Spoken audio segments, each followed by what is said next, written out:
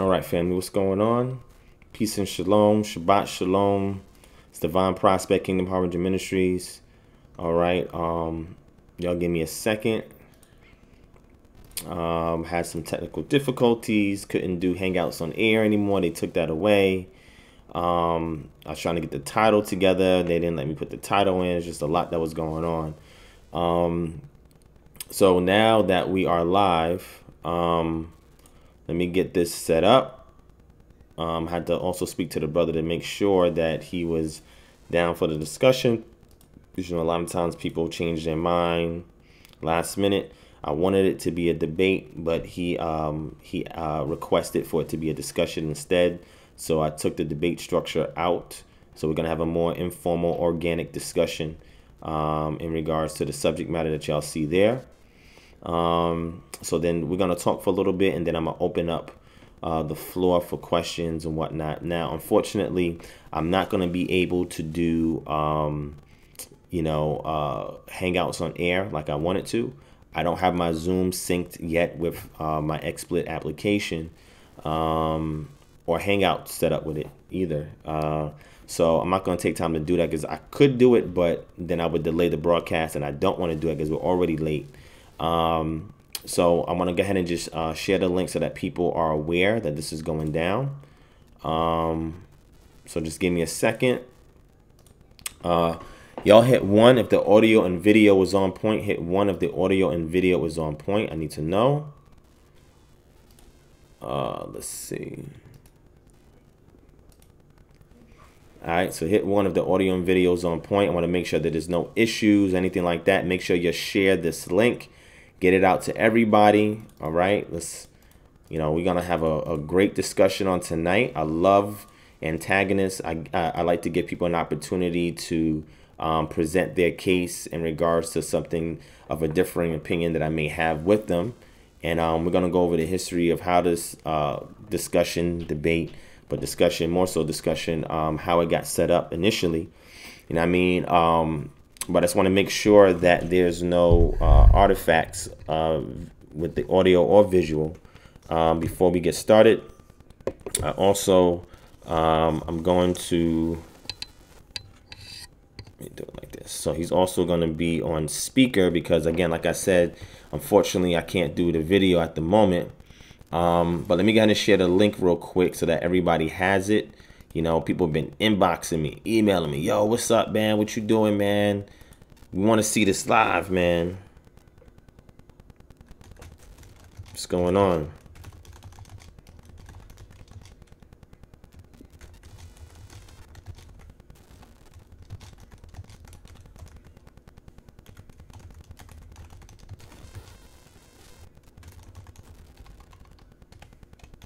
All right, hold on, family.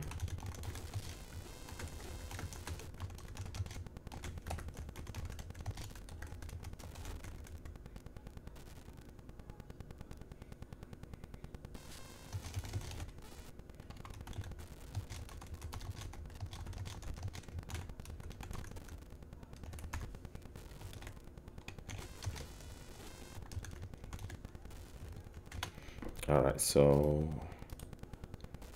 there we go. All right, make sure you share this link. Make sure y'all share this link. Again, I, I almost made it on time at 9.59, but I was having difficulties getting the live set up. Um, you know, as you can see, I don't even have my chat window is not even doing it's supposed to be doing. Um, maybe it'll act right. I don't know. Um, I was trying to get that to work, but that was acting crazy. Um, yeah, that's still, that's, that was acting crazy and it's still acting crazy. Um, let me try it one more time. Hold on.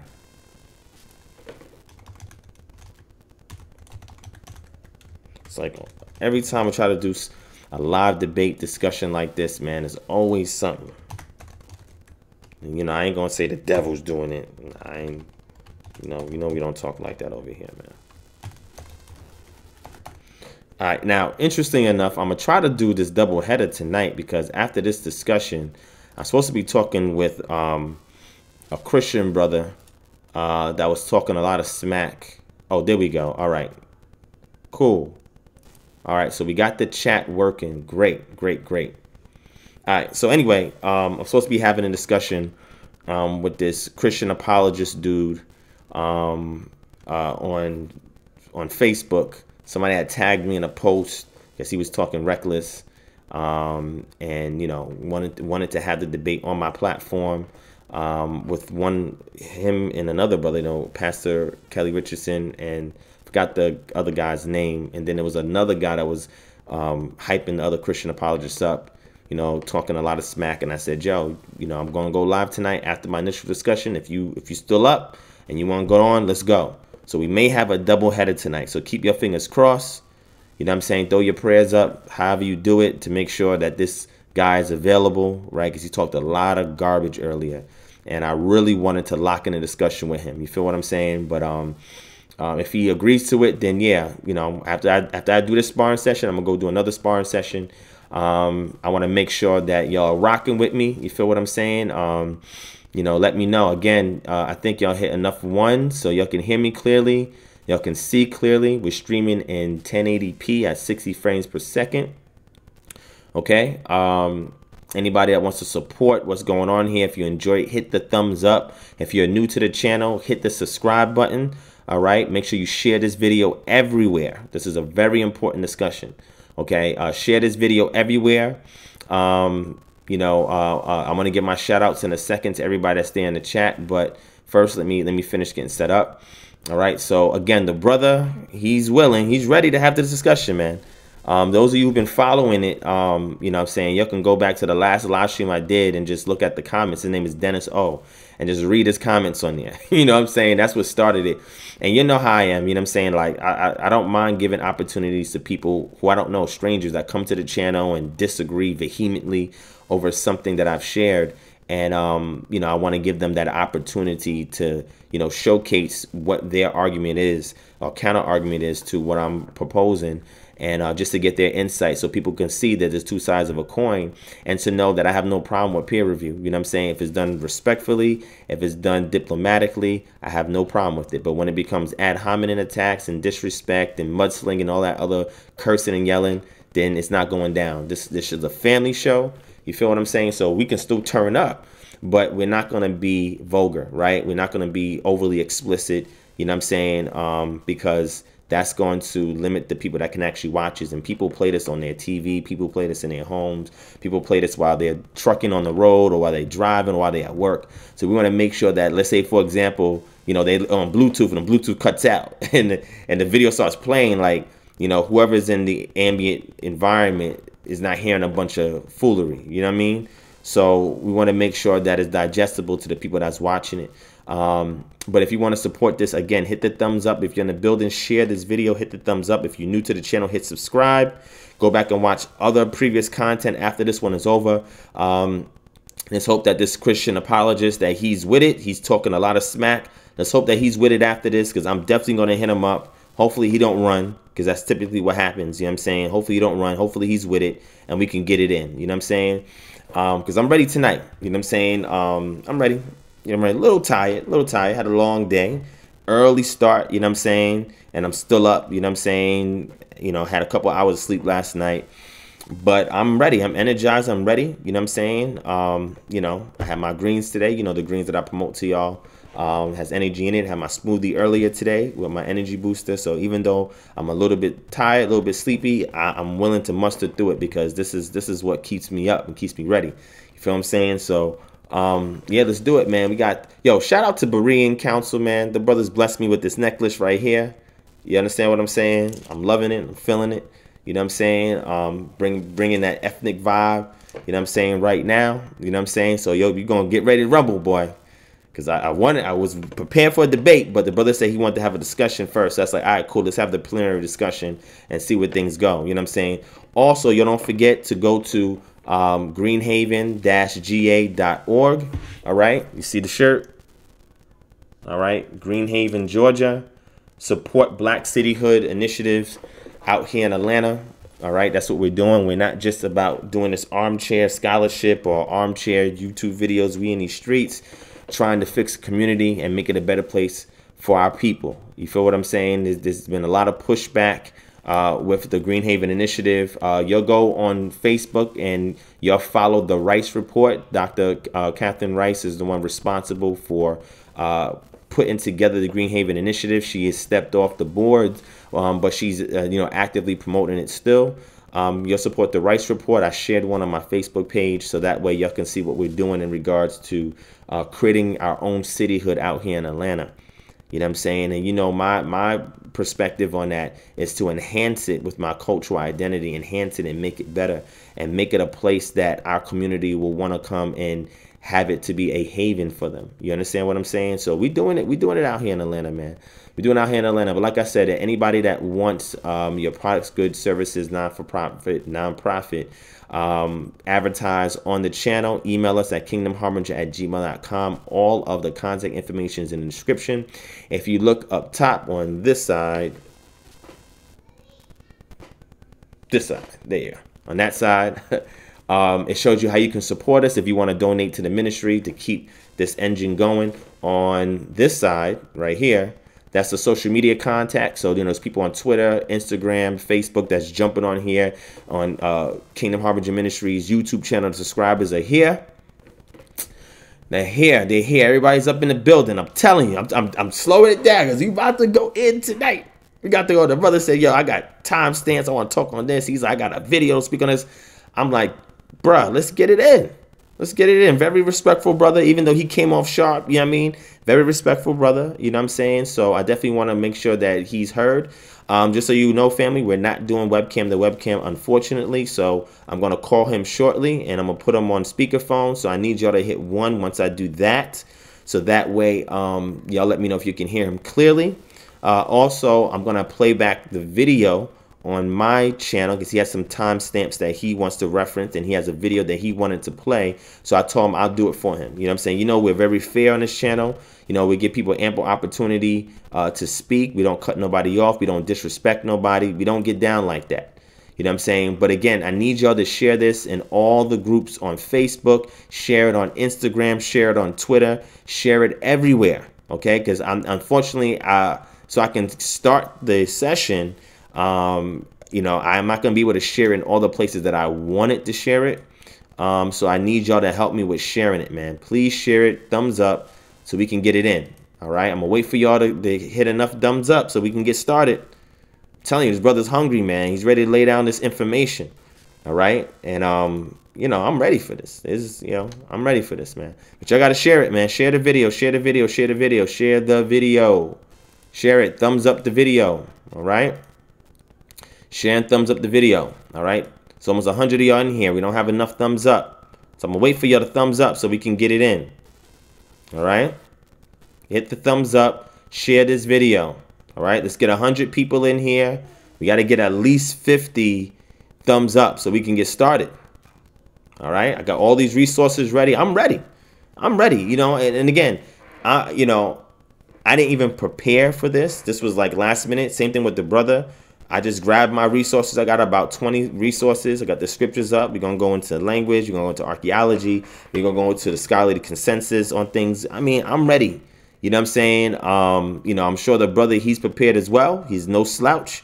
You feel what I'm saying? Um, but we need y'all to support it, man. So, you know, hit the thumbs up. Come on, we got five more. There's almost 100 people in there. Let's go. Let's go. Let's go. Let's go. Share it in all the groups. Let's get everybody up in here. Right? There's a there's a couple of things going live right now, and um, you know, no shots out to people who are going live. You know I'm saying? Um, you know, there's people that's on other broadcasts, but you know, KHM, this is where it's at. I mean, if you want something fresh, you want something that you know um, is going to require you to think. You know, that's going to test your spirituality to see if you're truly anchored on your identity. You feel what I'm saying? This is where it's at. Okay, um, I'm being honest. This is where it's at. You know what I'm saying? So I'm waiting on y'all. Okay, we got 50, 50 thumbs up. Excellent. All right, we need 100 people in here. 100 people and we can get started. All right, I'm waiting for y'all. Share it. You know, inbox people. I don't care if somebody is in the bathroom right now. You message them this link. Let them get it in. I don't care if they're at work. You message them this link. All right. I don't care what they're doing right now. If you with your family, put it on your TV screen. Okay. Let's go. Come on, family. Come on. 10 more people. Let's go. Thank y'all for the thumbs up. I appreciate it. I appreciate it. All right. So I'm waiting on y'all. Come on, come on, come on. Uh, somebody saying, I don't understand why we need to share and thumbs up so we can get the people excited for the discussion. I mean, if this is, if, if you don't want to be here, that's fine. You know, um, you don't have to be here. Um, maybe this is not for you, and that's okay. You're entitled to whatever your interest is. But for everybody else who's been in here, they know what the deal is, right? They support the channel, right? They're engaged. We want to make sure that they active. It's been a while since I had a debate with somebody too, you know, or, or this type of discussion. So I want to make sure that it's lively, that people are engaged. I mean, it's a way that you're able to promote the actual discussion so that way it's entertaining. I mean, a lot of debates and stuff is boring to me and it's not engaging. So I tune out to a lot of stuff. So if I'm to present something to the community on behalf of KHM, it has to be engaging and I want the people to get involved. I know you want us to get started and we about to get started. Don't worry about that. I got you. We about to get started about to get started. All right, let me give some shout outs to give a little bit of time for more people to come in. We only got a couple more people. So shout out to Shamar Talmid in the building, uh, the Most High Chow, um, Shaya Rala in the building, Shamar Yasharala, Jay Lockhart 25, Brian Williams, Shema Ministries, Asaya in the building. Um, Cheryl, Yahana O, Danny O, Levon Jones, Mo Spikes, Levon Jones, I said what's up already. Denis O, that's the guy who's going to be in here. Denis, did I get your name right? I think uh, is there one N or two N? Let me know. Shout out to Roro Israel in the building, Kelly Rivers in the building, Katrio Ben Yisrael, um, Aldrich Dow, Kevin Gibbs, Black Av, Marthel Ellison, Sis, Marthel. Please find that brother that was talking that smack. I forgot his name off the top of my dome. It was like do dirt or something crazy like that. Holla at him, hit him up, let him know that as soon as this session is over, I want his behind up in here. Okay, he was saying, talking all of that smack. Like I I told him, I was like, yo, we're gonna treat you like like seashores, right? On beaches, you're gonna get washed up. Like dirty laundry, you're gonna get washed. I want him to get washed up. He gonna try to get me washed in the blood of Jesus or something like that. I don't know. But we're gonna get him washed up with the information. All right. So please, sis, reach out to him because me, you, um, Pastor Kelly Richardson, we were on that post and they were going back and forth with us. I think they had a show earlier from 6 to 8 p.m doing some Christian apologetics on Israelites, why Hebrew Israelites mad or something crazy like that. Um, but yeah, please reach out to him because I, I, want him up in here. After, after this is done, me and his brother have this great build. I want him up in here. All right. Shout out to Joetta Johnson in the building. ABC 1908, cool story, bro, in the building. Vaunt Parker in the building. What's going on? Tone Rod in the building. All right. Derek Yasharal in the building. Joseph Down on the building. Joseph, I got your shirt. We're about to put fringes on it uh, today, and it will be shipped out ASAP. We got new shirts, man. We got shirts for sale. A lot of good shirts for sale. Unique, interesting shirts for sale. So the Culture Community Autonomy shirt is the one that he ordered. So we got those for sale too. If you are interested, highlight me, let me know. Shout out to Majid Thornton in the building. All right, Sam Bone, 617. Let's get it. Kyle Cameron in the building. What's going on? Get wise. All right, who else is up in here? Um, Oriah Jackson, Prophets of Awakening. Man, we got a full house in here tonight. Um, who else is in? Rodney Frederick, what's going on? Ashawn, Jeremiah Judah, 7,000 in the building. All right, hopefully you learned something, man. If you want to get in here next time, we can talk about the hell subject. I'm going to tell you where hell is at today, how everybody can get there if you want to go to hell and come back.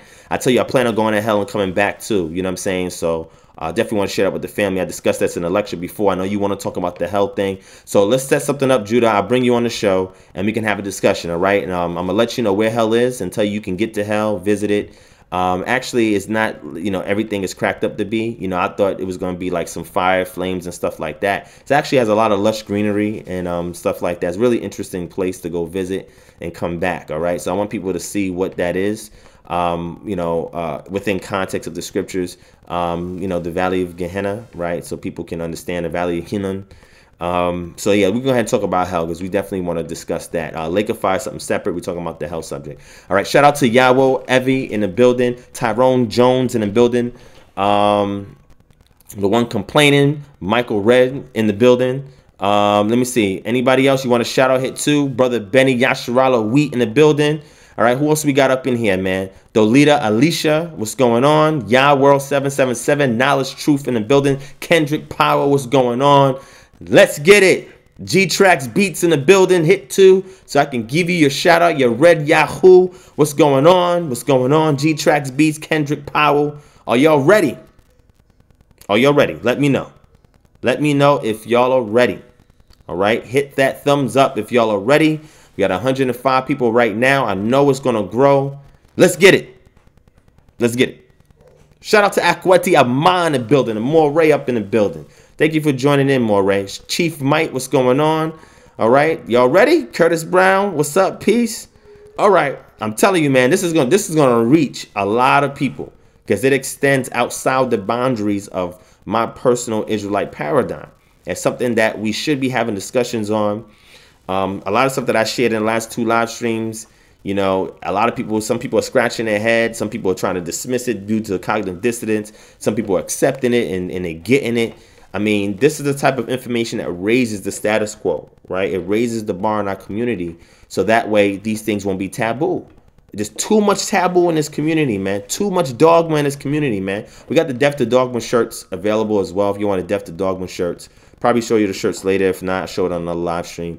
Um, but there's too much dogma, man. So we're trying to release that vice grip that's on our community because there's all types of communities attacking us. We have to be prepared with the response to those communities. We have to be well read, well studied, do interdisciplinary studies, know about material, immaterial culture, be able to cite scholarly sources, and also be able to read the text in its original tested language, as well as to exegete or give midrash on it appropriately, um, and make sure that we're doing our due diligence, right? And in the process, we're not belittling or putting down any other culture, any other people. This is about what we're talking about right now, and I believe this is going to help a lot of people. Shout out to the script in the building, uh, Ravinia Crenshaw Witherspoon in the building. What's going on?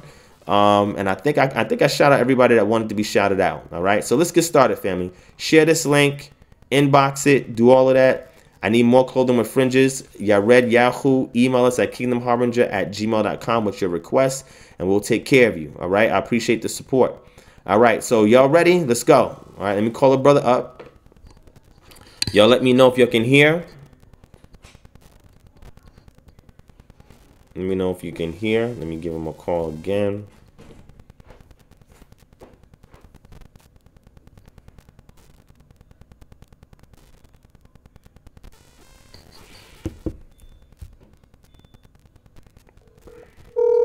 Okay, y'all hit one if you can hear. Hit one if you can hear. Shalom, shalom. Shalom, shalom. Denis, what's going on? Hey, I'm doing good. I'm doing good, brother. Just waiting on your call. Can you yeah. hear me clearly? I can hear you clearly. I'm just waiting for them to hit the one so I know that they can hear you clearly as well. Um, so let me wait for enough ones to know that they can hear you. All right. So I, yeah, I see a lot of ones there. Talk talk for a little bit. Say say something real quick. I want to see if they can hear you. All right. So just to quickly introduce myself. All right. Um, hold on. Hold on. Do y'all hear him? Okay. I think they can hear you. All right, give me one second. Shout out to Sadaria Halliburton in the building. Mr. Black Culture is up in the building. East Coast King was goody. Um, Eric, Eric, what's going on? All right, so they can hear you. They can hear you. All right, Yehuda Ben Israel, Tribe Ephraim, uh, Dushawn Harris Jr., Israel Yah. Y'all share this again on Instagram, on Twitter, on Facebook, everywhere. YouTube posts. Go into other videos and share this link. All right, let the people come in here and see what's going on over here. Shout out to Benjamin77. All right, in the building. Make sure y'all hit that subscribe button, hit that thumbs up button. Shout out to Marcus Allen joining us in the building. All right, so we about to get started. So just so you know, family, what I'm going to do, shout out to Lawrence Smith. I'm going to allow the brother some uh, time so that he can introduce himself, introduce his position. Uh, from there, I introduce mine, and we're going to have an organic flow as far as our discussion, I'm gonna definitely let him get an opportunity to put forth his counterpoints. Um, and I'm going to address them from my position as well. And we're going to have an organic conversation. Y'all hold your questions until the end. Once we're done, um, y'all can type in your questions for either me or him. And, um, you know, we'll address those questions to whoever it is that you all want the questions to go to. All right. Um, so we can shout out to Yeshamar in the building. What's going on? Aki Onabi Beats in search of Yah. If you coming in here, you getting a shout out.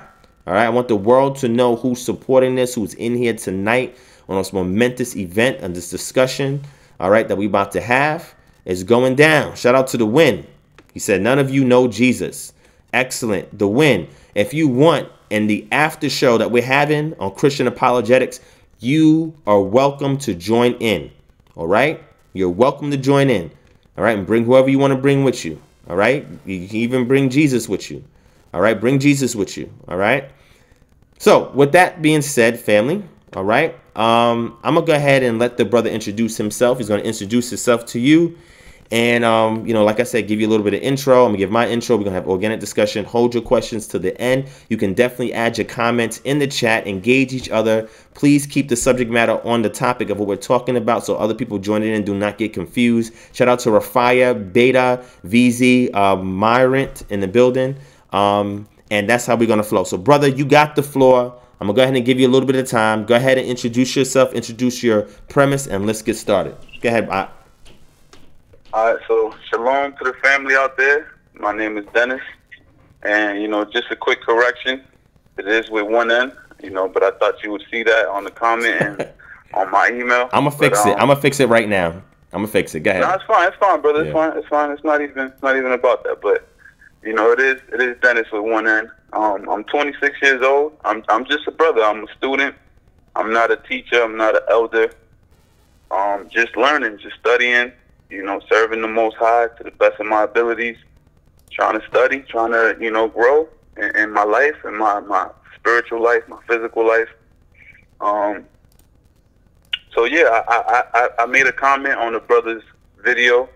Um, I think the title of it is "Wind Down Wednesdays," and you know, the you invited me to come on the platform to discuss it, to to lay out my position. You lay out your position, and you know, just to clarify, I don't mind you know doing a debate because you know I I, I was actually looking forward to a debate, but when you told me that we wasn't going to be able to do like a hangout and like show videos, and I felt like, you know, and, and with those constraints and it, and it and it only being just a phone call, you know, I felt like it would be kind of unfair because I wouldn't be able to truly just express myself the way I wanted to. But you know, if you want to make it a debate, we can make it a debate in the future. But for now, you know, I would prefer it just be a quick discussion. We both lay out our premises. I lay out some of my rebuttals to some of your your positions. Um, and you know, we go from there. All right, all right, sound good. So give us a little bit of, of background on you, um, if you're okay with sharing that. You know what I'm saying? Um, as far as like your history, a little bit about your history on how you came into the truth, and um, in regards to you know, because you had made a mention of something practices you used to do, and you you repented, you don't do it no more. Um, just give us a little bit of background about you, how many years you've been in this, etc. Okay, so as far as the truth goes, I it, it's an interesting journey. My life has been definitely an interesting journey because you know from the time I was young, like my my family's Christian, like that's their background, but I grew up. My, most of my family is from the Dominican Republic, but I grew up in America, um, and I was just raised by a single parent. And my mother, she comes from a Christian background, but she never, she never like forced that on us, on me and my brother. She never made us, you know, like she never told us to go to church. She never told us to read the Bible. It, it just wasn't. She never forced it. Like some parents, they'll force that on their children. They'll force, they'll force those traditions. But in my case, I never had that. I never had that kind of situation. It was just, I grew up just a regular kid playing sports, going to school, just you know, just living my life like any regular kid that that grows up in the circumstances that most of us grow up in. Um, but when I got older, when I started hitting like around 16 years old, around that age, um, you know, I, I started to just just study more. Just started to look into certain things, and as you know, they call this time, you know, the, the age of Aquarius. If you if you look at some of these occult practices, these you know these New Age blogs, they call this the age of Aquarius, the New Age, and all these different things. And I started to get into stuff like that. I started to look into things like that, and you know, as I told you, I was I was actually venerating my ancestors, and I had altars set up in my home. I had ancestor altars. I had sh- what you would consider a shrine, or to, to you know something like that. And you know, not to get too deep into that because you know, if if we was to have a debate, I would get deeper into that. But just to keep it, you know, as you know, as clear as possible, I did I did practice those things. I did get into those those spiritual practices, and the way I got the truth was just surfing the web, just going through YouTube, and I ended up seeing these videos that led to to Israelites, to you know the fact that Dominicans are Israelites, the 12th tribe chart, and all these different things.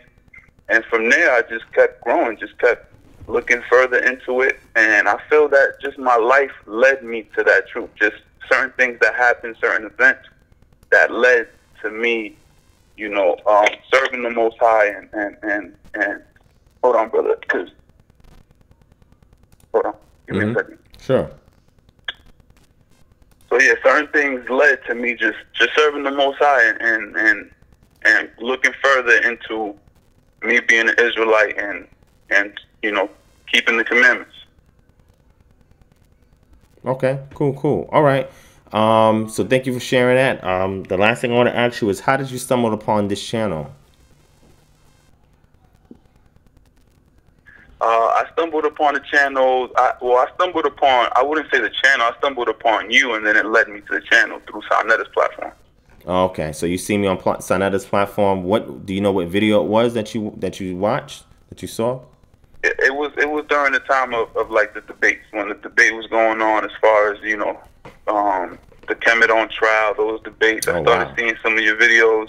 I saw the interview that you did with Polite, where you guys sit sat down and talked about the Bible and things okay. like that. Okay. And then that led to me seeing some of your other um, lectures that you did on Saunetta's platform, and then naturally I just started to look further into your work because I do respect you as a as a brother, as a scholar. I, I feel that you're one of you know the brightest minds in our community, so I do respect you, and I started to just I just subscribe naturally to your channel to learn more from you.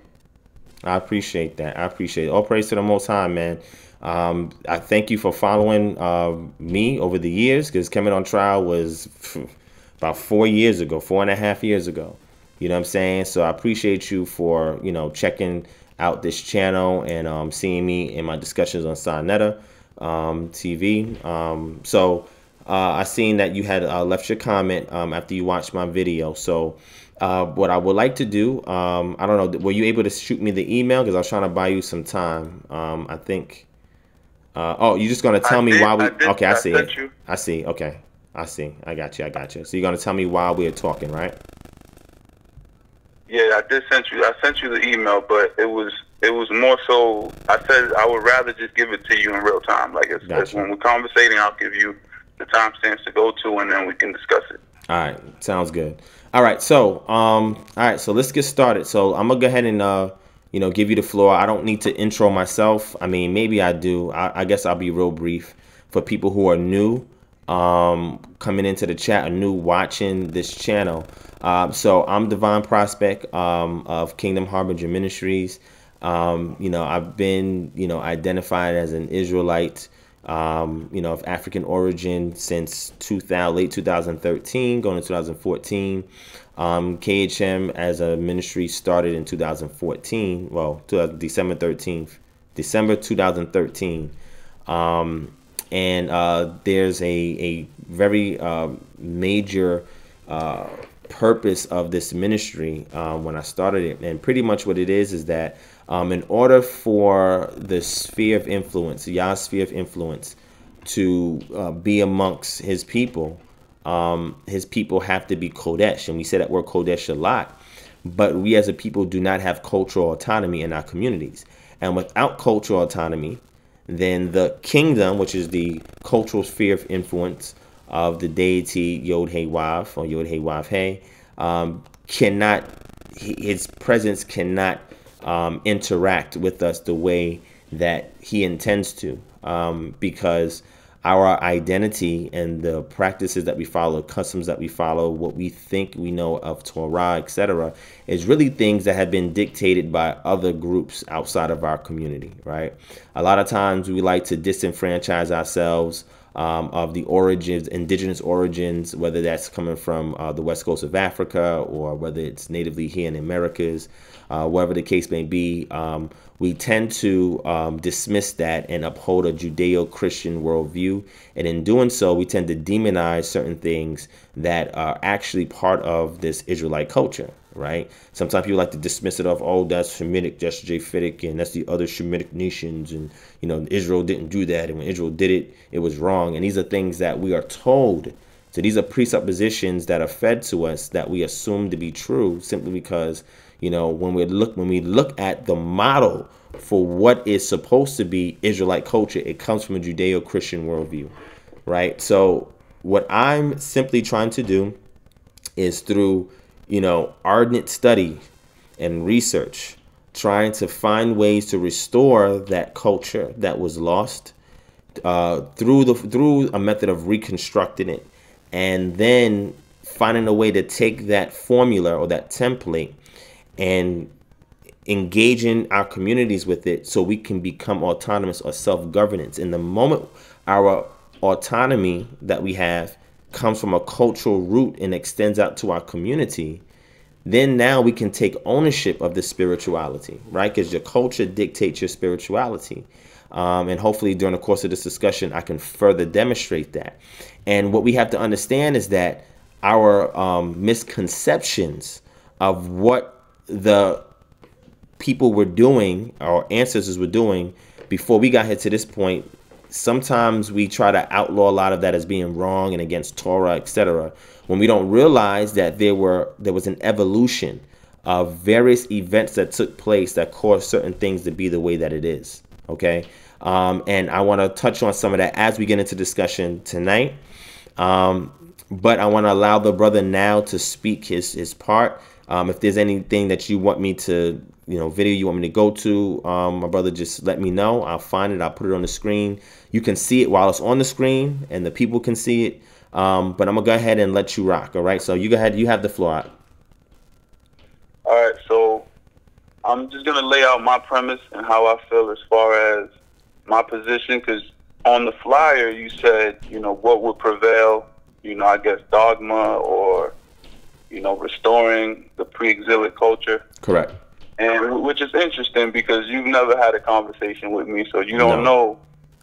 know, you know, whether I'm dogmatic or not on my Correct. position. But that's fine. You know, it's cool. Um, we all do it. We're all human. Well, this is um, I did that to give you the opportunity to correct anything that I might have said, um, and I do it because I want people to see a juxtaposition of information, right? So that way they can they can look at the contrast and they'll have enough on their plate that they can make a, a better informed decision. So if you feel I misrepresented you in any way, I apologize. It was not intentional. Um, but I'm definitely want to give you this time now to speak so you can clear anything up. So I'm gonna mute myself and let you rock. No, and that's fine, and that's fine, and that's the reason why I, I want to have this discussion with you because I feel that when you speak, I think you're, you're very intelligent, you're very articulate, but when you speak, I think you speak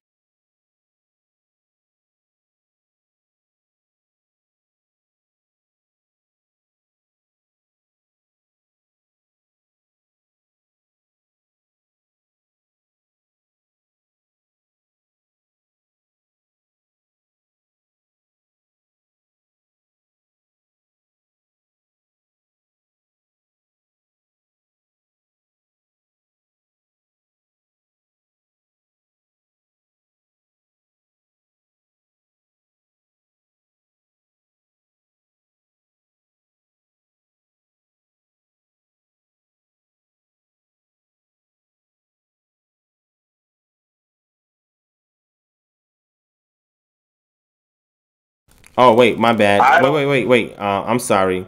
Um, man, I just forgot that we're not on Hangouts.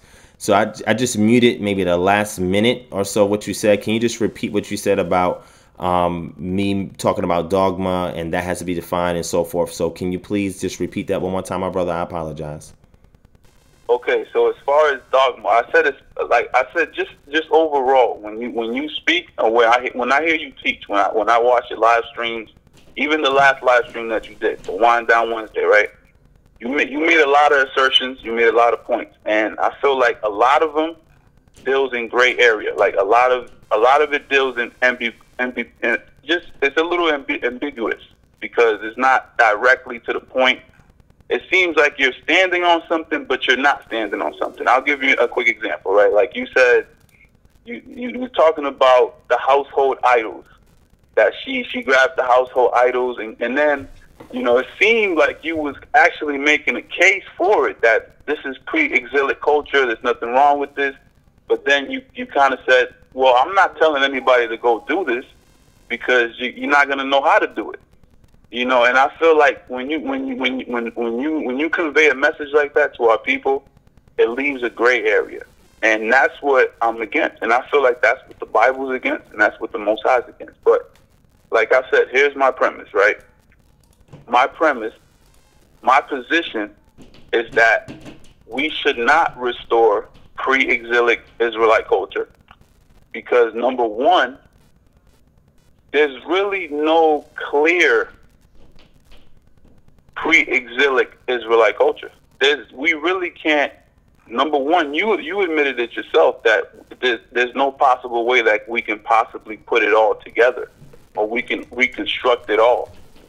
And because of the tricky history, just the the ups, the downs, the different transitions that Israelites had, I think it's impossible to even get a clear idea of what pre-exilic culture is. Now we can we can reconstruct it and put a lot of things together and and make sense of a lot of things. Of course, you know I feel like there's archaeology, there's text that we can we can we can reference to to get an idea of things. But for me, I would rather stick to what the scripture says. I would rather stick to what the, the manuscript says, what the text conveys, and leave no gray area.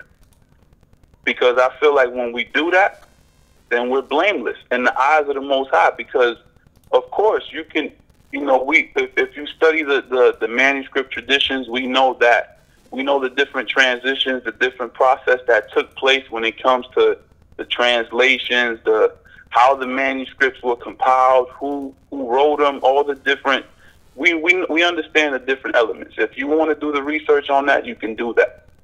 But we can all agree there has to be something to this word that after thousands of years, we're still here talking about it.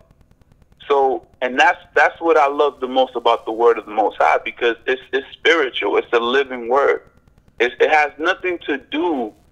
I mean, no, well, it does. It does have something to do, but I just feel that it's, it's, it's of a spiritual essence, and we have to deal with it from a spiritual perspective. And I feel like when you become obsessed with with with the research, when you want to study all these different scholars and how they analyze and how they how they've been able to put the information together, when you become obsessed with that, I feel like you took away the spirit from it and you made it strictly a fleshly carnal thing. It's just now it's just about humans and culture and and what we're doing and, and, and that's cool. There's nothing wrong with that but I feel like it removes the spirit from it. It takes away, and I'm and I'm actually going to show throughout the throughout the discussion how you've actually contradicted yourself a couple times because, and again, that's why I say that you speak in gray areas because I'm going to give you the timestamp so that you can go to these places so that you can see that it's, it's not clear on what you're actually standing on. But my position is that as a people, if we're claiming to be the descendants of Israel, the only thing we should be doing is following Christ. If, especially if you're Messianic. Now, if you're not Messianic, that's fine. But if you're Messianic and you believe in the Messiah, you believe that Christ was the Messiah, then the number one thing we should do is filter everything through Christ. Everything has to be filtered filtered through his walk, through his teachings. First, that's first and foremost. And obviously the law, statutes, and commandments. But as you know, Christ said, I come not to destroy the law, but to fulfill it. So we know that Christ was actually advocating for us to keep the laws. Not as modern day Christianity will have us to believe that the law is done away with etc. So that's what I feel should be established amongst our people. Because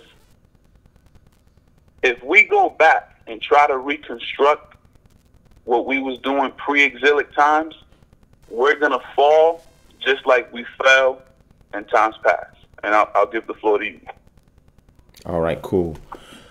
All right. Well, I want to say thank you for uh, your transparency, your honesty. Um, I have no problem with people being opinionated and people disagreeing with certain things that I said. People who are able to identify what they perceive to be inconsistencies or a lack of a stance. Um, I, I know you said that you've been following me for a couple of years. I mean, my position on a lot of things, I have substantiated it and I have anchored it um, very well. When I present certain types of information, um, I may not give my subjective stance, um, but sometimes I will. If I do a lecture or something like that, or have a dialogue with somebody, it'll come out. And a lot of that has been shared um, in the length, breadth, and width of lectures that I've placed out on um, this channel.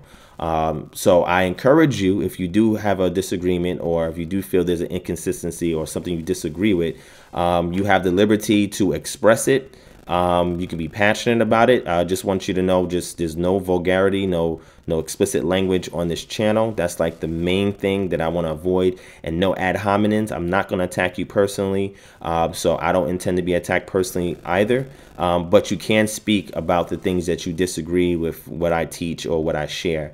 Um, I welcome it. You know, iron sharpens iron. I'm, I'm a student before I'm a teacher, so I look for points of growth as well. Um, and I can get it from anybody. You know, just because you're almost 10 years my junior doesn't mean that I cannot learn anything from you. You feel what I'm saying? So I do appreciate that, my brother, and um in your position. Now, what I'll say in response to that, and then after I'm done, I'm gonna open it up if you want to get into more of your your um your argument and presenting what you disagree with, um, particularly. What I will say is that um, the reason why I do a lot of research is so that I can ensure that what it is I'm reading in the text, that I'm reading it from an objective perspective, and that mindset has not been influenced by presuppositions by external entities that have placed them in my mind. So if I've been raised, if I was young, I was raised, and somebody gives me the Bible and said, This is the Word of God. It is an inerrant Word of God. If you want to get to God or get to know God, you got to read this book and only this book. Because if you look at any other books, there's a weariness in studying other books. So leave everything else by the wayside. Follow this book. It is a strictly spiritual spiritual book. This is what people say, strictly spiritual book. And unless you got a spiritual lens, you can't discern this text. You know, um, and if you you know look into other things, you might get taken away by it, and and then God is going to judge you because you know you're you're uh, not following His way and you're not trusting in His word. You hear a lot of things like that. I know I've heard this growing up because my family was heavily influenced by Christianity. And by a byproduct of being influenced by Christianity is this uh, wanting to do a crusade on behalf of Christendom, right? And the Christendom crusade mindset is an egregore, it's a thought form that has been constructed to ensure that the entity is able to sustain itself no matter where it transitions to, okay? Um, so in studying the things that I've studied history, archaeology, language, etc. The objective is to make sure that if I dive into this text and I identify myself with the paradigm that is consistent with this cultural literature, that is in alignment with the way that it was intended by the original authors to the original audience. I'm taking my, you know, modern, uh, you know, misconceptions or conceptions or perceptions or the way I think in modern times, contemporary times, I have to strip that away and remove that. The things that people have said, people have taught to me, I need to put it by the side just so that way I can objectively analyze the text for myself. And once I'm able to do that, then I can restore and reconstruct what was lost because there's a lot of stuff in the text that does not make any sense if you do not know how to do proper exegesis or midrash of the text which will require a full spectral analysis of all the material and immaterial data that is available for us to understand what they were trying to say at that time. And a lot of times, because we immediately have our initial point of reference being our immediate environment while we're reading the text, we automatically disqualify ourselves from properly extracting what was intended from the speaker to the audience. The text itself went through various hands over time. The text itself has been redacted over time. The text itself has to survive the test of time, but the final redactors that put the text together and the format that we have today, because the text that we have today is not an autograph, hence why textual criticism and textual analysis is extremely important because we don't have the original. So therefore, because I've done textual criticism, I've determined that this text is not inerrant. We see things once you learn the language, look at the manuscripts, and even look at archaeology, there are some things that are conflicting. So the objective of us is if we see something that's conflicting, do we ignore it or do we confront it head on and find some way to harmonize it or make sense out of it, especially since this text is coming under fire all the time. So my intention for this channel is to provide this objective information with a tinge of my subjective lens so that way when people are exposed to the information, they can make a better informed decision on how to approach their cultural identity. Because that cultural identity that we have today has been given to us. Nobody has said we're going to be a think tank, we're going to work from the ground up, and we're going to restore cultural autonomy back to our community so that everything that we do, everything that we follow came from us. And it came from us because we're following the ancient blueprint that was left behind for modern revolution. So, in order to do this or to accomplish this, we have to make sure that what it is that we're studying is the way it was intended to be studied, it intended to be researched, and intended to be applied. Because a lot of people take the book, they read it, and they try to do something, and it does not work because they realize that there are gray areas in the text. So we talk about the statute, laws, commandments all the time, the mitzvot all the time. But there are various places in the mitzvot that if I pointed out to you and I can say, well, how did they do that? How would you know how they did that? What would be your frame of reference to say, okay, look, this is how they did that? And be able to explicate that to an audience that may be unfamiliar with the text. So there's there's a lot of things that are there that are gray areas that we have to reason. And my methodology for doing that is doing a proper midrash or exegetical analysis of the text, being able to read it within its proper context through five different methods. The first one is syntactical lexical analysis, where we're looking at the grammar, the language, etc. We go through cultural analysis, we're looking at the culture of the people, historical analysis, going into the history of the time period, what was going on. Uh, we're going into what I call cross-reference analysis, meaning that uh, there are other places in the text that speak about the subject matter and or the word. Therefore, it's going to utilize lexicons and being able to understand how passages link with one another. And there's a resource called the Treasury of Scriptural Knowledge that a lot of people use and don't realize they're using when they go online and look at these online Bibles and they're using the TSK, which is providing for them cross references, which people call precept upon precept, line upon line, here a little, there a little. And even that, when you study it in original language, is not what we think it means. And that's called the semantic value of that idiom is lost because we're taking it out of context and we're teaching it based on a presupposition of how it was taught to us. And if we go into the language at another time, we will be able to see these things. We go to Jeremiah 14 2, like I did on this channel, and I broke down the text itself. I parsed everything out, every construct and subconstruct went into the language, and I showcased that that has nothing to do with the color of the people at all. But you have to do this type of analysis to determine that. We have to determine what is literal and what is figurative, and what liberty do we have to utilize our understanding of determining what is figurative and what is literal. Because sometimes when you speak to somebody, they say, oh, that's spiritual. To me, say, oh, no, all that's literal.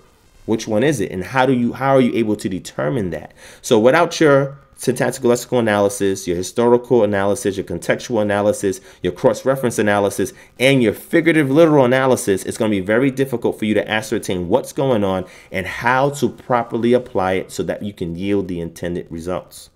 So all of this is necessary. So any question that you have in regards to my stance, you have the floor. You can definitely ask me the question and I will answer it for you straight up. But the reason why I do the approach that I do is because I give resources. I go into the language. I do comparative analysis, cross um, cultural analysis. I do these things so people can understand that I'm not intending to mislead them. I'm giving them insight to all of the study, the sources, the research that I'm doing. So therefore, they can fact check what I'm saying and or use it as tools to better build their walk with the Creator. And that is my position. I don't sit here and demonize other practices, other groups. I don't do anything like that right? My character, as far as dealing with other people, is very diplomatic and tactful, and it's extremely respectful because I got to the point of self actualization that once you're fully engaged in your culture the way it's intended for you to approach it, then you will spend less time attacking other groups of people and more time edifying and building up your particular walk. So that's why when people come on this channel, they don't see me bashing people calling people, yo, you're a false prophet and you wicked and you evil and you deceiving people. Like, they don't hear that type of language on this this uh, platform. If you want that, there's other place you can go to get it. But because when you when you get to a point of self-actualization by using objective tools to better decipher the text, you learn these things. It builds your character. It reforms your character. It anchors your character. It helps you to build integrity and growth. You know what I'm saying? So you can be complete and sound. Perfect does not mean you're without flaw. It just means you're complete and you're sound.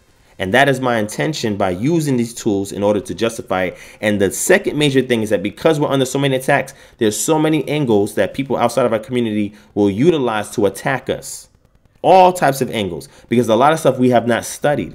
So who is going to be there that's going to be in the thick of the mud and try to dig out all the jewels and present it so that way the community can appreciate it for what it is and that other people when they attempt to attack us we will already be abreast of the information and we can respond apologetically which we're instructed to if people subscribe to the Brit Hadashah of the New Testament so that that's why I take the approach that I do. That's why I teach the way that I do. That's why I convey the information the way that I do because I want our community to no longer be stagnant. I'm not telling nobody to run away from the Israelite culture or paradigm because if that was the case, I wouldn't identify as such.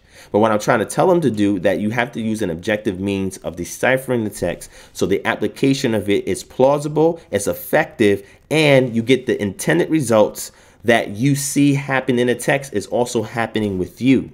And there's a formula that you can unlock when you understand the variables and you can address this. So with that, I'm gonna hand it over to you, my brother, so you can talk on the, the variable, the gray areas that you had mentioned. Give any points of reference if you want to use a video or anything else. You have the floor now. Right. All right, cool. And can you hear me clearly? Yes, sir. And they can hear you as well. All right, so and like I was touching on when I when I introduced myself, and I didn't go too deep into it because I, I wanted, you know, I want I want to keep this as clear and as concise as we can keep it, because obviously we can go on for hours if we really wanted to, but to keep it just simple and short so that we don't take up too much of people's times and we can get our message across. I, I, I have dealt with the occult, right? I've dealt with uh, different spiritual practices like, for example, you mentioned a Babalawo, which you, I'm pretty much you. I think you're referencing, you know, the Ifa religion, which is West African, right? Correct. And I've, I've dealt with that to a certain extent. I, like I said, I've, I've dealt with ancestor veneration, ancestor uh, making offerings to my ancestors, pouring libations to my ancestors. I've dealt with um, with, with different spiritual practices that can give you a different perspective to what's out there.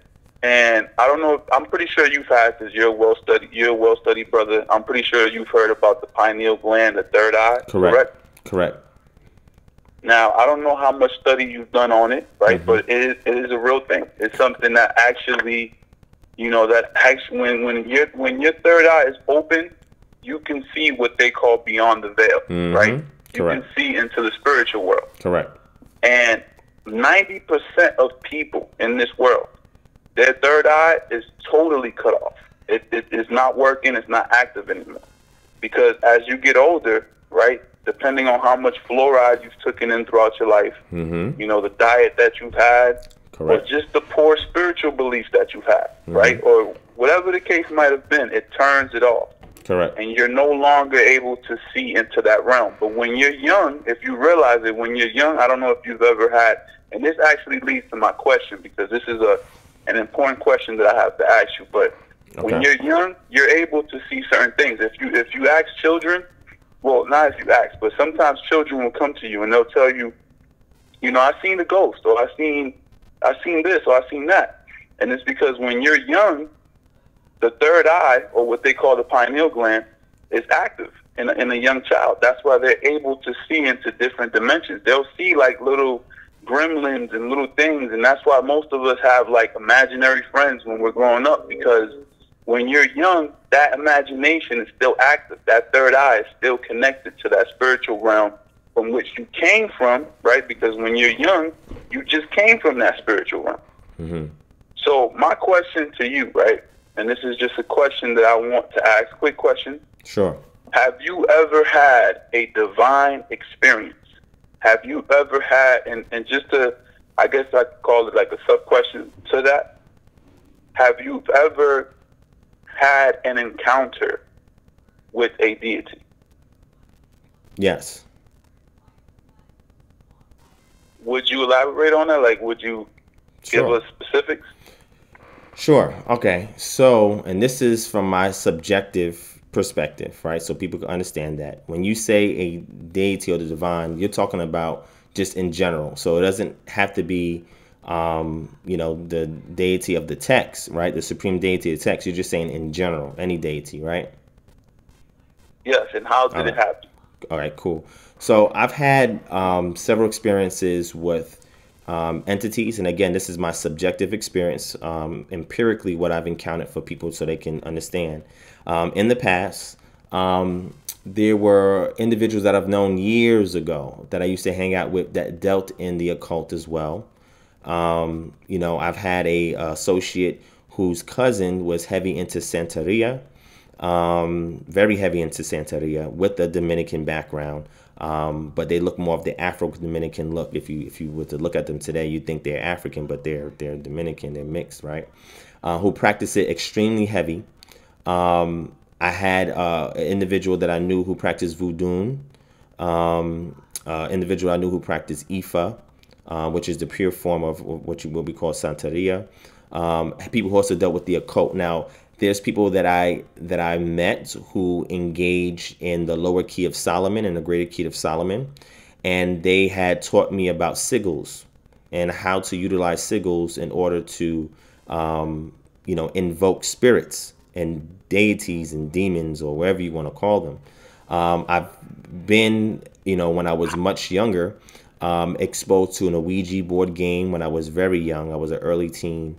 Um, and seeing the Ouija board move and um, heard, you know, at that time, what was like unexpected voices. And then we were asking questions of the Ouija board, you know, hey, if you're real, do this. And it would happen. And again, because I didn't have a camera at that time, I can't show nobody what it is. Um, I don't intend on going and doing divination in that form, you know, anymore. But you know, do these people that I've known and interactions I've had with them, even before I got to this point that I am now, um, I learned a lot on this journey. So I've seen things, I've experienced things, I know how to do certain things, right? Because I've had people share things with me.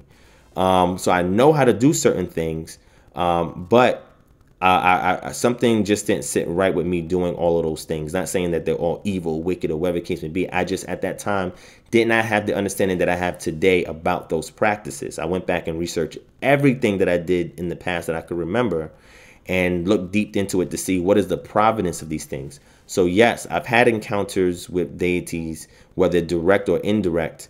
Um, and I've seen different things happen to certain people based on them interacting with it. Um, and I know that that realm exists from my own personal empirical experience. Um, but at the same time, I don't force that experience on other people. I don't expect everybody else to associate with that same experience because everybody's different. So hopefully that thoroughly answers your question.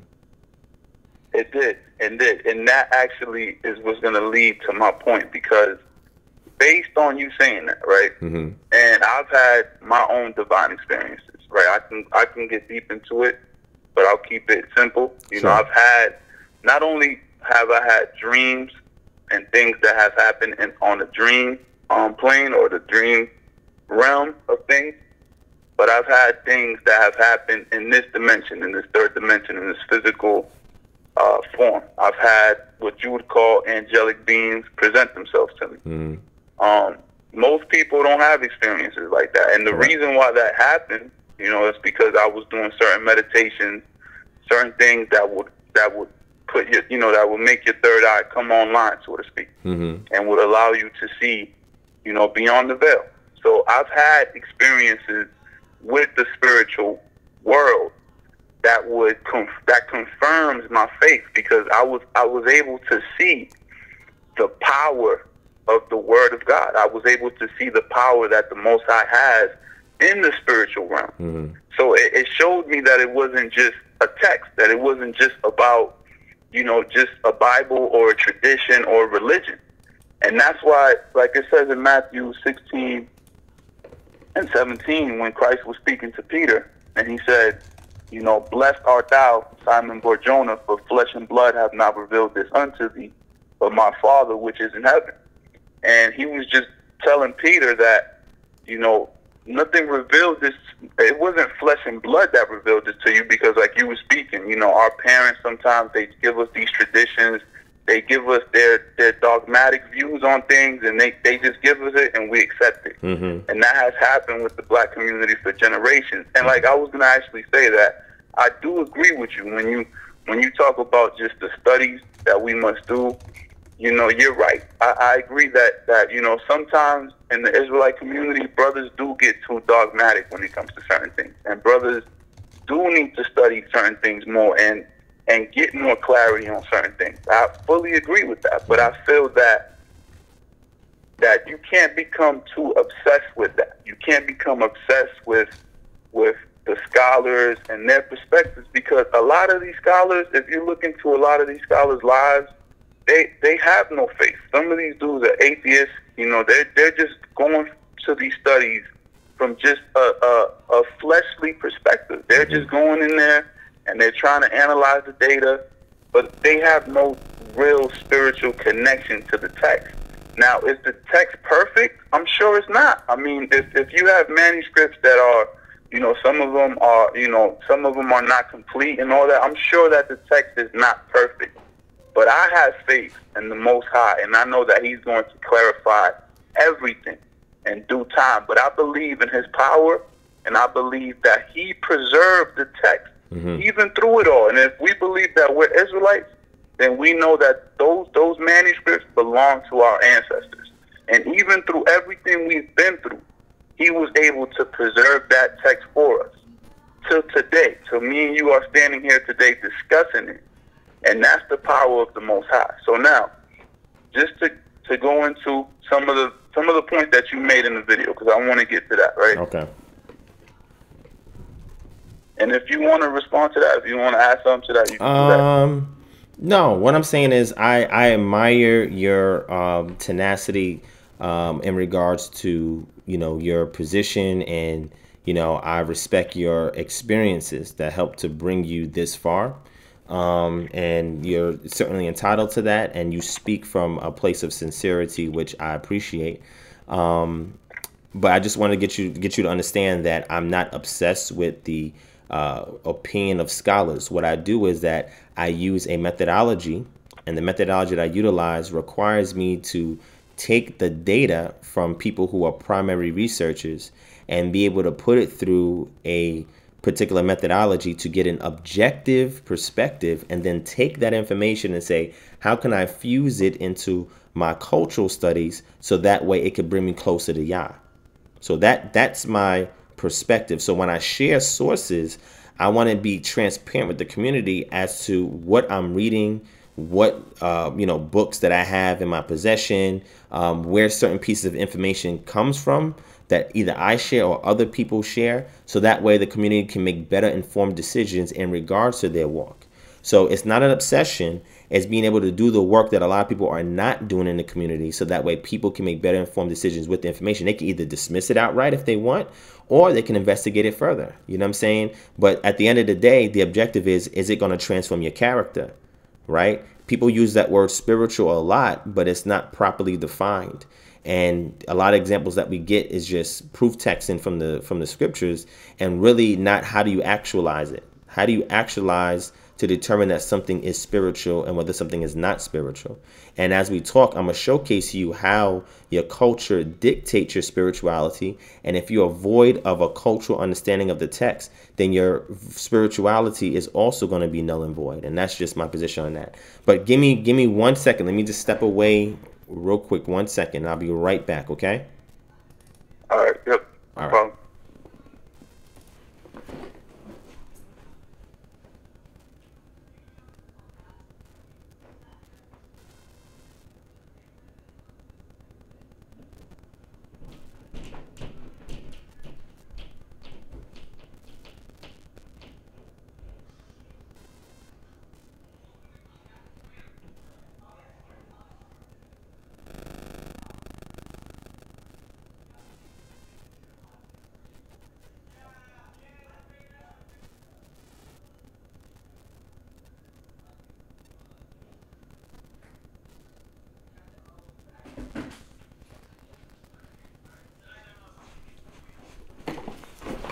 Okay. My apologies for that. Just give me one second. All right. So, um, all right. So go ahead. You got it. Hello?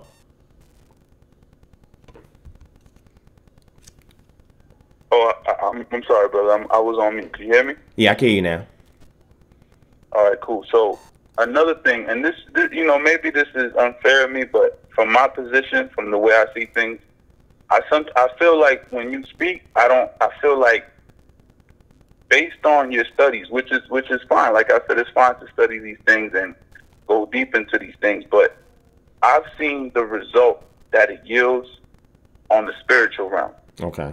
You know, and not just myself, but there's plenty of testimonies out there. Mm-hmm. Right? You see the power of of the word of the Most High. You see the power, and and especially when you using you know the name that you that you use. Whatever name you I know the name that I use. I choose to use the name of Ahia that's mm-hmm. the name that I go by. But whatever name people use out there if if it, if it yields result to you then hey that but I've seen the power of it.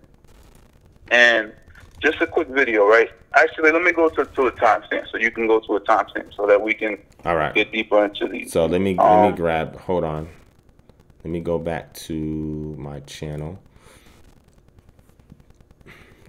because I can add that to what we're looking at right now. And this is from the last live stream, right? Yep, from from from the last one. Yep. Okay. Um, hold on. What the heck is this? Oh, this needs to be. Hold on one second.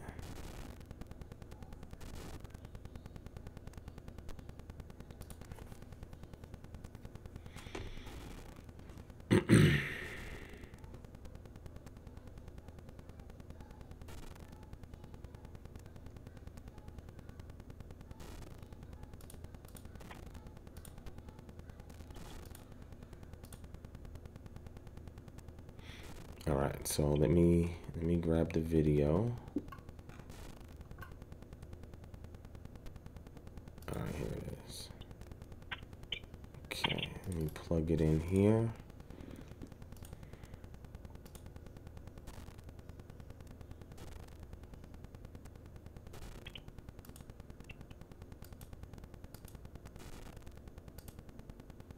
Oh, okay, that that works.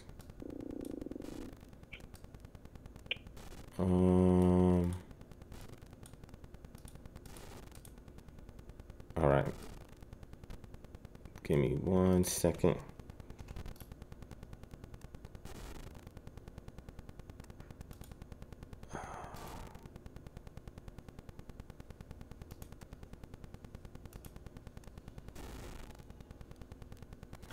And I'm not. I'm, I don't have like a particular order to it, but oh, that's fine. You know, I'm just gonna yeah, let's just go to certain timestamps so that you can, I guess, clarify certain things, and then maybe I can present a rebuttal to, to okay. the points that you made. All right, so here I'm. Here I am.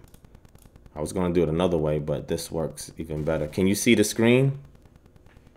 I could, yep. I could, Okay. yep. Come on in, brother. All right, Hey, so we'll give this a I need to holler at you, bro. I gotta talk to you about it. Uh, what?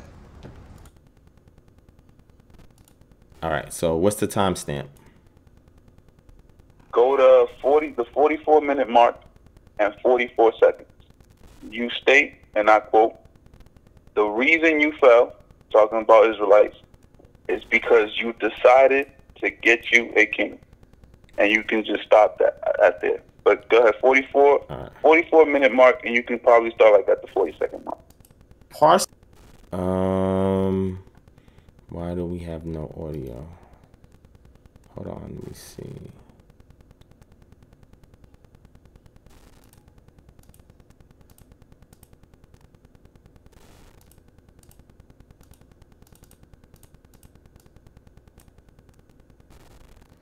Um, don't know why I don't have any audio. Parse it out and then Let me see. Is it because this is muted? Hold on one second, all right? which we Uh, call I can Sit hear it, out and then- just, the Now, audio came what on. this see. does Oh, it came on? it's Because this is easy to Yeah, go yeah. on. As you can see in All the right, hold simple on. spray bottle Hold on here, one second, and all right? we'll show you now video, it rubs point out what they believe, I can out, and then pause for their The audio downfall. came on. Instead of oh, looking at the fact that hey, the reason why you yeah, fell when is you played because it, I could y'all decided to get you a king. And now you're Point pointing out what they believe, sit out, and pause for their downfall. Can you hear it? Instead of looking at the fact that hey, the reason why you Yeah, fell yeah, is you because played we it. I were could decided to get you a king. Like now you're pointing out what they believe, sit out, and pause for their downfall. Instead of looking at the fact that hey, the reason why you is because we were decided to get you a king. Like now you're pointing out what they believe, sit out, and pause for their downfall.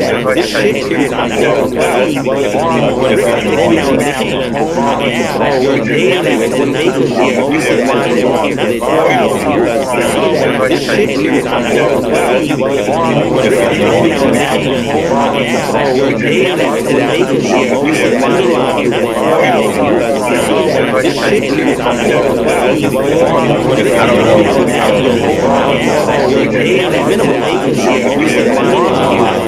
Come back.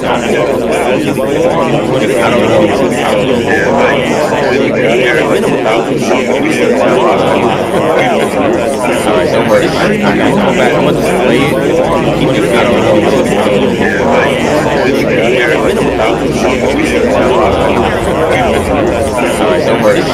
come back.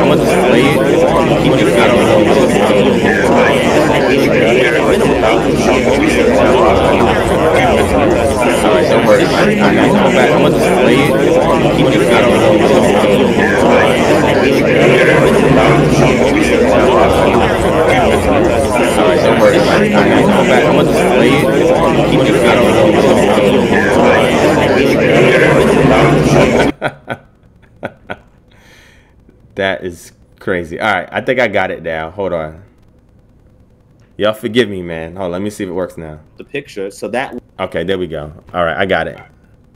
All right, so which, what do you say it was 44 and 44? 44 minute mark and 44 seconds. But All right. Maybe you could start it like at the 40 seconds just to get, you know, I guess whatever. All right, cool. I got it. All right, you ready? Yeah, I'm ready. Yep. All right. because y'all decided to get you a All right, so y'all hit one if y'all can hear it clearly. Hit one if you can hear it clearly.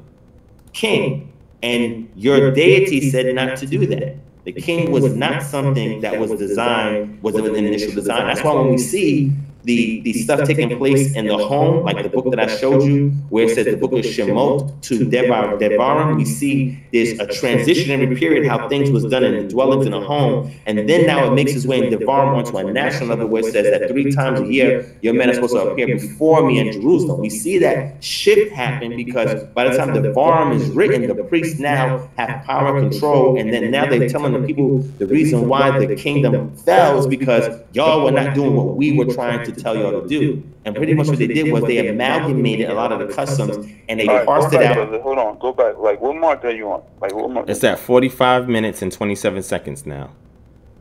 A 45 minutes and four, 44 minutes. I'm sorry, 44 minutes and I, I, I meant to say 44 minutes and 45 seconds. Oh, I was there. I let it play from there, but I'll go back to it. I, I just want the part where you said the reason you fell Uh-huh. is because you decided to get you a king. All right, so go ahead. cause for their downfall instead of looking at the fact that hey the reason why y'all fell is because y'all decided to get you a king There you go. All right, I said it. All right, cool. Right. So now, I feel right that what you said in the, when you said that originally that wasn't a part of you know the Most High's plan. I agree with that. That's that's true. Right. The Most High didn't intend Israel to have a king over them. But when you made the statement that that's the reason we fell, Mm-hmm. I feel like that goes against the text. I feel that that goes against the scriptures itself. Now, you may have outside sources that may, you know, um, that may agree with, with, with, with your statement. You may have archaeology that may, which I feel like archaeology, it could enhance and, and help you um, understand the text better, but I don't think that you can create a narrative around it because it, it, it. But I'll, that's that's another story. But you said the reason we fell is because we decided to get a king. Now, this is the text, right? And I and just so people can be clear, I believe in the Old Testament. I believe in the New Testament. I believe in the Book of Enoch. I believe in the Dead Sea Scrolls, the Book of Jasher, Jubilees. I, I believe in, in that text wholeheartedly. I don't care what the what the manuscripts went through. I, I, I respect it. I could look into it, but I, that's what I believe in. Right? This is what the text says. As far as just to rebuttal that point, that this is the reason why we fell, because we decided to get a king. And you actually, if you go further in the video, you actually made it seem like the Most High was in dis- in disagreement with it. Right. This is from the Dead Sea Scrolls. This is from the Temple Scroll. So wait, Right, so wait, eleven- wait, slow down. So, so now you're reading from the Temple Scroll, correct?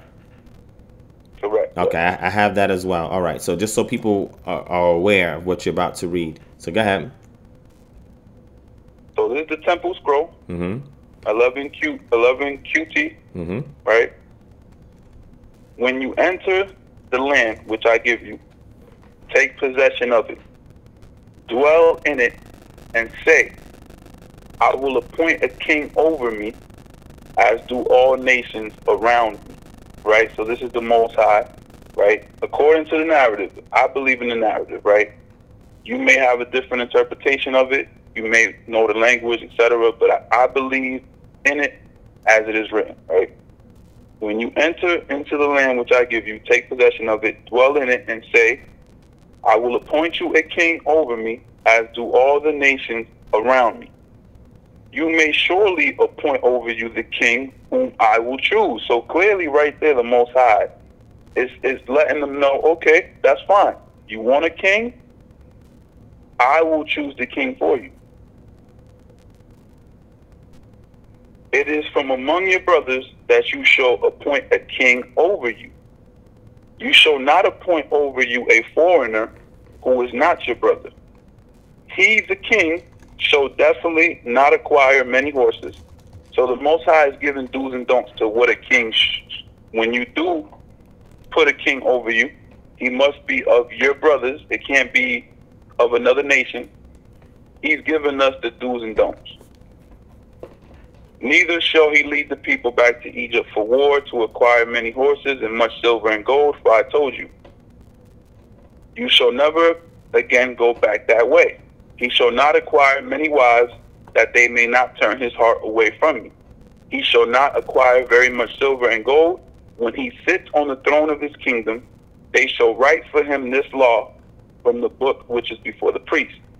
He shall not go following his heart's counsel until the high priest has inquired for a, de- a decision by the Urim and Tumim, right? Which is something you, I don't know if I pronounced that right, but I know that's something you touched on, which is something that I agree. You, you mentioned how in pre-exilic times they were doing a form of divination and casting lots, etc., which I agree.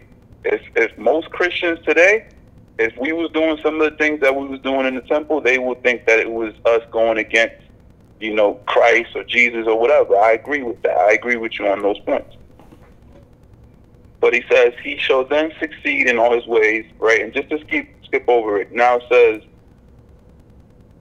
um, and this is why I, I believe that we shouldn't, you know, try to restore the old culture that we have, right? Because it tells you here, and they shall disperse them in many lands, and they shall become a horror, a byword, a mockery, with a heavy yoke and an extreme want.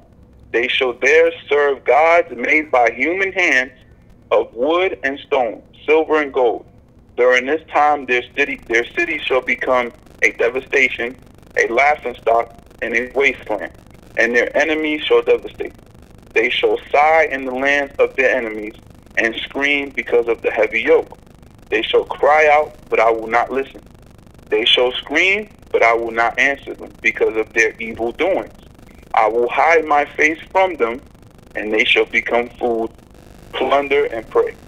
None shall save them because of their wickedness, because they have broken my covenant, and their soul has loathed my law until they have incurred every guilt. Afterwards, okay, so I'll stop it there. But my point in referencing that is that the Most High wasn't in disagreement of us getting a king, right? Originally, he did not intend in us having a king. But again, we're dealing with the creator. We're dealing with a God that is above all gods. So time, right? He's outside of time and space. He knows present, past, future. He can see it all. He's not in he's not confined to this physical dimension that we're confined to. He he already he knows everything. He already knows what's going to happen in the future.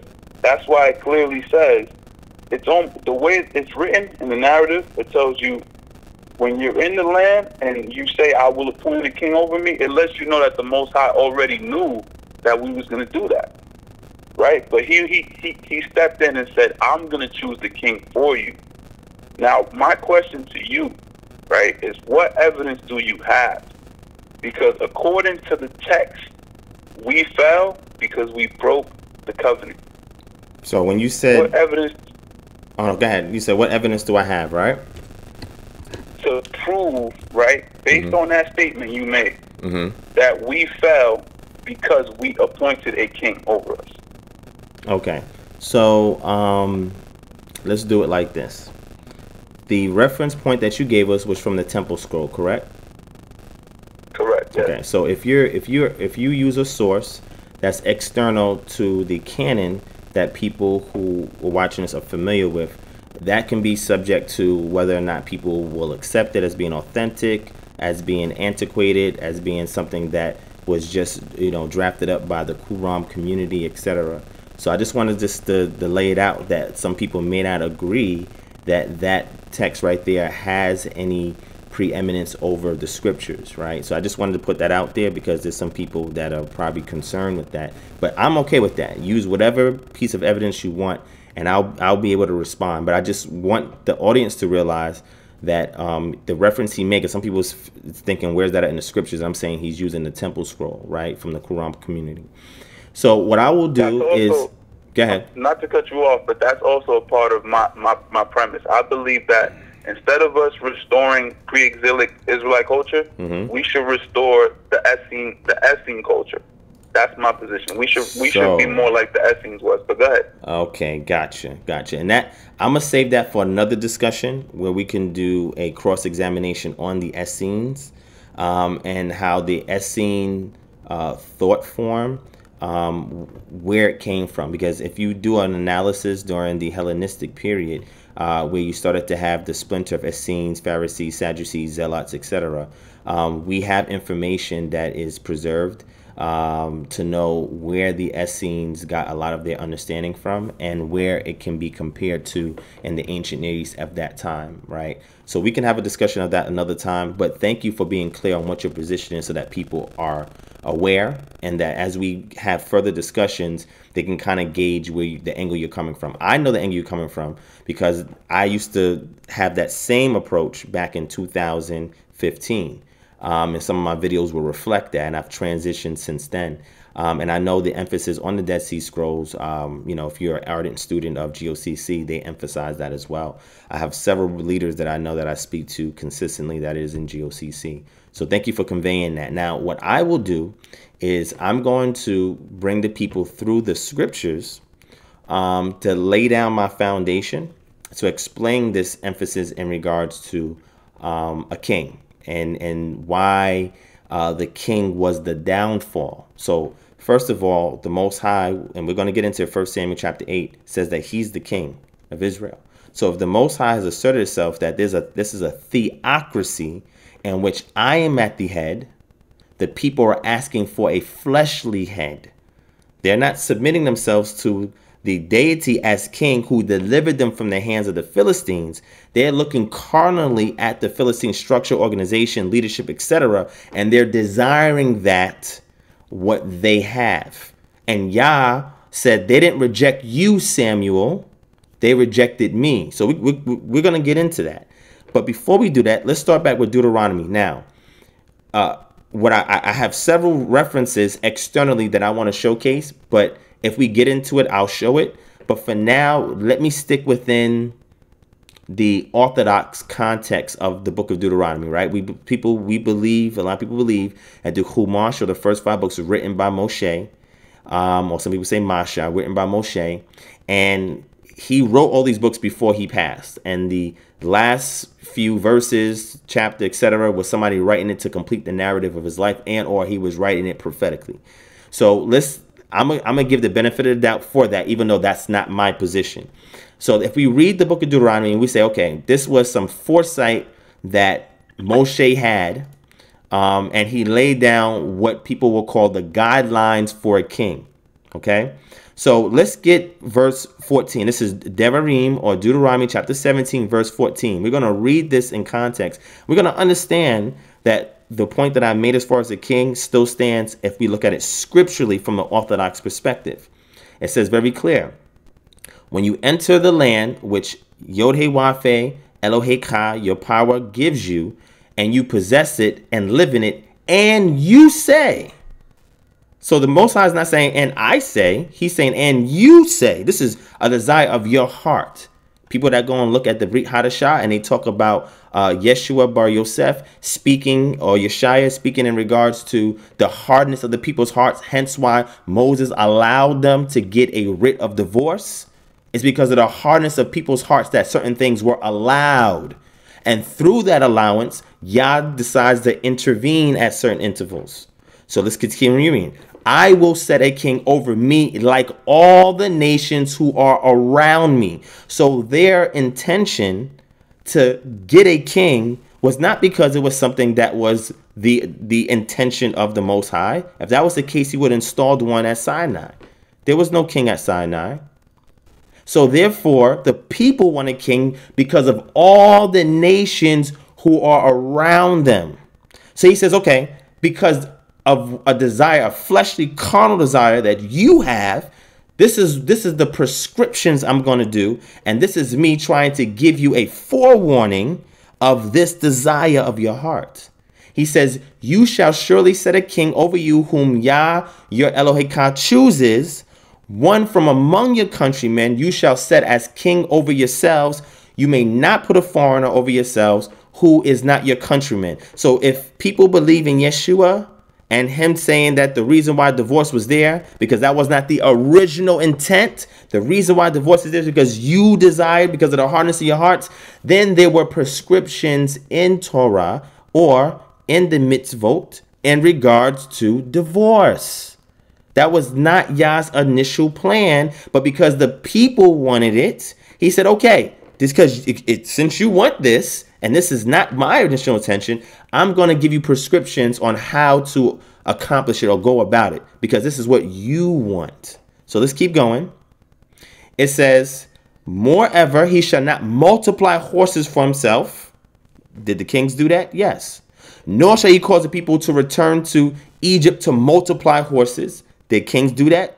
Yeah, they, they urged the people to do that. Since Yah has said to you, you shall never return that, uh, you shall never again return that way. And we see that same language when we go to Deuteronomy chapter 28, verse 68. He shall not multiply wives for himself. Did he do that? Yes. Or else his heart will turn away, nor shall he greatly increase silver and gold. Hmm. Did the kings do that? Yes, they did.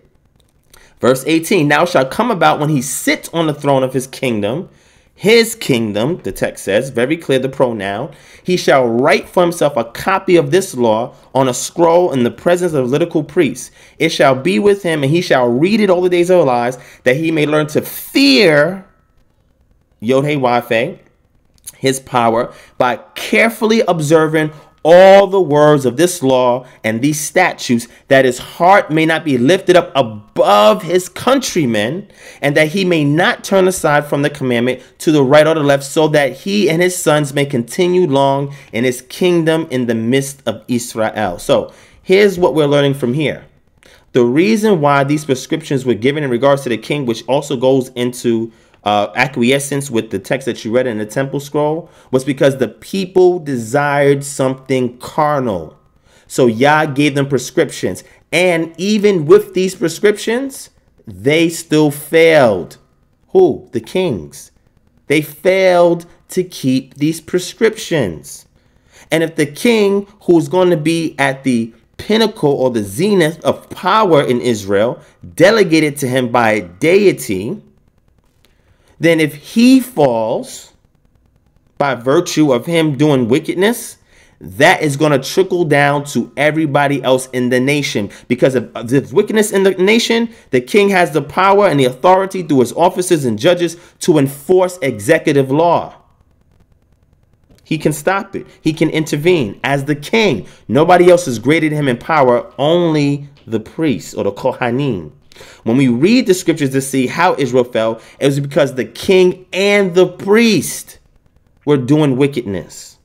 And that wickedness also extends to the people because if the priests are wicked and you need your sins removed and you bring it to a priest and he's not righteous, you are still in your sins. You are still in iniquity. If the king who's at the head of power is doing the wrong thing, then everybody else is going to follow after that king. And this is why Yah is given prescriptions that they should not do because the book of the law, which is placed on the side of the covenant, on the Ark of the Covenant, was to be a testimony against Israel. And this testimony spoke against the kings who did not uphold it. So this is Deuteronomy 17, verse 14 uh, to verse 20. Let me let me jump to another verse real quick. When we go to Judges chapter 17, verse 6, very important. When you see this in there, some people will read it and just skip over it. Don't read it and skip over it. It must be absorbed because you got to understand why is the author writing this in here? It says in Judges chapter 17, verse 6, in those days there was no king in Israel. Semicolon, but in Hebrew reads a little differently. But then it says, everyone did what was right in his own eyes. What's the implication? The implication is that because there was no king who holds the scepter of righteousness over the kingdom, because there was no king enforcing the laws of Yah, because there was no king having executive power over certain matters, because there was no king, everybody did what was right in their own eyes. Hence, it was the king's responsibility to keep things in order. The king. This is why we see these things here when we're reading the book of Judges. It's, it's very, very, very interesting. Let's go to 1 Samuel chapter 7, 8, and I got one more verse, and I'm going to hand it back over to you. Let's go to 1 Samuel chapter 7. 1 Samuel chapter 7.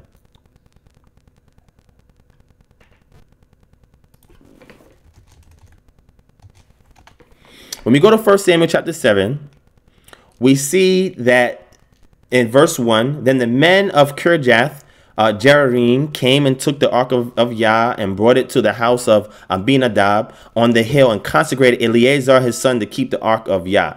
Then it says Samuel judges Israel. So Samuel's judging Israel. Samuel spoke to him says, If you return to Yah with all your hearts, then put away the foreign deities and the Asheroths from among you and prepare your hearts for Yah and serve him only he will deliver you from the hands of the Philistines. Not he will give you a king deliver you from the hands of the Philistines. He will do it.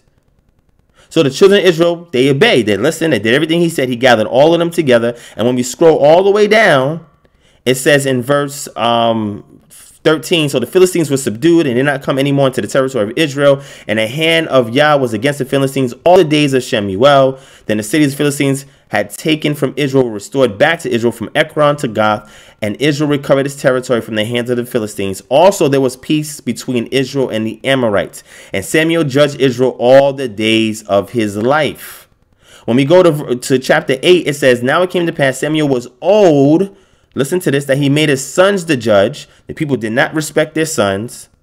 And then it says here, because they, they say, hey, the sons that you have, they're not doing what they're supposed to do. They're wicked.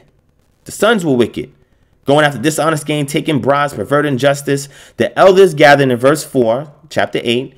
They gathered and came to Samuel at Ramah and said to him, Look, you are old and your sons do not walk in your ways. Now Make us a king to judge us like all the nations. We don't want judges anymore.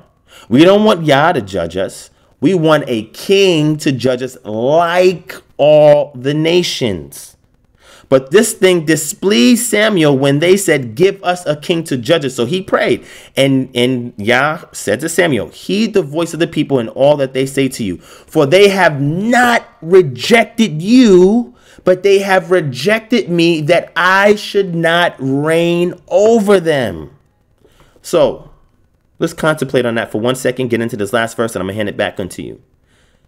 Yah says, The moment they ask for that king, they have rejected me. The moment they ask for that king, they have rejected me. So the moment they did this, they had already rejected Yah. He goes into further detail and says, according to all the works that they have done since the day I took them out of Egypt, even to this day, which was the day they have forsaken me and served other deities, so they are doing here also. Now, therefore, hear their voice. However, you shall solemnly forewarn them and show them the behavior of the king who will reign over them. What would the king do? He's going to take your sons and appoint them for his own chariots to be his horsemen. Some will run before his chariots. He will appoint captains over his thousands and captains over his fifties will set some to plow his ground and reap his harvest, and some to make weapons of war and equipment for his chariots. He will take your daughters to be perfumers, cooks, and bakers. He will take the best of your field, your vineyards, your olive groves, and give them to his servants. He will take a tenth of your grain on top of the tenth you already given, and give it to his officers and servants. He will take your male servants, your female servants, your finest young men, your donkeys, and put them to work. He will take a tenth of your sheep, and you will be his servants. And you will cry out in that day because of your king, whom you have chosen for yourselves, and Yah will not hear you in that day. Yah is very clear on how he feels about them getting a king. He's even forewarning them that this is what the king is going to do. Do you still want a king? Because you're rejecting me by taking this king, and if and if I allow you to have him, this is what he's going to do. And the moment that he falls, and you're going to cry out because of the wickedness of the king, I'm not going to hear you. And if Yah's not hearing the prayers because iniquity is built up in the level of the heart of the people, what do you think is going to happen? He's going to reject them. He's going to scatter them. He's going to push them out the land because now he's delegating his kingship role to a human being of flesh, who's carnal, who's subject to failure. And the people still said, No, but we will have a king over us, that we will also be like all the nations, and that our king may judge us and go out before us and fight our battles. Yah said, He their voice, make them a king. So he gave them over to the hardness and wickedness of their hearts. They rejected Yah by asking for the king. And he's saying that when these kings go astray, You're going to cry out, and I'm not going to hear you. So, last verse, I'm going to hand it back to you Jeremiah chapter 22. Y'all can go and read the entire chapter, Jeremiah chapter 22. I'm not going to read the entire chapter. This is the judgment against evil kings. We know there was a series of evil kings in the scripture. Jeremiah chapter 22 said, This is what Yah says Go down to the palace of the king of Judah and prophesy this message. Hear the word of Yah, king of Judah, who rules from David's throne, you and your officers, and your people who come through these gates. Listen, this is what Yah says Do what is fair and right. Save the one who has been robbed from the power of the attacker. Don't mistreat or hurt the foreigners, orphans, or widows. Don't kill innocent people here. If you carefully obey these commands, kings who sit on David's throne will come through the gates of this palace, and their officers and peoples riding in their chariots and horses. But if you don't obey these commands, says Yah, I swear by my own name that this king's palace will become a ruin. Yah swearing on his own character that when they disobey, this palace is going to be destroyed. And this palace is representative of the power and might of the children of Israel. And then when it goes down to verse 8, it says, People from many nations will pass by this city and ask each other, Why has Yah done such a terrible thing to Jerusalem, this great city? And the answer will be because the people of Judah quit following the agreement with Yah their Elohim. They worship and serve other gods. Why? Because the king turned away, and the king is representative of the righteousness of the people because they asked for him. And when he goes astray and he disobeys, Yah said, I will not not hear you. This is what y'all saying. Then we see it's a judgment against Jehoaz. Je- excuse me, Jehoaz. And it says, Don't cry for the dead king or be sad about him, but cry painfully for the king who is being taken away because he will never return or see his homeland again. Then it's a judgment against Jehoiakim. It says, How terrible it would be for the one who builds his palace by doing evil, who cheats people so he can build his upper rooms. Guess what? Yah already warned them before this happened. He makes his own people work for nothing and does not pay them. Wait, Torah says that if a man is working, he must get paid his hire before the sun sets. So you have a king here that is breaking Torah, who's supposed to have the Torah right next to him, breaking Torah by making people work for nothing and don't pay them, doing evil in his palace, cheating people so they can build stuff for him.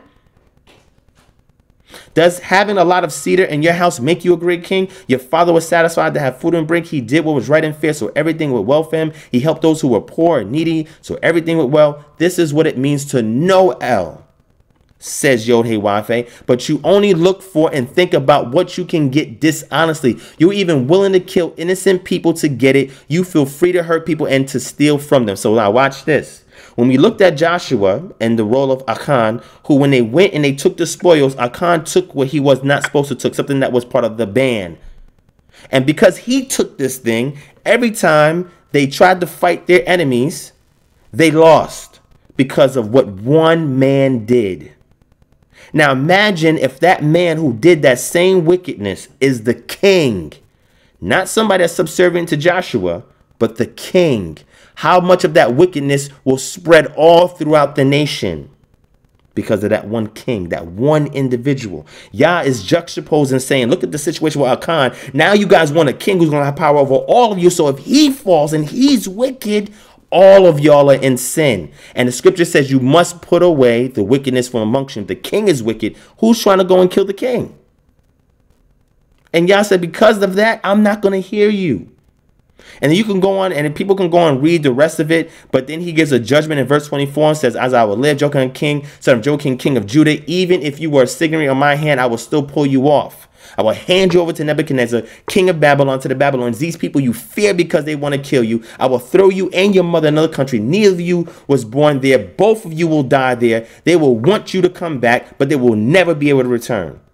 Then he goes in, goes in, goes in, goes in. And to top it off, when we go to Tehillim or Psalms 125 and 3, it says, The scepter of the wicked will not remain over the land allotted to the righteous, for then the righteous might use their hands to do evil. Let me read that again. For the scepter of wickedness shall not rest upon the land of the righteousness, so that the righteous will not put forth their hands to do wrong. When there's a scepter of wickedness that is resting upon the land of those who are supposed to be righteous, guess what's going to happen? The righteous are going to fall in line with the wicked scepter that's ruling the land, and they will do iniquity. This is why Israel fell. Because of their desire, a secular desire that caused them to harden their hearts and reject Yah and accept the man. And you have the floor, my brother. Now, with all that being said, Mhm. right, I agree with most most of the points you made. However, let's put keep in mind, family, right, that the the conversation, the title of this discussion was pre-exist. Should we right? Should w- w- can you can you state the title right quick? Uh, the title. don't want to. I don't want to misquote it. No, no, no, I got you. So the title is um it's uh should pre-exilic Israelite culture still be practiced today or is it idolatry? That's what I want to stay focused Perfect. on, but you have brought That's the king up. You have brought the king up. That's why I spoke on it.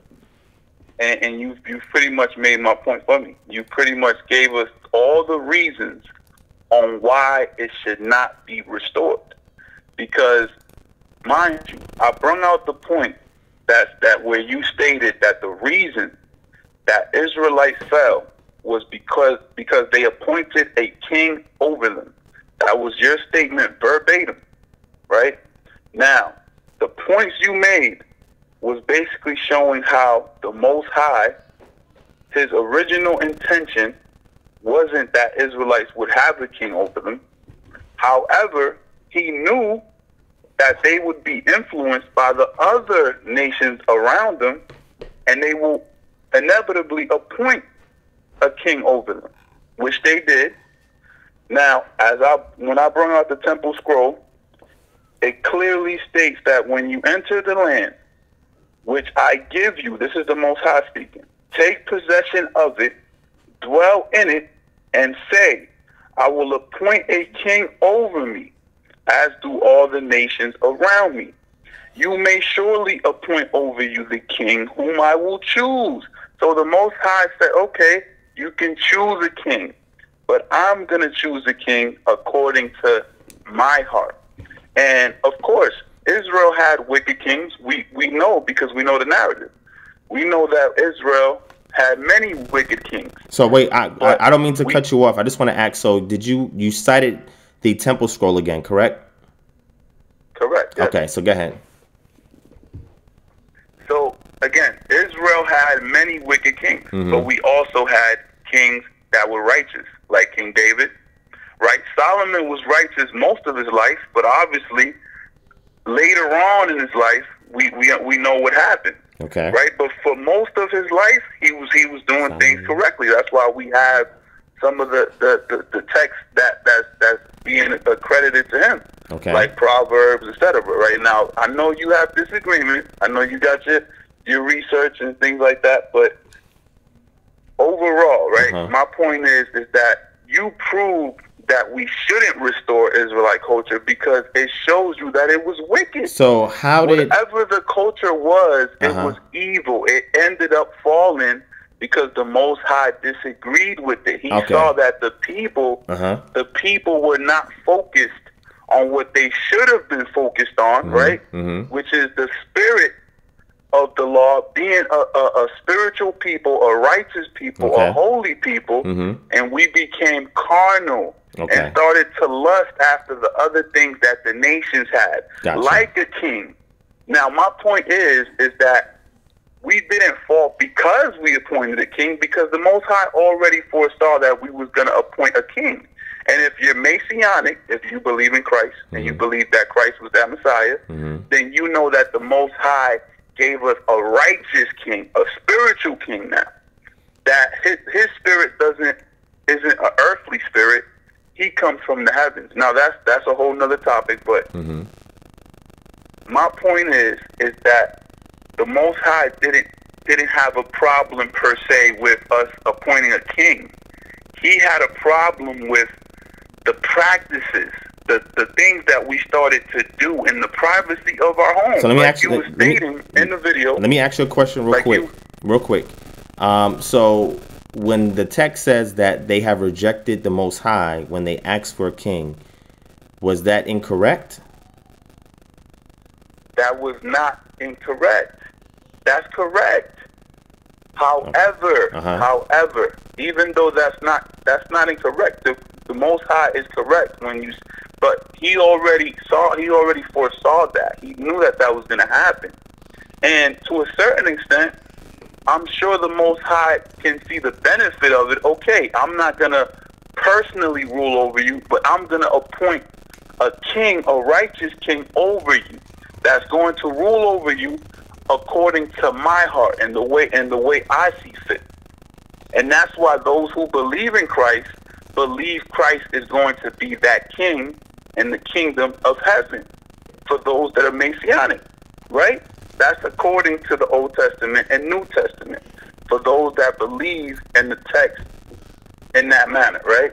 So gotcha. now, so let's let's your let's, statement let's, was let's transition away from the king thing, right? Let's go into the practices, the culture, and stuff like that. If you I'm don't mind. do that. I'm okay, cool, cool. Do that. Go ahead. It, this is all rounding off perfectly because the all the points you made, it actually you're actually making my my argument because now, what I would ask you is, mm-hmm. what pre-exilic, what what time period are you talking about Israelite culture when you say restoring pre-exilic Israelite culture? Gotcha. Brother? So the period of time that I'm speaking about, it uh, consists of any time before uh, 587, 586 BCE uh, for the southern tribes, and 721, 722 BCE for the northern tribes.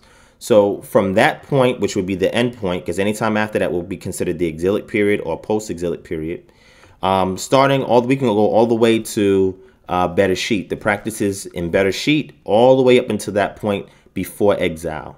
So we're looking at the, that corpus or litany of practices from what, what the, the literature uh, introduces Abraham all the way into right before they went into exile.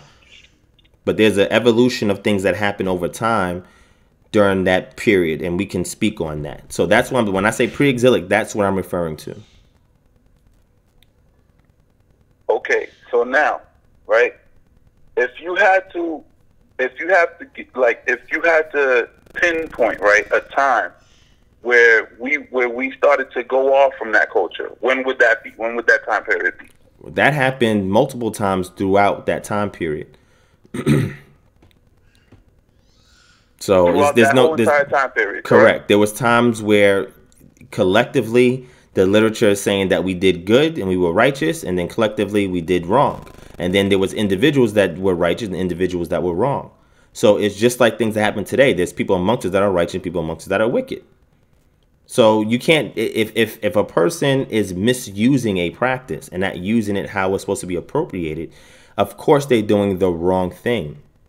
So the practices that I'm advocating for, that I said that we can restore, and when I say we can, that means I'm telling people if they appropriate it correctly, they can restore and they can utilize it and it will assist with their spirituality. I'm not saying that they're demanded to do that. That I mean that's up to them. But what I'm saying is that they can do it because when they were doing it righteously, the text does not speak against it. So that's what I'm referring to when we look at these practices. That's the point. That's the point right there. What's the point? If we if we couldn't get it right then, what would be the point of trying to restore something that did not work? So do we throw out Torah as well? Because that didn't work for us. We need a new way. And for those that are messianic, mm-hmm. that believe in Christ, okay. Christ gives us the new way of doing things. Do we reject Torah then? Because they also attempted to apply Torah and it didn't work. It's, it's not rejecting Torah. That's not what I'm saying. It's not about rejecting Torah. It's the culture. You're talking about pre-exilic Israelite culture. And you just told me yourself that the time period that you say was the pre-exilic culture that you're referring to, all throughout that time period, we didn't get it right. We did at times, I said. I said we did do it right and we did do it wrong collectively. But there was always righteous people or a remnant that was amongst those individuals. Whether they did it collectively right or wrong, whether they was doing the good thing for seven years and then they did the wrong thing, it did work for some people. According to the literature, it did work for some people. And for other people, it did not. So now the question is are the practices wrong or is the misuse of the practices that's wrong? And the text is very clear that is when they started to adopt the cultural practices of the other nations, which would include the covenantal worship of other deities not prescribed to the children of Israel. That is when you go astray. But if the practices are done in alignment to what the template of Torah is outlining, and these are things that are enhancing people within their dwelling, which we see the, the development from Passover even being done in the dwellings in Exodus and then changing to a national thing in Deuteronomy, we start to see the evolution of certain things happening. The things that I suggest, none of them go against Torah. Matter of fact, if you if, if there's something that I said in that video that you believe that I reference that goes against Torah, please show it to me. I would like to see it. Well, okay, based on the comment that I made mm-hmm. on the mm-hmm. channel, right? Mm-hmm. You said you said um what, what was the, let me let me let me look at the the, the ancestor an, ancestor veneration. Yeah, you said I told you that ancestor veneration. Look at where it got us, right? Mm-hmm. You and said really, it got us on the slave ships. It got us in slave ships, right? Okay. Because I believe that we're the descendants of Israel. We mm-hmm. fulfilled the prophecy of Deuteronomy twenty eight sixty eight, okay. right? Okay. So that is my my exam my my proof that that's where it got us, right? That those those practices, that's where they got us. And again, all every all the points you're making, all the points that I'm making, it's all rounding off to my bigger point, right? And what I was saying in that comment was that Deuteronomy, right? Deuteronomy, uh, let me see, let me see, let me see. When you talk about ancestor veneration, and you're you're pretty much saying that that was a practice that we was doing in pre-exilic times, correct? Correct. And we what, we had ancestor shrines. Yeah, some people did. Okay, and would you consider those people wicked? No. Or going against Torah? No. Okay, so you wouldn't consider somebody erecting an altar to the dead you're not you don't consider that to be wicked. No. You, you don't consider that to be against the most high. No. It's against the most high when you worship the dead, not when you venerate them. Okay, so now what is what is veneration to you? Like as gotcha. far as now hold on, let me let me clarify, right? Because you you asked me in, in the post actually you told me um and I don't know why I can't find it right now. Hold on, give me a second. I mean, I could read it for you if you want. No, I got it. I got it. Okay. Because you told me, you said you responded to give you proof that the text actually outlaw, outlaws it, right? Yes. Show me where the text outlaws ancestor veneration, not ancestor worship. Oh. Mm-hmm. Okay, perfect. Sure. And I, I, in my opinion, my humble opinion, I feel that I gave you the perfect response because – your response was also, do you have any family pictures up mm-hmm. in your home mm-hmm. of lo- loved ones who have passed? Correct. What about items of sentimental value? Yes. They have given you, right? Correct. Mm-hmm. Now, to, to fully answer that, it's a no to both of those questions, right? For you, you're at saying, right? Point, for me, for okay, me, yeah. gotcha. At, at one point, I did, like I told you, I did have an ancestor altar. I did have ants like ants pictures of my ancestors. Okay. I was pouring out libation. I was making food offering. I okay. was doing all of that. I was doing what they were doing Ifa and, and different. No, wait, wait, wait, wait, right? wait, wait, slow down. You said that you practicing Ifa, correct? Not Ifa per se. So what, Santeria? similar, similar to what Ifa. But what's which spiritual system? Well, I'm sorry, but which spiritual system were you practicing when you did these things? Uh, I would call it New Age. It's okay, wait, wait. Of, of so, so, so now we put everything in its proper perspective. You were doing these practices based on a New Age belief system that was devoid of the deity of the scriptures, correct? Correct. Okay, yes. so so go ahead, continue. Now, it's funny that you mentioned if I had any pictures mm-hmm. of loved ones that have passed away. Mm-hmm. Basically, you're saying that that's a form of ancestor veneration. Correct. Correct. correct. Okay, so now, what outlaws it? Mm-hmm. Yeah, what, what outlaws that? Uh-huh. Chapter 19, mm-hmm. verse 28. All right, read that. Ye shall, ye shall not make any cuttings in your flesh for the dead, nor print any marks upon you. I am the Lord. Right? Okay. Now, the consensus is that that is referring to a form of tattoo okay. or marks that one would make to represent the dead. All correct? Right. Correct. I'm just trying to see how that connects with pictures. Go ahead, I'm listening. So now, when you look at today, mm-hmm. most of our people today, when when we have a homie that have, that passed away or somebody that we love that passed away, we tattoo the, their names or their faces as a form of veneration. So when the text says, don't make any markings upon your flesh, right, representing the dead, the way the Most High's law works is there's there's no gray areas. It covers all things. So if the Most High is speaking to not making any form of veneration to the dead in that particular verse, it can apply to all things when it comes to the dead. All right, so let me let me right? let me intervene. Real no, hold quick. on, hold on, hold on, hold All on. go ahead, go on. ahead. The Most High also told us to be a holy people, right? He told us, He gave us specific rituals, ceremonies, things that we we're supposed to do and not do when it comes to the dead and dealing with the dead to be purified, to be a clean and holy people. Now, during those times, there was a lot of nations that did different things with their dead, right? They buried their dead right inside the homes with them. You had different practices that was going on. Yeah, Israelites they took of, the Israelites they took the bones of their ancestors with them, and those were supposed to be unclean.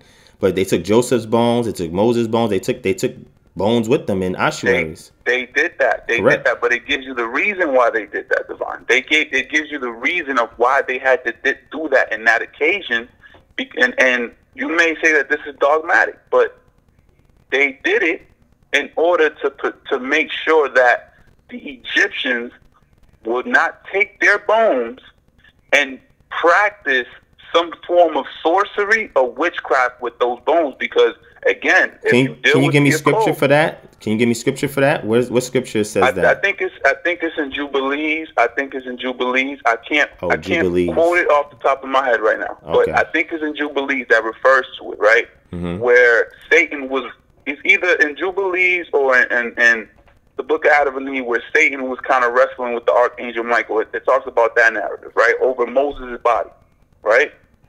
And that speaks to the fact that when you deal with these certain practices like sorceries and witchcraft, mm-hmm. there are things that you can do with a person's bones, right? I that, I, I, I agree with that hundred percent, but I'm trying to figure out how does that work in the context of the scriptures. That works in the context of the scriptures because you just mentioned it. You just said that they they did that. That's you was pretty much making that point that the Israelites did that. Because that because Joseph's bones I, I was, and Moses' I was bones. showing and you I agree that they, they did that, but the reason they did that is because they didn't want the Egyptians who were known for sorcery and magic to take those bones and do their occult practices with those bones. So, so let me actually let me let me actually let me ask you a question. Do you ascribe the book of Jubilees, the Temple Scroll, etc., to be equated with the canon of the scripture? Do you believe that that that scripture as well? Yes. Interesting. Okay. So, in the canon of scripture, um, you're saying that it doesn't say anything about Joseph's bones being used for divination by the Egyptians, but you're saying that reference is in the book of Jubilees, correct? I would divine. I would have to go back and figure and, and get the exact place where it's at.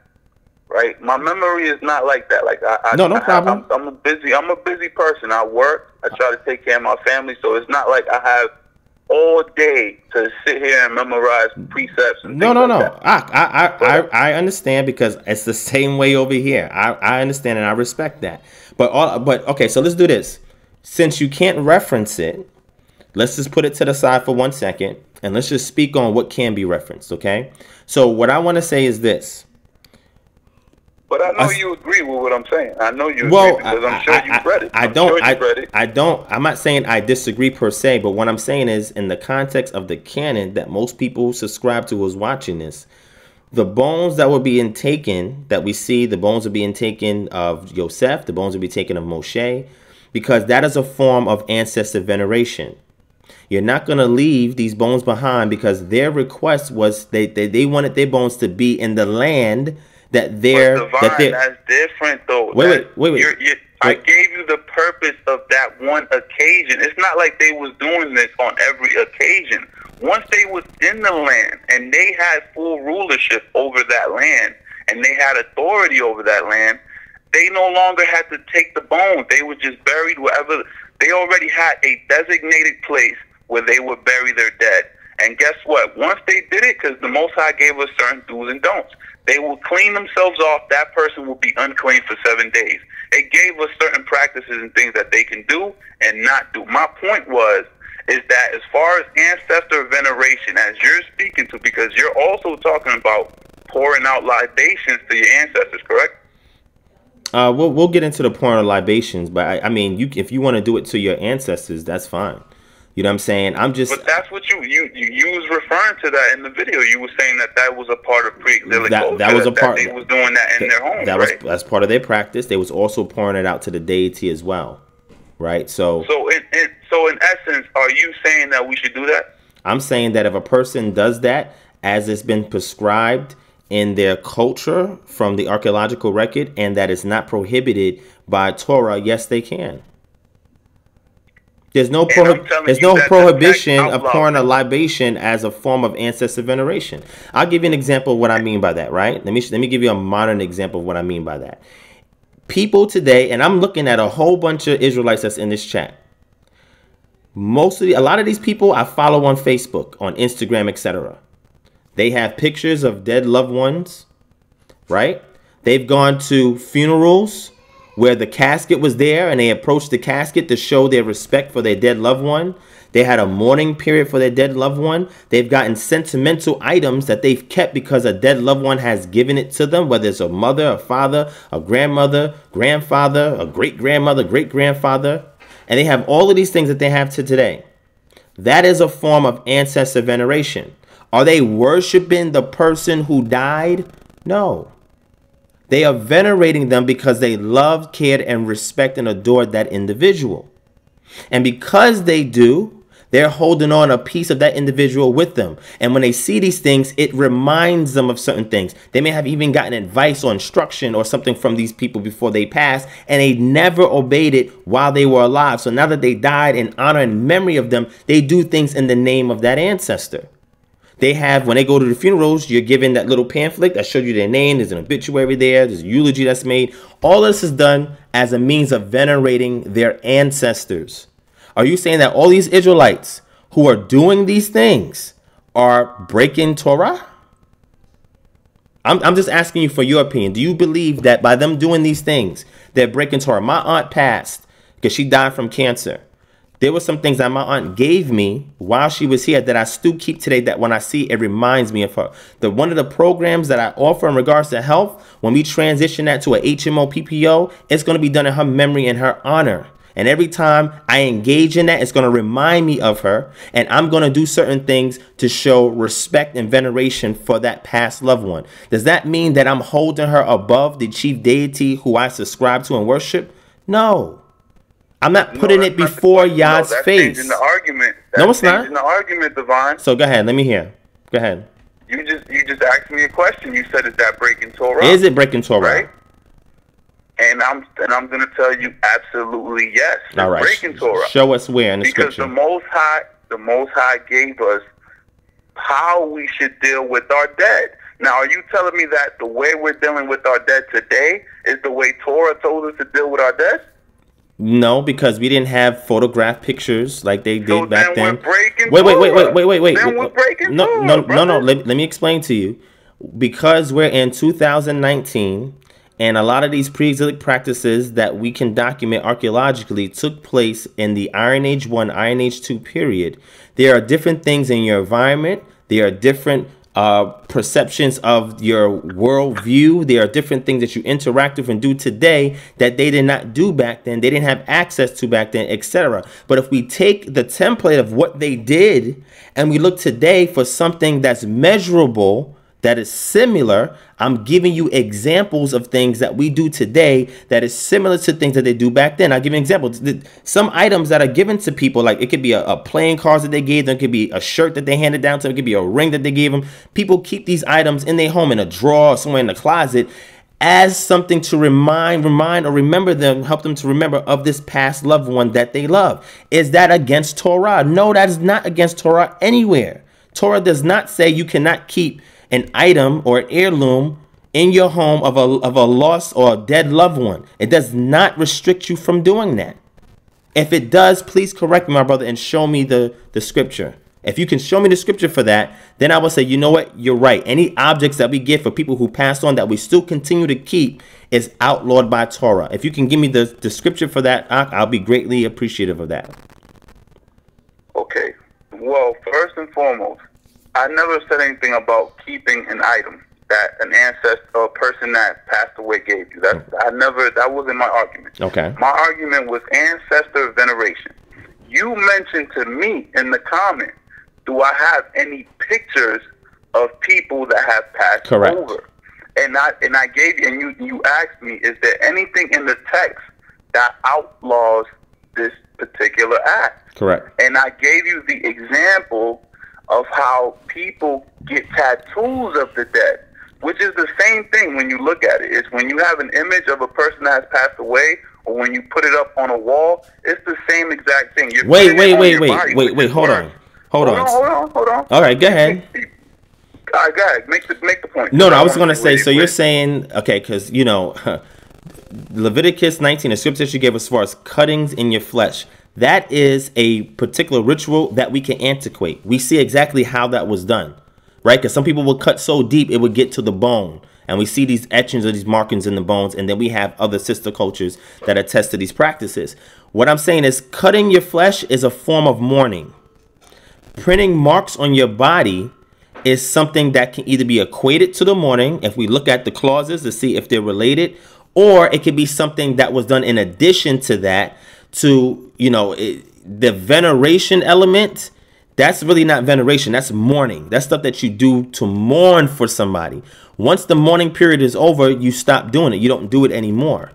What i'm talking about has nothing to do with mourning it has to do with appreciation and remembering that ancestor and the good that they left behind and that is also in the text it's so much so in the text that every time the Israelites refer back to their chief deity, they connect it to ancestors and they speak highly of those ancestors.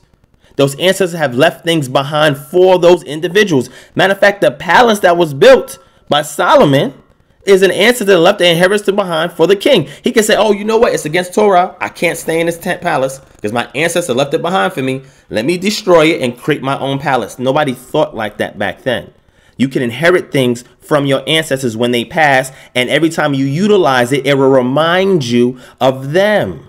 There's nothing in text that outlaws that. What you're speaking about has to do with a mourning period and practices that people did in mourning. The Israelites mourned much differently. We have what's called a shit and sit and shiva. There's different things that they did to mourn that was distinct from the cutting in the flesh and putting marks on the body for people who pass. When I told you about a picture, that's not the same thing as a tattoo on your body because there's people that have pictures that don't have tattoos. If you equate the two, now it becomes a big issue because that means any pictures that you have of anything could be similar to you tattooing your body. And you shouldn't have no pictures of anything in your house. That means if I walk in your house right now, Denis, I shouldn't see no pictures of anything. Brother, I have not one picture, not even of myself. You don't have no pictures of anything in your house? At all, brother. At all. Well, praise Yah for you. Brother, I have you know not one picture, but look, yeah. my point is, overall, my point is, is that we should not practice any form of ancestor veneration. We should have no attachment to the dead, especially, again, if you're Messianic and you believe in the New Testament, if you read what First Thessalonians chapter four, verse twelve through six says about how we should uh, how we should think about our dead, it, it, it tells you to detach yourself from the dead. Once somebody has passed over, they have passed over. So, it's okay to grieve. We all grieve. Okay. But when you start when you start setting up sentimental things and putting up pictures, especially to go to the extreme that you're you're pretty much saying that we should do, like setting up ancestor shrines and pouring out libations, that's a whole nother level in and of itself, which not only does the Torah speak against, and I gave my opinion on why I think the Torah speaks against it. Okay. But the whole entire text in its entirety, from the Old Testament to the New Testament, because like I said, I'm Messianic. I believe in Christ. Mm-hmm. So when I when I accept also the New Testament, okay, and I gave you I gave you the chapter and verse that you can go read, and it speaks to how we should deal with our debt. Not only that, but Christ Himself told a brother, "Let the dead bury their dead." He told him. There's a context for that. The context of that is clear, brother, but mm-hmm. it, it, it still it just gives you it gives you the mentality that Christ had. Because again, the Most High is a God of the living. He's not a God of the dead. Once somebody has passed over, and I and I believe that this is the this is the the the um the pinnacle of spirituality. Once we get to the point as a people where we no longer have attachment to these things, that we we no longer fear death, and we no longer look at death as the end, and we have faith that those people that have passed over, we will meet them again. There's no need to have uh, uh, a over um, how do I put this? It's just an over where we just get over emotional about people passing away to the point where you'll see people and they'll hold on to things where they just can't move on. I mean, you see that in everyday life when somebody passes over and you may have a sentimental thing that somebody may have given you, the person holds on to that thing for the rest of their life and that um, that speaks to the lack of faith. Because so, if you believe in the Most High, uh-huh. you believe in the narrative of the text. Mm-hmm. You know that one day you will you will see that person again in the spiritual world. So let me ask you a question. When you cross over. Do you do you, when you cross over? Hold on, hold on, hold on. Hold okay, on. go let ahead. Me, let me get, let me finish my thought. Go ahead.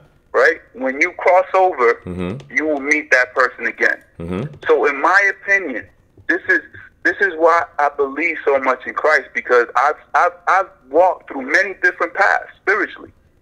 And when I see his, when I read his teachings, it resonates with me on the deepest level because I see the pinnacle of spirituality. We have to detach ourselves from these things and think on a higher level and understand that we don't need these things. We don't need to set up an ancestor altar our ancestors have passed over. They're no longer here. In fact, if you study spirituality, doing those things, you're old, you're only holding them back. All right, so let me let because me because you're you're not letting them go. All right, so look, let me let me interject. Do you have a Bible in your house? Do I have a Bible in my house? Correct. Not at the moment. I, I have all my scriptures on the tablet. Okay, so why do you still have that Bible if that's a bunch of words from dead ancestors in your possession? Why do you have that? It's not a bunch of words from. It's not a bunch of words from dead ancestors. It's it's a word. It's words that were inspired by the Creator, by the Most High. Did did your ancestors write that text? The prophets wrote it. They inspired it. The scribes wrote it.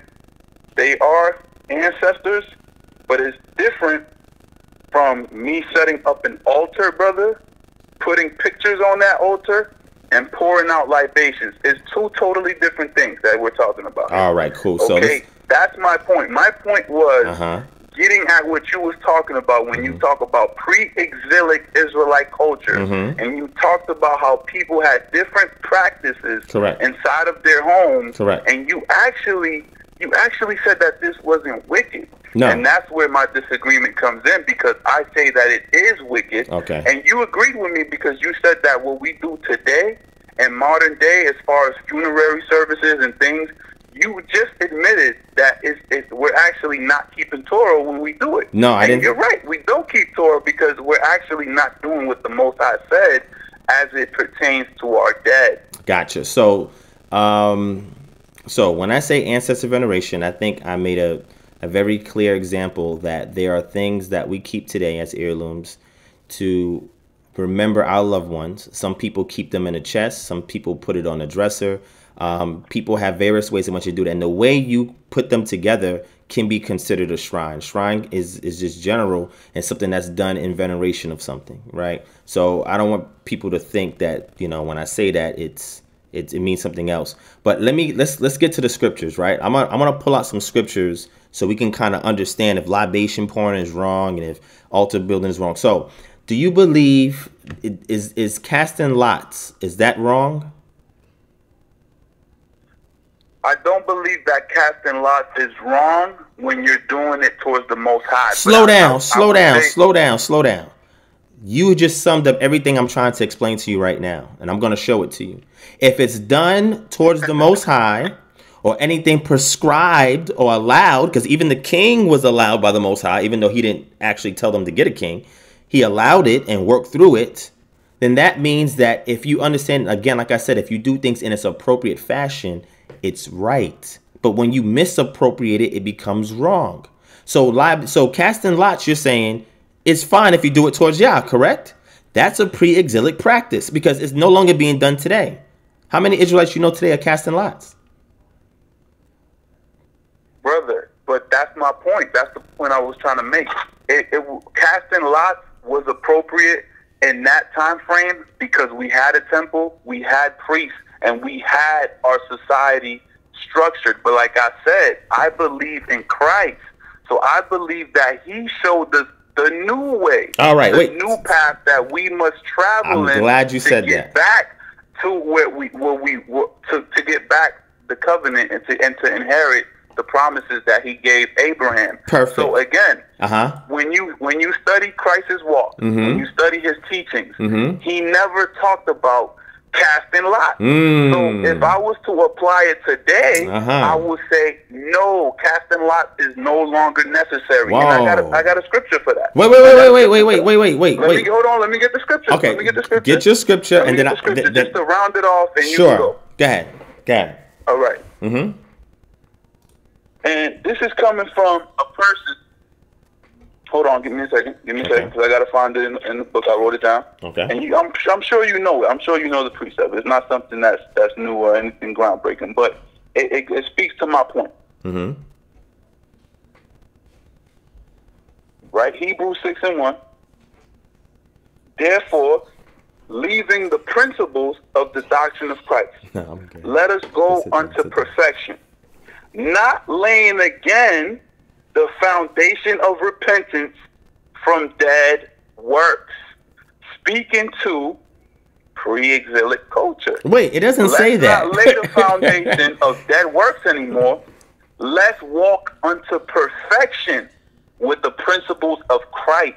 Let's leave those dead works in the past. Casting lots, pouring libations, setting up ancestor shrines, all those practices that got us nowhere but at, at the bottom. Let's leave those things in the past and let's become perfect with the principles of Christ. All right, and that was that was Hebrews. You said what? Six and one. All right, I'm very familiar with that. You got to read the previous verse where it talks about, I mean, chapter where it talks about Melchizedek, right? And then they, he stopped talking about Melchizedek because he's like, this is going over your heads because y'all you're focusing on other things. I'm trying to give you deep stuff. But then he goes on and he expounds, and none of that is making reference to a custom of the past. Now let me let me just let me just show that- you. Wait, wait, wait. Let me. But Let, Devon, the, the book of Hebrews is attributed to Paul. What was Paul? He was raised what a Pharisee, well, right? We, we don't know who the author of it is. Um, some propose it to be see, Paul, but there's no Devon, consensus if we on play that. that game, then what's the point of even believing Wait, that? wait, wait. That's not if, a. if we play the game of we don't know who this attributed But to, we don't. we might as well just put the book down. Paul's name is nowhere in there. We don't know who wrote the book of Hebrews.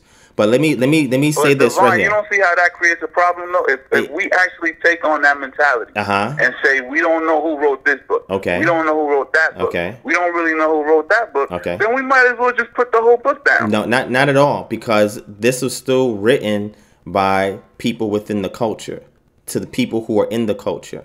So regardless if it was I- wait wait wait I- I wait wait wait wait wait wait Believe that hold on. it's attributed to. That's who wrote it. Gotcha. I would so rather believe that. You're right, but then that means Hebrews doesn't tell you who wrote it though. There's no author in it. In the in the beginning and the end and the middle, well, the Paul's name is not in there. Paul wrote it. No, that's not the consensus. Check the consensus again. The consensus says Paul did not What write the it. modern day consensus, the modern new scholars Well, of today well, that are Who? So what scholars are you referring to, or who are you referring to that made the consensus that Paul wrote that?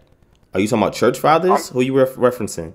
Reformers? from from from from yes, church fathers, all of the all of the scholars that that that were before contemporary times, most of them would agree that Paul was somehow attributed to those to those writings. All right. If you can get a reference to that, definitely show that to me. But let me get to Acts chapter 1 real quick, right? Acts chapter 1. When Acts chapter 1 opens up, we see a situation when Yeshua is speaking to the disciples and he's about to leave their presence, right? Yes. Okay. So now there's a situation in Acts chapter 1, verse 15. It says, At this time, Cephas stood up in the midst of the brethren, a, a, gathering of about 120 people, and said, Brethren, the scripture had to be fulfilled, which the Ruach HaKodesh foretold by the mouth of Dawid concerning Judas, who became a guide to those who arrested Yeshua. For he was counted among us and received his share in this ministry. Now this man acquired a field with the price of the wickedness, Falling headlong, he burst open in the middle, and all his tents gushed out. And it became known to all who were living in Jerusalem, so that in their own language the field was called um, uh, excuse me, Hakeldama, that is field of blood. All right, because Dam means blood. It says, "For it is written in the book of Psalms, let his homestead be made desolate, and let no one dwell in it, and let another man take his office." Therefore, it is necessary that of the men who had accompanied us all the time, that Adonai Yeshua went in and out amongst us, beginning with the baptism of Yachanan until the day he was taken up from us. One of these must become a witness with us of his resurrection. So they put forth two men, Yosef called Barsabbas, uh, who was also called Justus, and Matthias. And they prayed and said, let's watch this. They prayed first and said, You, Adonai, who know the hearts of all men, show us which one of these two you have chosen to occupy this ministry and apostleship from which Judas turned aside to go to his own place. So wait, they prayed. You would think that would be enough. Let's just pray. Because all that other pre-exilic practice and customs and minhagim, all of that is just foolishness. But then it says in verse 26, and they drew lots for them. And the lot fell on Matthias, and he was added to the 11 apostles. Wait, so Yeshua or Yeshaya, he was crucified, he was buried, he resurrected, he reappeared, and he went up. And they go here to say, we got to get somebody to replace Judas. They prayed, and they didn't stop at prayer. They casted lots. Why would they need to cast lots if the same understanding that you're saying, ascribing Paul to the book of Hebrew or Hebrew, they should have understood that this is a dead work. Why are we performing a dead work when we can simply just rely on prayer in order to choose who we should take into the apostleship? Why did they cast lots if it's a dead work? I would love to know, my brother. And at this point, you know, they already been sent by Yah, I mean, um, Yeshua to go and do ministry. So I would just like to know why they're using a dead work, according to what you read in Hebrews chapter 6, verse 1. And these are the apostles now. This is after Yeshua came, died, resurrected, and reappeared. Okay, just to just to make it clear, Mhm. right? I said that there is nothing wrong with casting lots, right? That's Okay. what I first said. That's the first statement I make. Okay. Nothing wrong with casting lots. I understand that it's a part of tradition. It's a part of it was a part of our culture. The priests did it, the kings did it. So when I look at that in Acts, Mm-hmm. I'm sure they did it because they grew up doing it. It was a part of the culture. Okay. Now- So, I'm I'm walking my personal walk is I try to walk the way Christ walked. And there's nothing in the text that said Christ casted lots for anything. Christ himself, not the apostles, not any other man. I follow one. So wait, that's Christ. Do you read the book of Peter, First Peter and Second Peter? Do you follow that? Is that considered scripture to you? Yes. Do you do you read and follow First John, Second John, and Third John? Yes, Do you read and yes, follow the book of James and Jude? Yes. So all of them was there when this was going down. So are you saying that they did not understand Yeshua's walk, and they did something that he It wouldn't have he wouldn't have asked them or told It them to do? Part of the culture, like I said, it's not something that's wicked. Casting lots is not wicked. It's not against Torah. It's a cultural That's practice, right? So everything else that I said to you was also cultural practice, pre-existing cultural practices No, that's not against Torah. Pouring, pour, pouring out libations and having an ancestor altar Shrine. not Torah. shrine because we're, Shrine. we're not killing nothing on that altar we're not killing anything because if you go and look and, and read that book that has shared family and household uh, religion in ancient israel and the levant um, they didn't they didn't kill any animals on the altar right they had shrines and they had different grain offerings or small offerings right? Or even they had those items that i had mentioned earlier to venerate ancestors right? They were not worshiping the ancestors. They did not put the ancestors before the most high's face that he restricts israel to do. They did not put the ancestors above the most high which is restricted for them to do. They didn't do any of those things. So what I'm saying is that was a cultural practice. Casting lots is a cultural practice. If there's nothing wrong with casting lots, and casting lots will fall in the same category of making a shrine to commemorate and or venerate a past loved one, then you can't say that okay well if you do this one there's nothing wrong with it. If you do that one that one's evil and wicked. When the prescription of this one how they were performing it did not go against Torah because they were not worshiping their ancestors. They were not seeking for the ancestors to say, all right, we're going to divine with these dead ancestors and we want y'all to tell us what's going to happen. They, they're not doing that with a shrine. Just like people in the Israelite community today, when they have items of loved ones that passed that they keep, they're not looking at the item and trying to divine and get a message from that loved one according to the cultural mandate. They're not doing that. So what I'm saying is, when you said earlier, you said as long as it's being done unto Yah, as long as there's no outlaw of it in scripture. You gave me Leviticus chapter 19 with the cut in flesh, print marks on the body, and you said the print marks on the body could be equated to having a picture of a dead loved one. Well, during those times, when they made the marks on their body, they were not making the pictures that people do today with art and tattooing. I mean, we we we have information from the archaeological record to let us know how they perform certain things. We have images that's carved on walls that helps us to see what people were doing, and the markings that they make were more so tribal marks and marks that um, represented something, but it was not an image of somebody that they will put on their body. And now, if you have any wall reliefs or any kind of archaeological artifact that shows an individual in Iron Age 1 and 2 Israel that has a marking on their flesh of a picture of another person, please share that with me because I have not come across that. And from everything that I've read, that's not what they were doing. Again, it's a disconnect when we're not looking from the perspective of the culture during that time period and properly saying, okay, let's extract the action that they're doing and see how can it be translated or equated to something being done today. And that's why I was saying the pictures that you see people do of Tupac and a dead loved one or something like that, they were not doing that back then. The markings that they did was completely different and it represents something different than an image that they placed on themselves of somebody. So I, I, I, I'm going to continue to go forward. So let me let me get on the offensive now because you was on a defense. I mean offenses for a little bit. Let me go on offenses for a little Hold bit. on, let me just make okay, go ahead, point. go ahead. Let me just make sure, a point. sure. Isaiah 38 and 18. All right. So So the this. grave cannot praise you. Okay. Hold on, hold on. Mhm. Let me- for the grave cannot praise thee. Mm-hmm. Death could not celebrate thee. Okay. They that go down into the pit Mm-hmm. cannot hope for thy truth. Okay. Isaiah 38 and 18. Psalm 6 and 5. Okay. For there is no mention of you in death. Right? Okay. There's a For context is for no- that. for- Uh huh. for- hold on. King James King James Version. Uh-huh. For in death there is no remembrance of thee. Okay. In the grave who shall give thee thanks? Okay. So again, clearly showing you the mentality. Wait, wait, wait. So what, what High- verse you just read? What verse you just read? Psalms 6 and 5. Psalm King six James. and five, right? Okay. So go ahead. Continue. For in death there is no remembrance of thee. Okay. In the grave, who shall give thee thanks? Okay.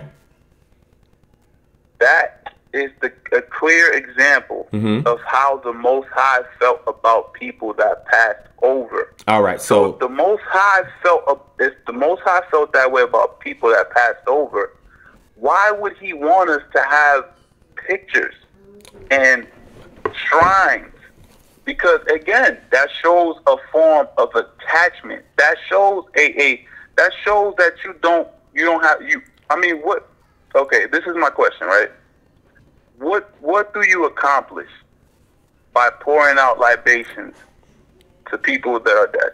All right. So let me let me address the Psalm scripture.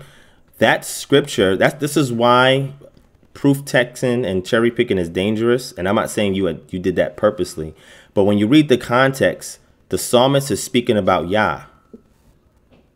So he's saying if I if I die, somebody dies, how are they gonna mention you or give you thanks, Yah, if they're dead? If I die, Exactly. You how can't Wait, wait, wait, wait, wait, wait, wait, wait, wait, wait, wait. Hold on, hold on. This this is what I'm saying. I'm reading within context. Psalm chapter six, verse one. Oh Yah, do not rebuke me in your anger, nor chasten me in your wrath. Verse two.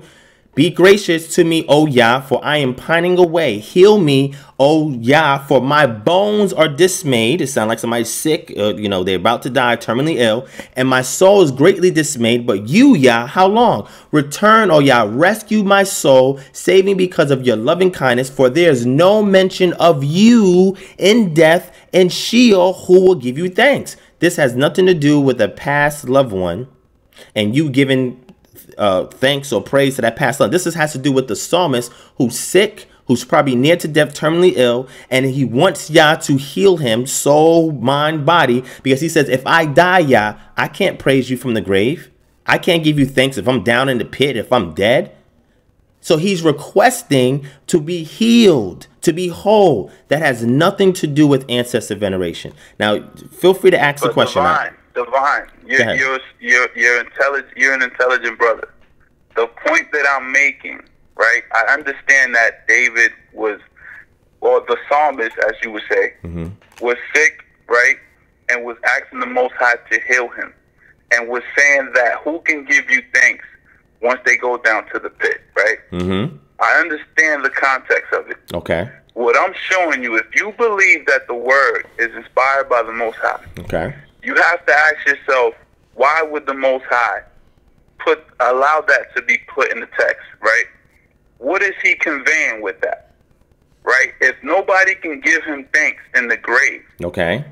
because what what what what was being said in essence, right? And mind you, I, I also referenced Isaiah, which which also I was gonna get to that too, but go ahead. Uh huh. Isaiah 38 and 18, right? For the grave cannot praise you, Okay. right? Mm-hmm. For the grave cannot praise thee, death cannot celebrate thee. Okay. They that go down into the poop and into the pit cannot hope for for, for thy truth. Why? Okay.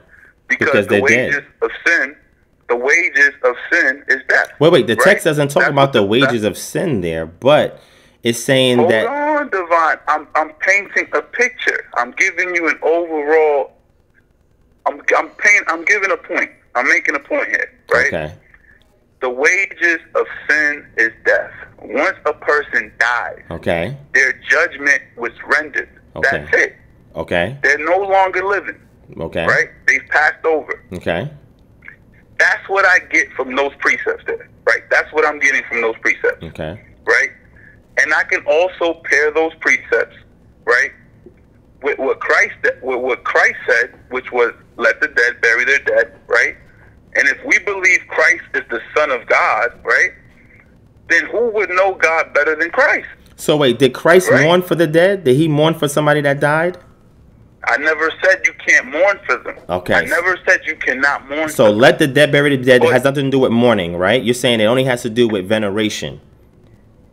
Well, if, if somebody was to tell you, Divine, Mhm. let the dead bury the dead, pretty much, if I was to like modernize it and say it in, in modern terms, it, I would just tell you, okay, they passed away, cool, but now you got to move on, brother. Okay. Okay. I agree with that. That has nothing to do with ancestor veneration. But but see, when uh, when you venerate the dead like that, when you venerate your ancestors, Mm-hmm. you're actually doing the opposite of that. You're holding on to them. So if I speak about the greatness of my grandfather, am I am I doing a disservice It's to them by speaking about their greatness? It's, you're talking about setting up shrines. No, no, no, no. It's And- a whole nother level. I try to define Once for you Once you. set up a shrine and you start lighting candles and burning incense and pouring libations, that's on a whole nother level there. Okay, That's people do that today, it- and they have no purpose for even doing it today. You do you burn incense that, in your and- house? And that's evil. Do you burn incense evil. in your house? Do I burn incense? No. Correct. Not no more. No. Is it? Do you believe burning incense is wicked? It depends on it. it all. de- it- See, when you when you study spirituality, you know that it's all about the intention. Oh. And Same thing with the practices. it's, the, it's the same thing with the pre-exilic ancient Israelite practices. It's all about the intention. You're not worshiping the ancestor. You are venerating the ancestor. So th- I'm, I'm trying to what I'm trying to demonstrate to you is that nothing that I just explained that is done as far as the ancient pre-exilic practice goes against Torah because the intention is not doing anything that is prohibited by Torah. So so so let me let me okay. So so I'm trying to figure out from the New Testament, Old Testament. You said you agreed to both. Pulling things from each one to kind of kind of like make my point to kind of explain what I was demonstrating. So um, let me let me see if I can ask this. All right. So let me ask. Okay. Let me let you finish up because I want to get into offensive a little bit as well and ask you some questions to kind of gauge where you're at so we can move a little bit further along. There's a couple of things I wanted to share as well um, to kind of like get your feedback on, right? Um, but go ahead. I'm gonna let you. I'm gonna let you wrap this part up so that we can transition from here. okay, so another part of the comment that I made, right? And wait, and wait. I'm sorry. Before you finish, what was that verse in Isaiah? Isaiah 38 and 18, if Okay. I'm not mistaken. All right. Go ahead. Out. Okay, so the another part in the comment that I made on the video Wind Down Wednesdays, right? Uh-huh. I told you. Hold on, give me a second. Let me let me Okay. go back. Let me find it again. I made the point as to what I what I showed. I gave the perfect example. I showed you how a form of, of, of veneration to the dead, because really the dead are ancestors. Once somebody passes over, they consider to be an ancestor, right? So I made the example that the Torah speaks to making markings to the dead. Now you might say that okay, no, but that was talking about a different thing back then. This is how they did that back then. But it's the context of it is still speaking about doing something to, to the dead. But it's telling you something specific not to do. It has nothing to do with the shrine. It has nothing to do with like the, the told you, heirlooms. It has Divine, nothing to do with Most that. High doesn't. The Most High doesn't have gray areas. Once doesn't he have gray areas. It applies to everything. They are gray areas, my brother. This is why Halakha no, was formed. No, there's no gray areas with the Most High. Okay, so once, let me- Once he, once he says, once he gives a law, it can Okay. apply to everything. For example, right? Okay. Somebody might say, somebody might say, okay, uh, it says not to commit adultery, right? It says not to commit adultery. Mm-hmm. It says not to be to not to be fornicators, right? Mm-hmm. To not fornicate. Mm-hmm. when you when you start becoming wicked, you start to find try to find loopholes in the law. You start thinking, okay, well, if I can't fornicate, right, and I can't commit adultery, but the the text doesn't say nothing about me masturbating. I can I can masturbate to pornography then because the text doesn't speak specifically to masturbation. Well, it makes you And It doesn't unclean. speak. It hold on. It doesn't speak specifically to pornography because pornography didn't exist back then, it, right? it does speak to pornography if you read the New Testament. It's there. That word porneia, pornos is there. That's where you get your word fornication from. My point is, is that people try to find loopholes in the law. They try to find a way to to wiggle themselves in. And the Most High's laws, when He says something, even if it doesn't touch on every little detail everything, it speaks to the whole. So if the Most High is telling us in context, don't make markings on your skin towards the dead. Not only that, but I bring out other precepts. I know people are not going to agree with me because they already have their they, their their beliefs. But that's fine. Don't worry And about them. I'm This not- is this I'm is not- me I'm and you. I, convert, I'm not. I'm not trying to convert nobody in the chat. That's cool. You, you people have their beliefs, Mm-hmm. but I brung out the precepts that show you how the Most High feels about the dead, and He clearly tells us in the law to not make any markings upon our skin towards the dead. Have I told So anybody why to do that? High allow you to set up a shrine towards the dead. So- it makes no sense. It, it, it makes a lot of sense. So, Ak, have I have you seen me tell anybody to make cuttings in their flinch or print marks on their body? Have you seen me prescribe you that? haven't. You haven't. I never said you did. No, no, I know you didn't. I'm just saying, have you heard me say it? If you have not heard me say it, then that means that the things that I'm saying are not going contrary to what that says. That is pretty direct, it's pretty clear, and I have not prescribed people to do that. If a person wants to do that, that's on them, and they have to deal with that, whether good, bad, indifferent, whatever. What I'm saying simply is the things that I'm saying that was done then that we can implement now if we do it with the righteous intent, like you said, that this is not outlawed outlawed by Torah. That's simply what I'm saying, and I'm saying there's nothing wrong with anybody. there's And- and- so wait, when you when like you we're gonna have to agree to this. yeah, yeah, yeah. So we can move forward. That's that's no problem. Now, if I watch a action movie, and there's shooting in the action movie, um, is that against Torah? I'm asking this for a specific reason. yes. Okay, so if I I can't watch action movies because that's against Torah, correct? I wouldn't say I wouldn't say that anything in Torah speaks specifically to, towards that. But you said there's catch-all commands, correct? So you said there's no gray Yes, areas. I, I say that there's that when you have a commandment, it can apply to many different things. It can apply to if it's speaking about the dead, it can apply to many things concerning the dead. So if I watch a video of a dead loved one in a video, you're saying that's wrong as well? I would tell you not to watch it. I would tell you not to put stuff like that into your conscience. Wow. Okay, there's nothing wrong with that. That's your opinion. I disagree with that. I, I think the Most High would agree with me. I think he, the, But the why? Most High would tell us Why to when stay away from stuff when like there was always veneration for ancestors back then, the Israelites always spoke about their ancestors and the sins of their ancestors, which they had to intercede for as well. Why are they responsible for having to intercede for the sins of their ancestors if they're supposed to forget about their ancestors? But divine, I'm not speaking about. You can speak about your ancestors. I can say, okay, my grandfather was a great man, et cetera, et cetera. I'm specifically, specifically talking about setting up shrines and pouring out libations because when you pour out libations, a libation is a food offering that you're making to your ancestors. And and that's why I asked you the question, what will you be what are you accomplishing pouring out libations to the dead when they're already dead? They've passed over unless you're trying to make some form of communication with them which will be dabbling into necromancy to a certain extent. Okay, so you asked about the pouring of libation, right? Let me get. I'm gonna get into the ancestor one. Can we pour libation to Yah today? Yes or no? It's not necessary. You could do it, but it's not necessary. But we can do it, right? Yes, And- you can and- do it, but it's, it's not necessary. And if I did it, you would have nothing. You would have no problem with that, correct? I would have no problem with it. No. All right. So if I decide that I want to pour a libation to a loved one in veneration of them because they had passed, right? So certain libations normally were poured if we go back and we study it within the context of that Iron Age period after the person died. Right? It's a it's a form of them saying that, you know, that you're you're pouring out or you're purging out things in you so that way you can help get through the mourning process for that loved one, right? So it wasn't that these offerings were constantly poured out to the dead loved one or whatever. They were done during certain events.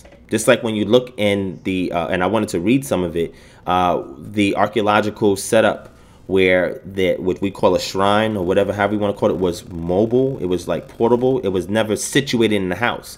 It was only used during certain events. It was only used for certain purposes. It was not a fixated structure in the home. And I wanted to read that to you. So, so again, our thinking of what a shrine is, as opposed to what they actually practice, shows that there's a disconnect. especially if your point of reference for these practices is not through the archaeological record, but it's from your new age spiritual beliefs and practices.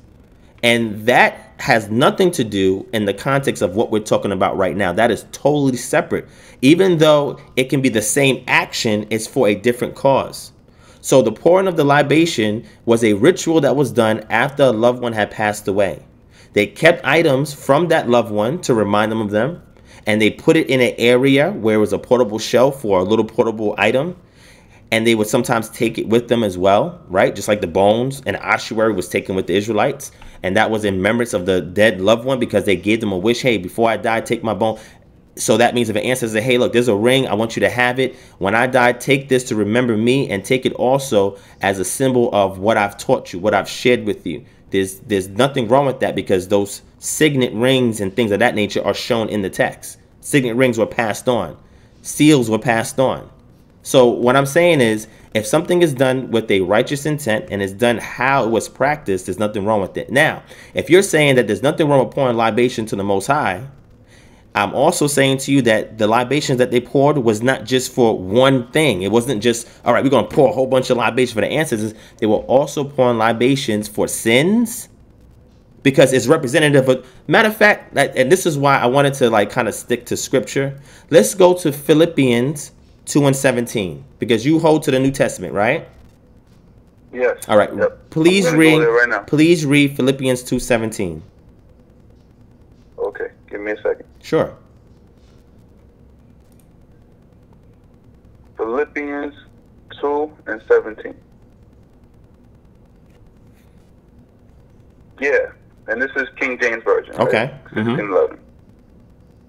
Yeah, and if I be offered upon the sacrifice and serve, and if and if and if I be offered upon the sacrifice and service of your faith, I joy and rejoice with you all. All right, so let me Philippians 2. Hold on, let me grab it. So I had it written down here.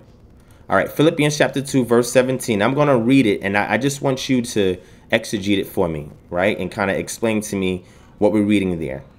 So, verse 17 says, But even if I am poured out as a drink offering upon the sacrifice and service of your faith, I rejoice and share my joy with you all. So when we go into what it actually says there in the Greek, we see that that word there for being poured out as a drink offering, pour something as a libation, the word there is spendo, and you can go and look it up. It means to pour out as a drink offering to make a libation. So he's saying, and this is going back to what I'm saying as far as what were the customary practices that people did, how certain things were used figuratively of practices that was already being done. He's saying that even if I'm poured out as a drink offering on the sacrifice and service of the faith, I am happy and I can rejoice in that, being poured out as a drink offering. Now, why would he even use a reference to a drink offering if that's something that was a dead work? He is still using this language as if this is something that people are already doing. Can you exegete that for me? Okay. I would have to go back and read the entire chapter. Okay. To get the context, okay. but I know just just from what I know, mm-hmm. I know that this is not speaking of a ritualistic practice of pouring out libations mm-hmm. to dead people. It's more than likely speaking of something symbolic, because as Paul says, we must uh, we must present ourselves as living sacrifices, mm-hmm. right? Because clearly they were spreading the gospel throughout a time where Rome was pretty much getting ready to go to war with Judea, right? With Judah. Okay. So, in that context, when we understand the purpose of the gospel, we understood that these men laid their lives on their on the line. They presented themselves as sacrifices. Okay. So it just as it says that Christ is the Lamb, mm-hmm. it's a symbolic reference of what he represented in the law. It's not actually saying that he's an actual physical lamb. I, I got you. That's figurative language, right? It's a literary device. What I'm So saying is, talking about him being a physical libation. I, I, I got you, but that's not what I said. What I said was, why is he speaking in the context in which he's speaking as if that practice was still in existence? He's making a figurative analysis between the pouring out of a libation on the sacrifice of something, similar to his actions and what he's doing, as if that practice is still in existence. What I'm saying It is, was. it's- and, and it you, it was was. not, and it was not condemned by him at all in the New Testament. no, that's not that's not true, divine. That's It- not just show me, show me where libation is. it. Show me where libation is See, outlawed. that's But reaching. That's that's reaching. how right is that there. reaching? Tell me how that's just reaching. because just because you're you're using one precept to make it seem as it wasn't condemned. Now here's my question, right? Because I agree with you. They Mhm. was doing it. Okay. I agree that they was doing it, and it was a part of our culture. I'm not, I'm not in disagreement with you there. I just believe I believe based on what I have learned, right? And, and I'm young. I've, I've I've learned for the last few years. I'm not saying that I'm a vet in this or I'm, you know, an elder or a teacher.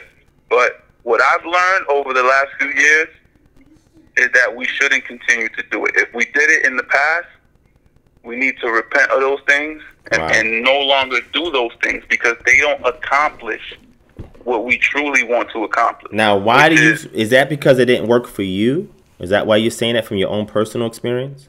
Because it didn't work for our ancestors either. That's why we're in the condition we're that in means today. that means Torah didn't work for them either. Why are we keeping Torah? we didn't keep Torah. They we didn't? did not keep Torah. So, And so that they never they question. never That kept to Torah. Wait, they never kept Torah. Some did. Uh, Some did. So so they did keep Torah. Some some kept Torah, but the majority of them did not keep Torah. So that means because the majority didn't keep Torah and a According to remnant, text. yeah, yeah, and, and, and a remnant did. Are we gonna throw the baby out with the bathwater because the majority who didn't keep Torah, obviously for whatever reason they just didn't do it, but then the small portion that did do it, because they kept Torah, we should also keep Torah because a small mi- minority was able to keep it, and the majority couldn't. So what I'm saying is, Yes, if because I believe that according to the text, because those people, the small mi- minority did keep it, th- th- that small minority is the reason why we're here today. Because if not, the Most High would have destroyed us altogether. And But if because there, there's always righteous amongst us, Mhm. he's able to, he, he, he's willing to preserve a remnant. and you believe that that there- there- go ahead, I, there are there are those amongst us that will keep Torah faithfully, steadfastly, and will not turn to the right or to the left. They're going to keep it exactly how it says, and they're they're not going to allow gray areas to come in. They're going to keep it exactly how it says, and that's why the Most High has always had a remnant and a righteous remnant to preserve. And he and, and, and guess what? In the New Testament, it, it tells us that he will have that remnant again in, in our modern day time. all right. So the remnant, the mm-hmm. remnant will again be preserved because they're not not all of our people are going to keep Torah. Not all of our people are going to follow Christ. Even in today's and, e- and, and even that is is is is um is, is is we all know that that in and of itself has a lot of errors because of the Christian doctrine that's out there, and a lot of people are being misled with that. But my question to you, right, and this question speaks to that directly because you asked me what outlaws it, right?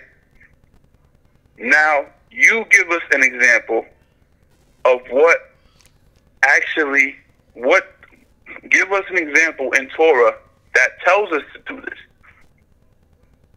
you said give you an example that tells us to do this. Yes. That actually, The- that act, that's, that's a part of the laws, statutes, and commandments of the Most High. Well, for me that to- He actually wants us to do this. Gotcha. So for for me to actually tell you that it's a command, I would have to have said that these were commands. That's not what I said. So I said that these So, were so what's your so divine? Think about this. What's your argument then? If there's no command to do it, but there's also commands that can speak to it to not do it, then clearly But- it, we should not do it But you have not showed one command that says not to do it. Because you disagree with the ones I brought out. Because Divine, that's why. because they have nothing to do with what I was saying. That's why they have nothing to do with so it. then- so look, so look. All right. So let me let me let me let me let me um try and lend some insight. So I'll use I'll use casting lots for example. You said that casting lots is okay to do, correct? casting lots, yes, it, it, it's, it's, it's not it's not against Torah, and it's not something that that's evil when you do it towards the Most High. When you But do it. again, how how would we possibly know how they did it exactly? How can we possibly know that? Because when it doesn't give us it doesn't give us a step by step process of how to actually cast lots. Okay, For the got, that's an excellent question. So that would be called a gray area. There are gray areas in the text, actually. The text does not speak to every kind of case scenario. Therefore, sometimes we got to step outside the text to get an answer for things that the text is referencing or implying. So let me give you an example. You asked an excellent example. You said, How would we know how to perform this thing you're saying, right? If the text is not explicit about it. Correct? How will we know that we're not doing it in error? Yes. Gotcha. All right. So there's three things that I use, and you know, you go you go by the the uh, old adage that goes by the mouth of two or three witnesses is every word established, right? And it has to do with a testimony in regards to a court hearing. But we take that principle and say, hey, look, if I'm going to substantiate something, I should have at least two or three witnesses that speak to the validity of what it is that I'm presenting. So it could be done like this, and I'm gonna give you an example. Right. You have the text, and you pull what you can from the text you have archaeology of the people who lived during the time period that the text is referencing, and their lives is actually what influenced the text. And then you look for a lived culture today that is practicing it within the same context in which the text is speaking on it. So you use one, two, three witnesses to ascertain how casting lots is done. All right. So let me let me start off with the first thing, and and, and again, we know how it's done, right? Because of these three methods, you know how it's done. This is this is how interdisciplinary studies are done because you got to look at multiple things and not just one source. Let me start first with the text, all right? So we can kind of get an example of casting lots, right? So if we go to Proverbs chapter 16 verse 33, and I'm gonna read it. I'm gonna read it in English, and I'm gonna go into the Hebrew. So the English says, "The lot is cast into the lap, but the whole disposing thereof is of Yah." All right. So from the English, we say the lot is cast in the lap. So what do you mean by cast? It means to throw it, to drop it, to collapse it. Do we have any details? And then we have that word lap that's there. Okay. So if we go into it a little bit deeper and try to kind of ascertain, okay, how much information is this giving me so that way I can kind of figure out what's going on, we have Bahek Yutal et Haggoral Yahweh Kal Mispato. So the first thing is into the lap, which is the, the subject, it's cast. Now that word there is Yutal.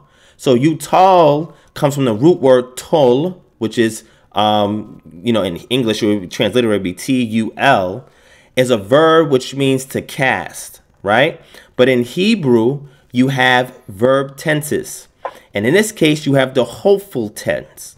So you have the Hiphil and Hophal. So the Hiphil is a causative, active, and the Hophal is a causative, passive. That means you're causing something to happen but it's it's being it's it, the, the causation has happened passively in regards to the object that we're talking about that the subject is being referenced to.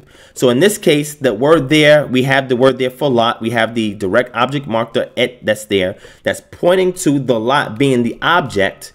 But the lap itself the lap is where the casting is done. So you're causing something to happen to the lap you're causing something to happen to the lap that is referencing to the object or the accusative, which is your lot. And if we go in to see, okay, well, this this is talking about an, an article, this lot thing. What is this lot? What is it talking about? And it goes on to give you details about this lot. Now, this is when now you got to go to a lexicon, and there's different types of lexicons that help you to ascertain this information. One good help is that if you get a lexicon that has comparative Semitic languages, it will look for that root and see if that root exists in other languages. If it exists in other languages, then you will go to where it's used in the other languages to see in the context of how it's being used, especially if those were sister languages and cultures to Israel. And when we go and look, we see that these items that's being used as far as a lot is concerned, it can be referenced to um, rocks. It can be referenced to even you said bones. It can be referenced to a, a host of different things, but the context helps you to determine what it is. We know that it has to be items that are small because it's being done in the lap, right? So they would pull out their garment, they would take the lot, then they would cast it or they would hurl it down.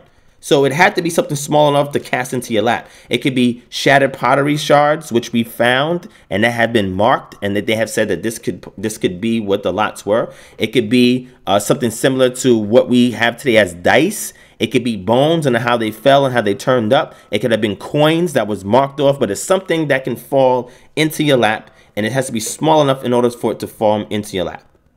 So now when we go into the archaeological record, we have to look to say, okay, lots, and that, that terminology lot can also refer to like inheritance, land, whatever the case may be. But in this case, when we're looking at it, we're talking about something that you're doing in order for you to achieve an objective result. In archaeology, like I said, they have found pottery shards with markings on it. They have found bones with small bones with markings on it. Something like you said earlier, because you know you can use bones for divination. Casting lot is a form of divination. it's a form of divination, but it's a prescribed divination that the text sanction and the text does not prohibit. And then when we look at living cultures, so let's look at living cultures today. Are there any living cultures that's in Israel today that cast lots? Yes. If we say we're Israelites today, we have to accept that we have some African heritage. And if there are tribes that are in West Africa that we say that we come from, if they're still there in the land today, they will be considered Israelites. Do they cast lots? Because if they cast lots, and we're saying that they're the remnant in which we came from, then we should go back and watch to see how they cast lots because they would have a preservation of that culture, which a lot of it we lost by being brought over here to America. So now you have archaeology, you have the text, and you have a living culture, and you use these three things to ascertain how to cast the lot. Now, you go through all the verses in the text that talk about casting lots within its context, and you look at the verb because the verb is going to tell you how the action is performed. Is it a simple action? Is it a passive action? Is it a causative action? Is it an intensive action? Is it a reflective action, etc.? And you use the verb form of that of that verb, the verb stem of that verb, to see how it's being done. Is it being intensively done, which will be your Piel stem? Is it a passive happening to the subject, which will be your Niphal stem? Is it causative? All of this helps to give you details. And when I tell people, okay, this is how lots are cast, I take all of that in account and I reconstruct something that is representative of what we're reading in the text by using that methodology. That is how we can determine what that lot is. A lot of things are not just up in the air for mystery. It's only there if you have not done the study. But if you've done the study, you can be able to ascertain how a lot is cast and what is the benefit of casting lots. One thing the text says is that lots does what? It's it causes strife to cease. If two people are fighting over something, you say, oh, wait a second, look, I feel like this, you feel like that. But according to Mishle or Proverb 16 and 33, it says if we cast the lap, the, the lot, whatever decision is, is from Yah. Let's cast it and see who should get this and who should get that. Who should do this duty, who should do that duty. Who should get this portion, who should get that portion. When you do that, guess what? The lot does not care about you. The lot does not care about him. It's objective. So it helps to resolve strife. It is a practical means of applying a pre-exilic practice that helps to resolve an issue. So the libations, and we going into libations.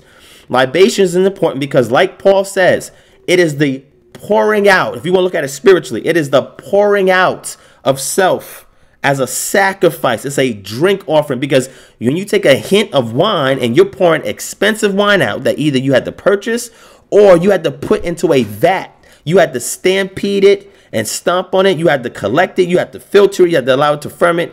It is a difficult process. It is a long, extensive, exhaustive process. If I'm going to take a hin, and a hin, we know what the metric is for hin, and I'm going to pour that hin out, that is something expensive that I am sacrificing Because what it is, I'm demonstrating giving up something.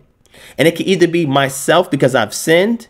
It could be me showing reverence to the deity and I'm, I'm sacrificing that's something of value to me, to the deity, because I'm showing the deity I'm pouring out to you or I'm pouring into myself or I'm pouring it to the side. All of these things, when we examine living cultures, and when we go and we look at writings from sister cultures, we can see what a libation is, why it was important, in the remembrance. When people wear tzitzits, when you wear fringes, these are things that are designed that we utilize to remind you of something that you should be keeping these practices. But there's different ways and people how they implement tzitzits. Some people think, okay, well, I'm going to put it so that way it looks like a flower blossoming on the four corners of the garment. Some people say, no, it has to be fringe all around your garment. And then people go to the archaeology because they do show Israelites that have fringes on in the archaeology, and we see how they have the fringes.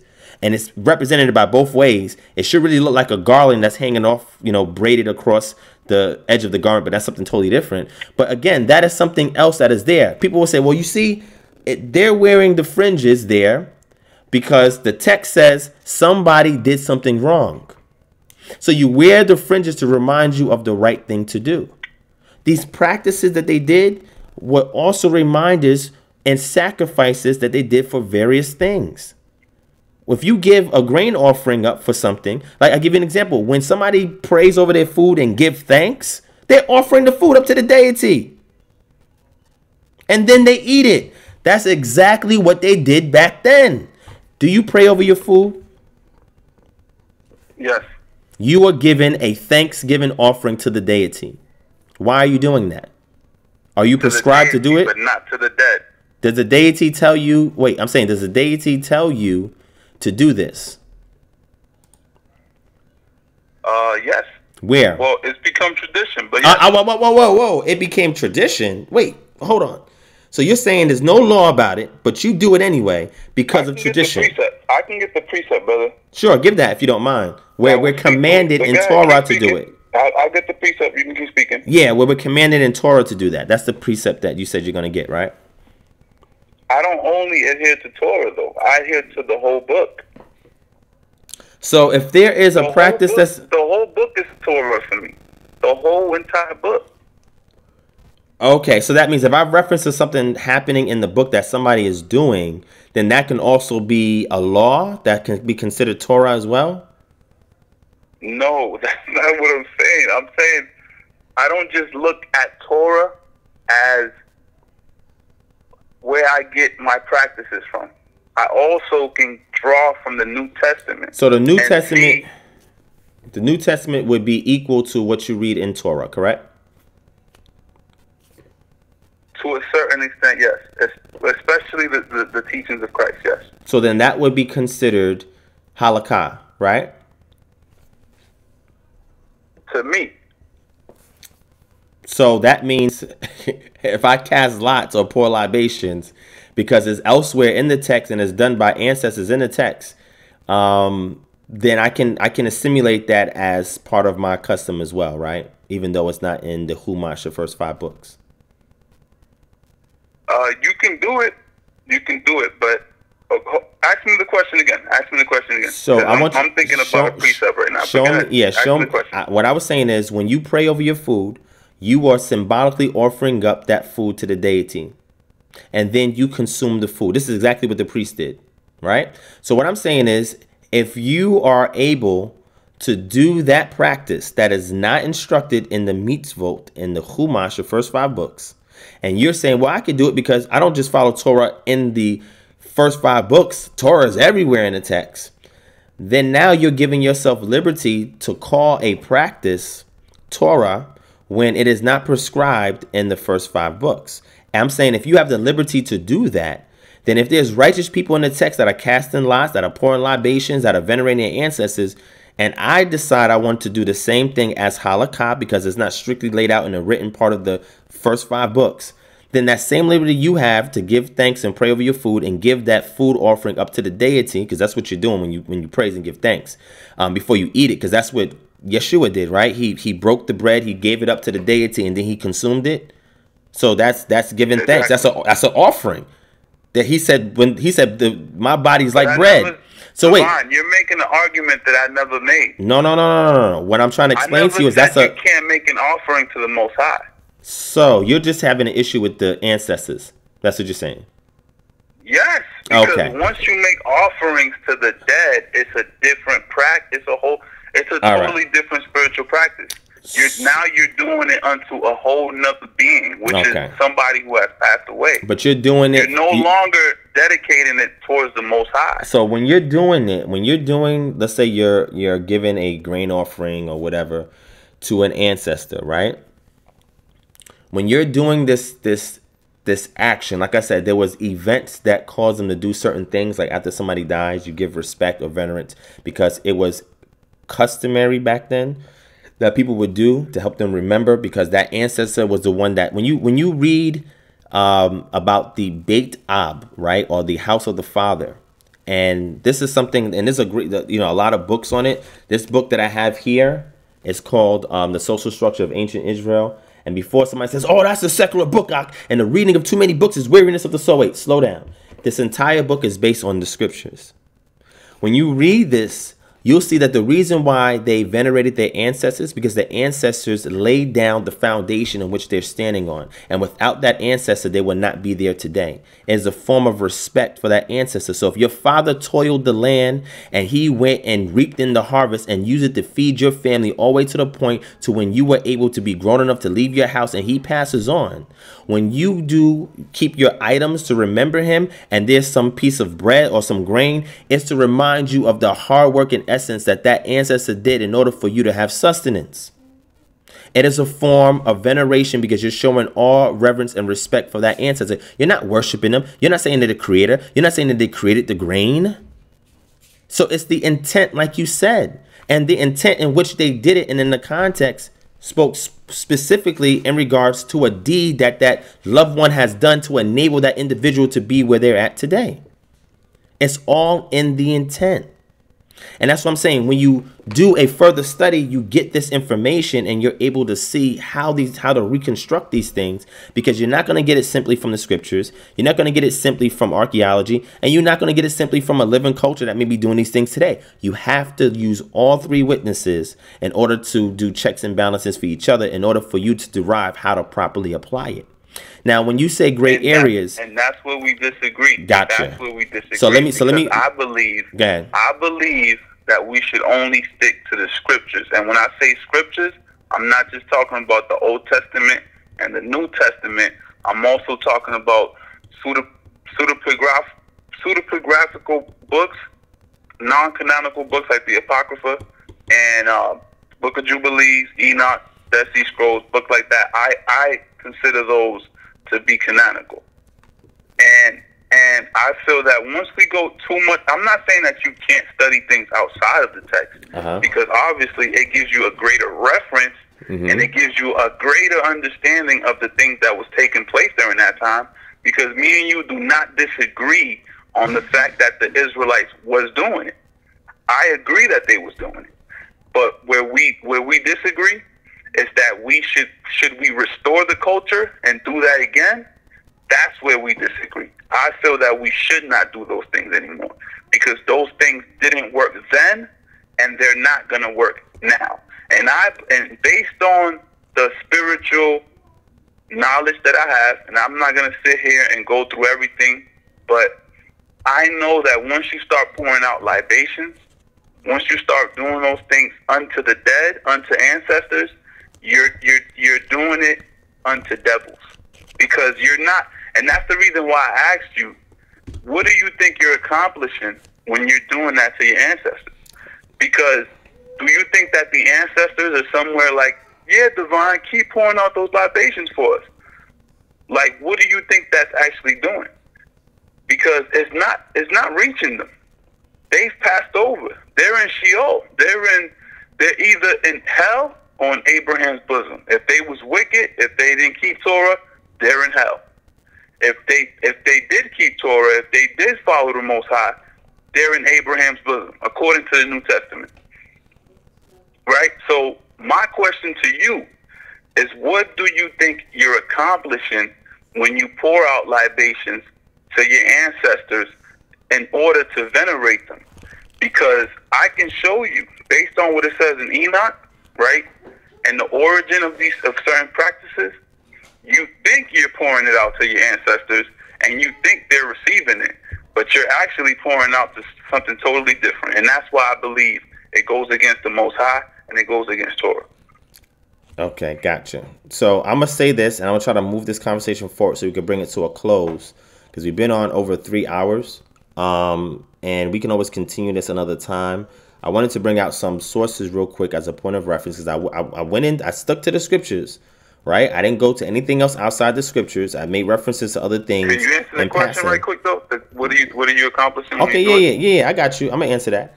Um, so I stuck to the scriptures, but like I said, I, I want to just show a couple of references real quick so people can go back and do the research behind what I'm saying and even behind what you're saying because you have referenced a couple of uh, scriptures as well outside the outside the canon, but you said it's considered canon to you. Um, but when you say what are you accomplishing? So when I explain to you that the practice of pouring libation is something that's done after the ancestor has passed away to showcase that you are offering yourself to the dedication of the inheritance that they have left behind. That's what it's symbolic of. The same reason why you will put tzitzits on to remind you to keep the commandments, and it was a particular commandment, which is breaking the Sabbath, because that's what caused them to wear fringes to remember the Sabbath. But people didn't extend that out to all the statute laws and commandments. But the point I'm trying to make is, is to remind you of something. It is for you to commit yourself behind the hard work that was done before the ancestor who laid the foundation stones. When people go and they worship Jesus, Jesus is a dead ancestor. And this dead ancestor then rose and he's in the heavenly realm. But every time people do communion, they're drinking his blood and they're eating his flesh. This is what he says. They're doing a drink offering and a food offering unto him. Why would they be doing that to Yeshua if these practices was a pre-exilic are not going to accomplish nothing? Oh, because they're doing it because it reminds them of the act of martyrdom that he performed on their behalf to initiate a process of regathering the lost sheep of Israel.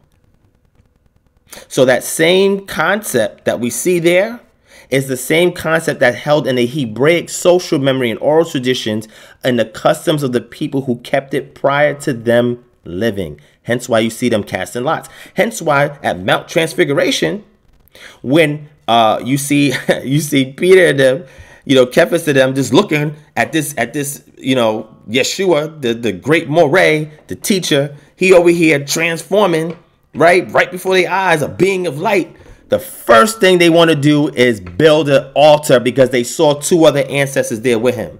You know what that meant? That meant that they thought he passed away. Because whenever you see or have that encounter with somebody who died, who came back, the first thing in their memory was to build a tabernacle to them. That was part of their cultural memory. That was part of their custom. But they was told not to do it because he ain't dead. But when you read the book of Luke about Mount Transfiguration, Elijah and Moshe or Eliyahu and Moshe was speaking to Yeshua about the things he will accomplish in Jerusalem and his death. So they wanted to commemorate that encounter, like we see when Jacob or Jacob is having an encounter with, with the Most High, and he's putting laying down foundational rocks. And then we see other things that happen where altars are left behind for the things that are done for what the ancestors have accomplished before the people. When you do these customs, it represents the same thing. So again, I'm not saying that people have to do these things and you're commanded, and if you don't, the most I'm gonna destroy, he ain't gonna accept you.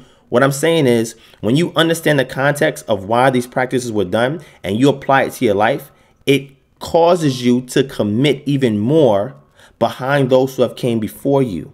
It causes you to keep in remembrance of the righteous things and paths that they have laid behind and left behind for you to inherit. It is a way because today, when loved ones pass, some people don't even go to the funeral. You know why? Because they're not living according to Torah. They have not left an inheritance for their children's children They have not left a legacy of living upright and being righteous before Yah. So of course, I don't mind anybody saying, "Oh, I don't remember my loved one and I don't care about them and this." But if you knew that that person labored every day for you to have a roof over your head, to have food in, in your mouth, to have clothes on your back, that they built a house that y'all live in, that they protected you from danger and harm, when you remember somebody who built a house for you to live in and to inherit, the game changes on how you venerate them because you are going to ensure that what they left behind for you, you're going to continue to take it to the next level out of respect and remembrance. And those items is just a form of remembrance, just like having zeet That is all it's there to do. And when a person passes and you pour the libation, you are symbolizing that you're giving up part of yourself or your life force unto them. You're giving that up. You're giving that away because of what they've left behind for you. It changes your whole mentality on how you commit to the scriptures because of the respect you have to your ancestors. Now, today, people may not do that because you, they don't have ancestors that are doing this for them because they're not following this culture. But in the context of what they did back then, none of that that they were doing to their ancestors because there's no prescription against that. Which says that you cannot keep anything that's left behind from your ancestors because they didn't just inherit land, they inherited objects. They inherited inanimate objects, whether it was a staff, because guess what? They venerated Aaron because Aaron's staff is in the Ark of the Covenant. It's in the mercy seat. His staff. Why is his staff in there? What the heck are you doing with this object from a dead ancestor that the priests are carrying around and they venerating the Ark of the Covenant? Why is his ancestor's staff in there? What is that doing in there? And it's budding on top of that. What is it representing? But it was an item that was left behind by an ancestor. So when you look and peruse through the text, you see this all throughout the text where things are given by the person who passes to a successor. It is given. The successor keeps it and holds it in high regard. They don't worship it. They don't worship that ancestor. They're not divining with that ancestor. It's a form of showing respect. And that's cultural values that they have that are much stronger than what we have today. Because we don't even have a shared, agreed upon ethnic ties on how we perform certain rites and rituals amongst our community. All we do is just do baptisms. And then we do and we, we, we eat communions. And even the way we perform it is much different than, like you, you said, the Essenes, right? The Essenes, they practice yeah. things much differently. So all I'm saying that. is, and, and they, and, and, and then if you read all the Qumran uh, writings, which I've shared on this channel several times before, they have practices that they perform that was similar to what the Essenes did because we have a lot of things with the Essenes that do the church fathers' writings, and we also have it through Philo and Josephus, who speak about the Essenes. So we know what some of their practices were. Some of those practices they did had nothing to do with Torah at all. But why did they do that? And some of them had to do with successors. You know, you had the teacher of righteousness. He left things behind. He left rolls behind. He left artifacts and items behind when they went and excavated these caves. He left things behind for the next teacher of righteousness. They left things behind for the next teacher of righteousness. And they venerated the items that they had because it was left by a great teacher who they revered and respected while they was alive. They didn't worship him. He laid the path and the things he taught you, this is something that's going to remind you of the things that he laid behind. So, like I said, I'm not saying it's a command that everybody needs to do it. All I'm saying is that if we reenact it, it's not going to take us away from high. If the intent is to remember the ones who died, who li- who lived in him, meaning that they represented Yah, and they represented Yah, and they did everything that is instructed for them to do according to the culture, they should be venerated. If I die, I don't want my children to worship me, but I want them to venerate what I left behind for them. Because I'm working hard now to do what I can to leave something from them. And whatever I leave from them, whether it's something of sentimental value, something of greater, uh, greater asset like land, a house, or money, or wealth, or whatever, everything they get is an investment that they got from me. And I want them to remember the hard labor that I did so they can do better. They have a point of reference. And sometimes the youth, they forget that. You talk to the youth today who are much younger than you and ask them what happened in the 50s, what happened in the 40s, what happened in the 1800s, 1700s, 1600s, what did your ancestors do? They have no clue. And they have no respect because there's nothing to remind them of that. And they don't have a cultural mandate that tells them you need to keep things behind because if these people fought for you, they died for you, they left an inheritance behind for you, they left a legacy behind for you, you need to venerate and respect them. The scripture says when the elder comes in the room, you rise to the hoary head. Why are you doing that? That elder is going to die and be an ancestor soon because it has to do with cultural respect, and we have lost that in this society. So I see why this may be strange to certain people when they hear about these practices because we're not doing that. And when we do do it, we do it for all the wrong reasons to a new age deity, to the occult. We're doing the things that Yah prescribed in the wrong fashion. Therefore, we are sacrificing the devils. We are pouring out libations to devils and other deities and other protecting spirits, which is really what the word demon means in the Old Testament because those are not our deities, those are not our ancestors, and you're doing practices to revere other people's ancestors and other people's deities. That's why I say that it's good if we do it because it will remind us of stuff to keep us on the path we need to go. That's all I'm saying. I. I'm not saying you have to do it. I'm not saying nobody else has to do it. I'm saying, but if people do do it and they know how to do it appropriately, it will yield results. So that's the difference in my life they will make. Now, it may not work for you, and that's fine. You're not prescribed or commanded to do it, but it's something that your ancestors did because it developed during the culture. So I'm a let, let me get off of this. I want let me wrap up. Before I wrap up, what I just want to do, I is just show some references. If when I'm done, if you have references, feel free to show them. But I just want to get these references on on video so people can go back and research to see some of the things that I'm sharing. And when I talk about the home and and, and venerating of the elder and, a, and, a, and a, somebody who passed, it's in the archaeology and it's also in the scriptures where it's done, where you remember your ancestors. Now you're saying that well, people didn't have shrines and they didn't have items. People had shrines and items to them because everything is not in the text about what the people did. If there are righteous people in the land and we go and we survey the land and we see all these JPFs, which has to do with the figurines that's found in the land, right? The, the ones that's molded out of clay, then you're saying that they may, there might not be no righteous people because all almost all the houses they excavate has these items in it. Divine, Divine, I'm gonna let you keep going, but don't don't don't misquote me. I didn't say that they didn't do it. Gotcha. I didn't say that they didn't have it. You're saying it's wicked but when they did do it.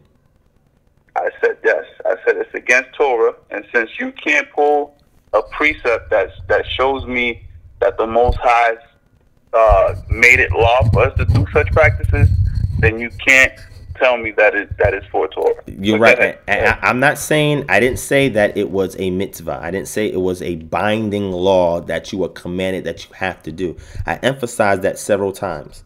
I did not say that. So why?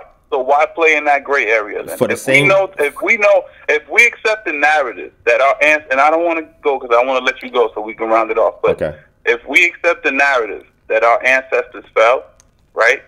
That Israel fell, that we're no longer in the Holy Land and we're no longer in power, then why would we want to restore something that fell? But go ahead, bring the the, the, the sources up. Gotcha. And when you said restore so that which, gotcha. So you said restore that which that causes the fall. You're saying having ancestor veneration and having uh, heirlooms and shrines to ancestors and pouring libation after they die, that these were the things that caused us to go into captivity because these things were wicked and it wasn't prescribed, correct? It was a part of it, yes. It, it may have been it may have been a small part of it, mm-hmm. but it mm-hmm. was a part of it nonetheless.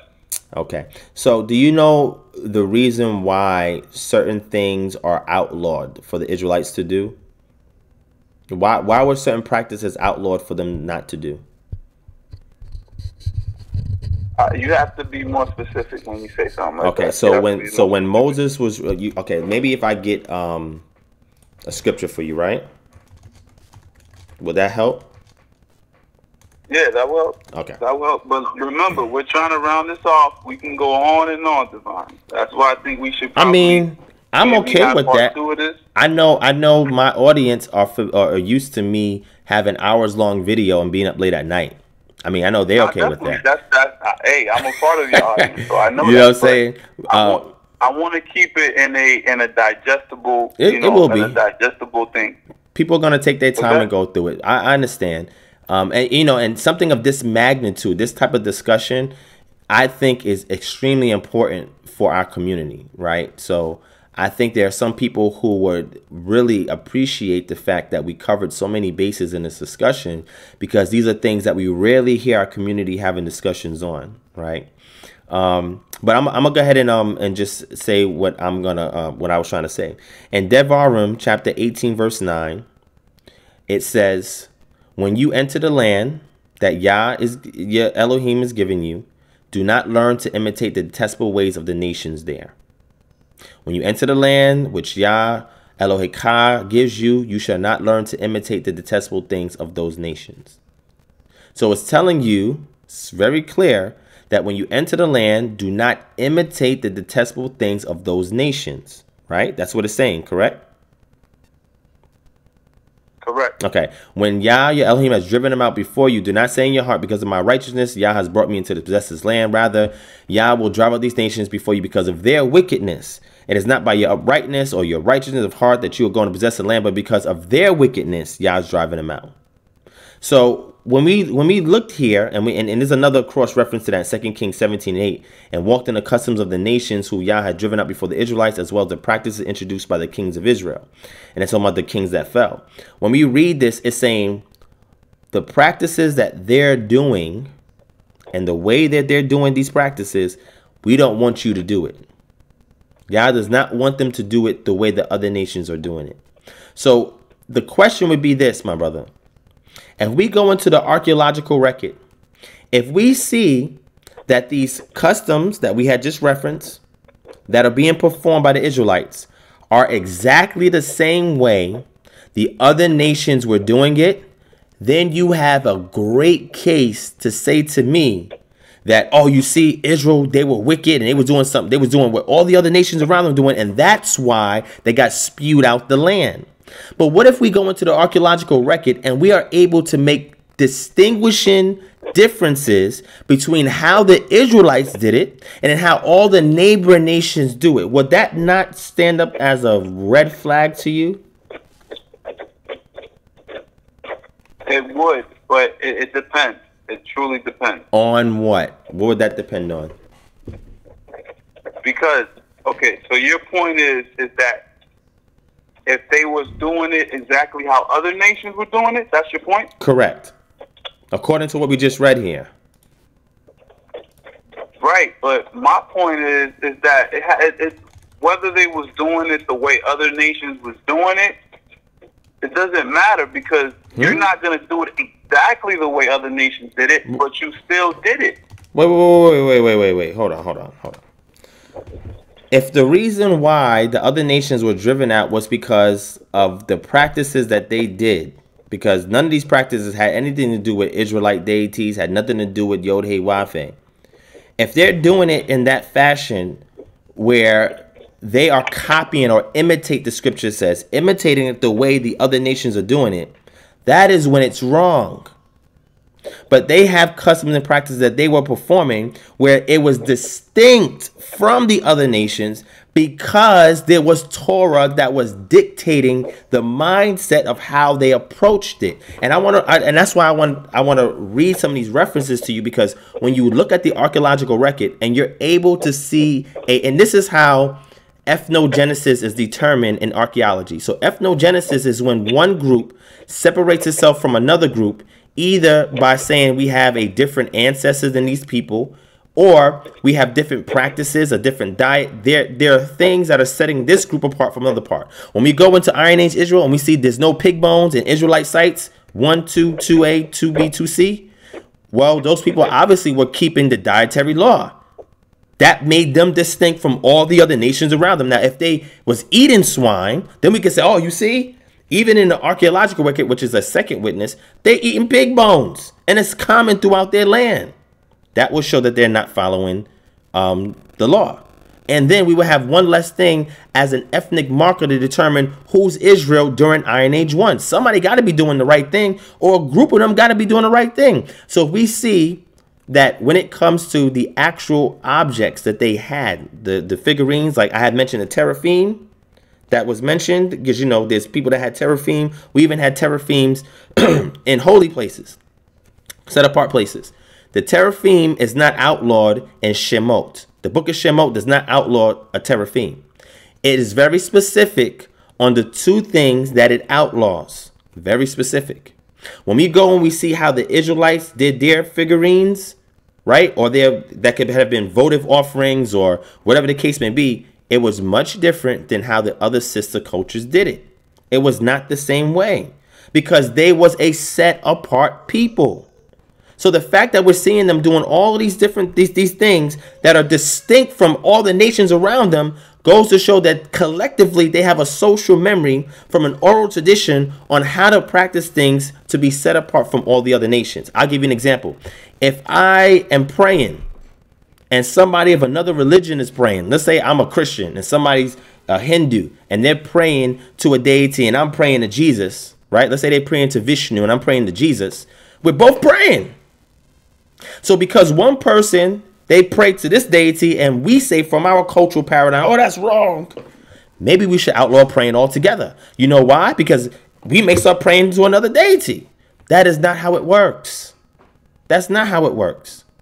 So, what I'm saying is simply because we can show in the archaeological record and from the scripture that there were things that they did collectively that was distinct and separate goes to show that what was dictating and pushing how they performed it was a Torah that was not fully developed or written down, that was an oral tradition that was passed on from from parent to child, from a uh, child when they get older to their child, etc. So we see this in the archaeological record. That's all I'm trying to share with you. So I'll give you an example. The Israelites, when they had figurines, they never made it out of any divine images. The other nations, they will make them to divine images. Why is there a distinction there? If they're imitating everything, imitate means I'm doing everything that you do, imitating the other nations. It's when they left their own cultural practices and decided, oh, I like how they do that better. Let me make one with divine markings in it. That is now when they're going astray.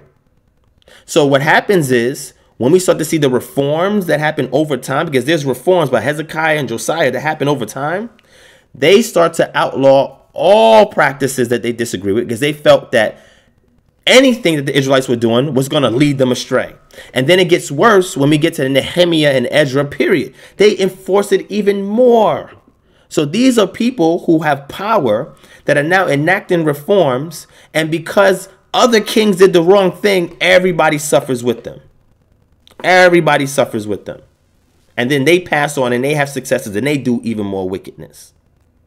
It's all in the intent. That's what you said. It's all in the intent. That's what you said. Let me show these sources and I'm done. I'm going to let you, you can give your final closing. No problem. I thank you for your time. I thank you for your patience. Thank you for sharing information. I'm happy when I hear that the youth is walking to, to some form of uprightness and trying to follow a model that does not lead to death and destruction of themselves or their community. So I applaud you for walking this walk. I will continue to pray for you. If you need me, hit me up. You know what I'm saying? If, if you need to talk or whatever, holla at me. I'm here for you. And vice versa. If I need you, I'm going to reach out to you as well. I appreciate you for being here and sharing what you share. Let me get the sources out the way, and then I'm going to let you end off. Is that all right? That's all right, my brother. Yes. All right. Thank you, Malak. All right. So, um, Malek, excuse me. So let me let me um pull this up real quick. I'm gonna just show the screen, and then I'm gonna end off here. All right. Let me pull this up here. Um, let me create another another scene.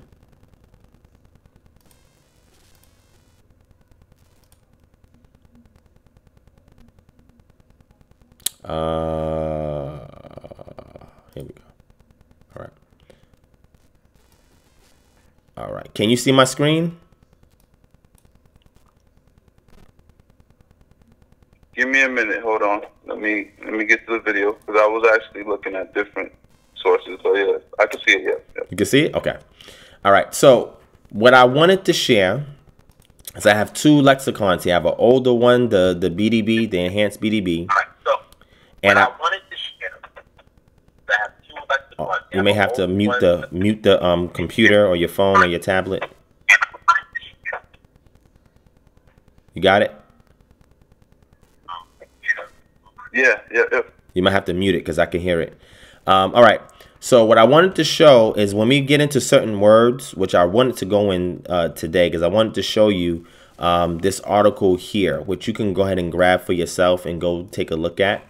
Um, and this article was written by Dr. Aaron Greener, is a postdoctoral fellow at the W.F. Albright Institute of Archaeological Research and the Zinman Institute of Archaeology at Haifa University. Concurrently, he is preparing for publication the numerous figurine fragments discovered at the Temple Mount Sifting project directed by Dr. Gabriel Barkay and Zachi um, Dvira. he holds a PhD in archaeology from Bar um, Ilan University. He also directs Dig the Past, which recreates Israeli archaeological excavations at North American camps and communities. Among his recent publications, The ground Groundstone Assemblage of a Metal Workers Community, An Unexplored Dimension of Iron Age, Copper Production at Timna, um, Journal of Lithic Studies, etc. And then you see all these other things here, which is the bibliography. The reason why I bring this article up because if you take time to read this, this is a very objective article that sums up what I've been sharing.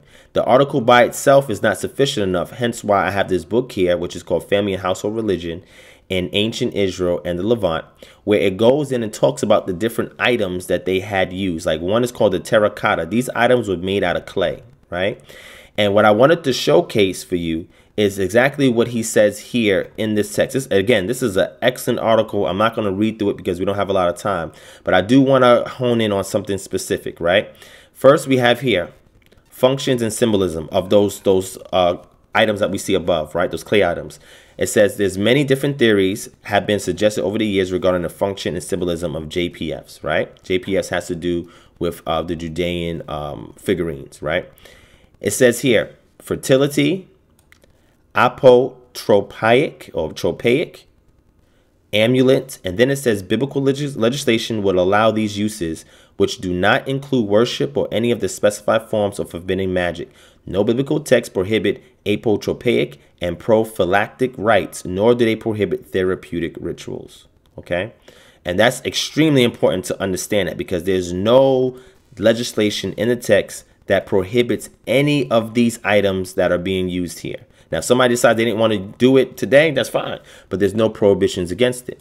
When we go down here, we see the reforms of Hezekiah and Josiah. Some scholars view that the broken JPFs as direct evidence for the iconoclastic biblical reforms of Hezekiah and Josiah.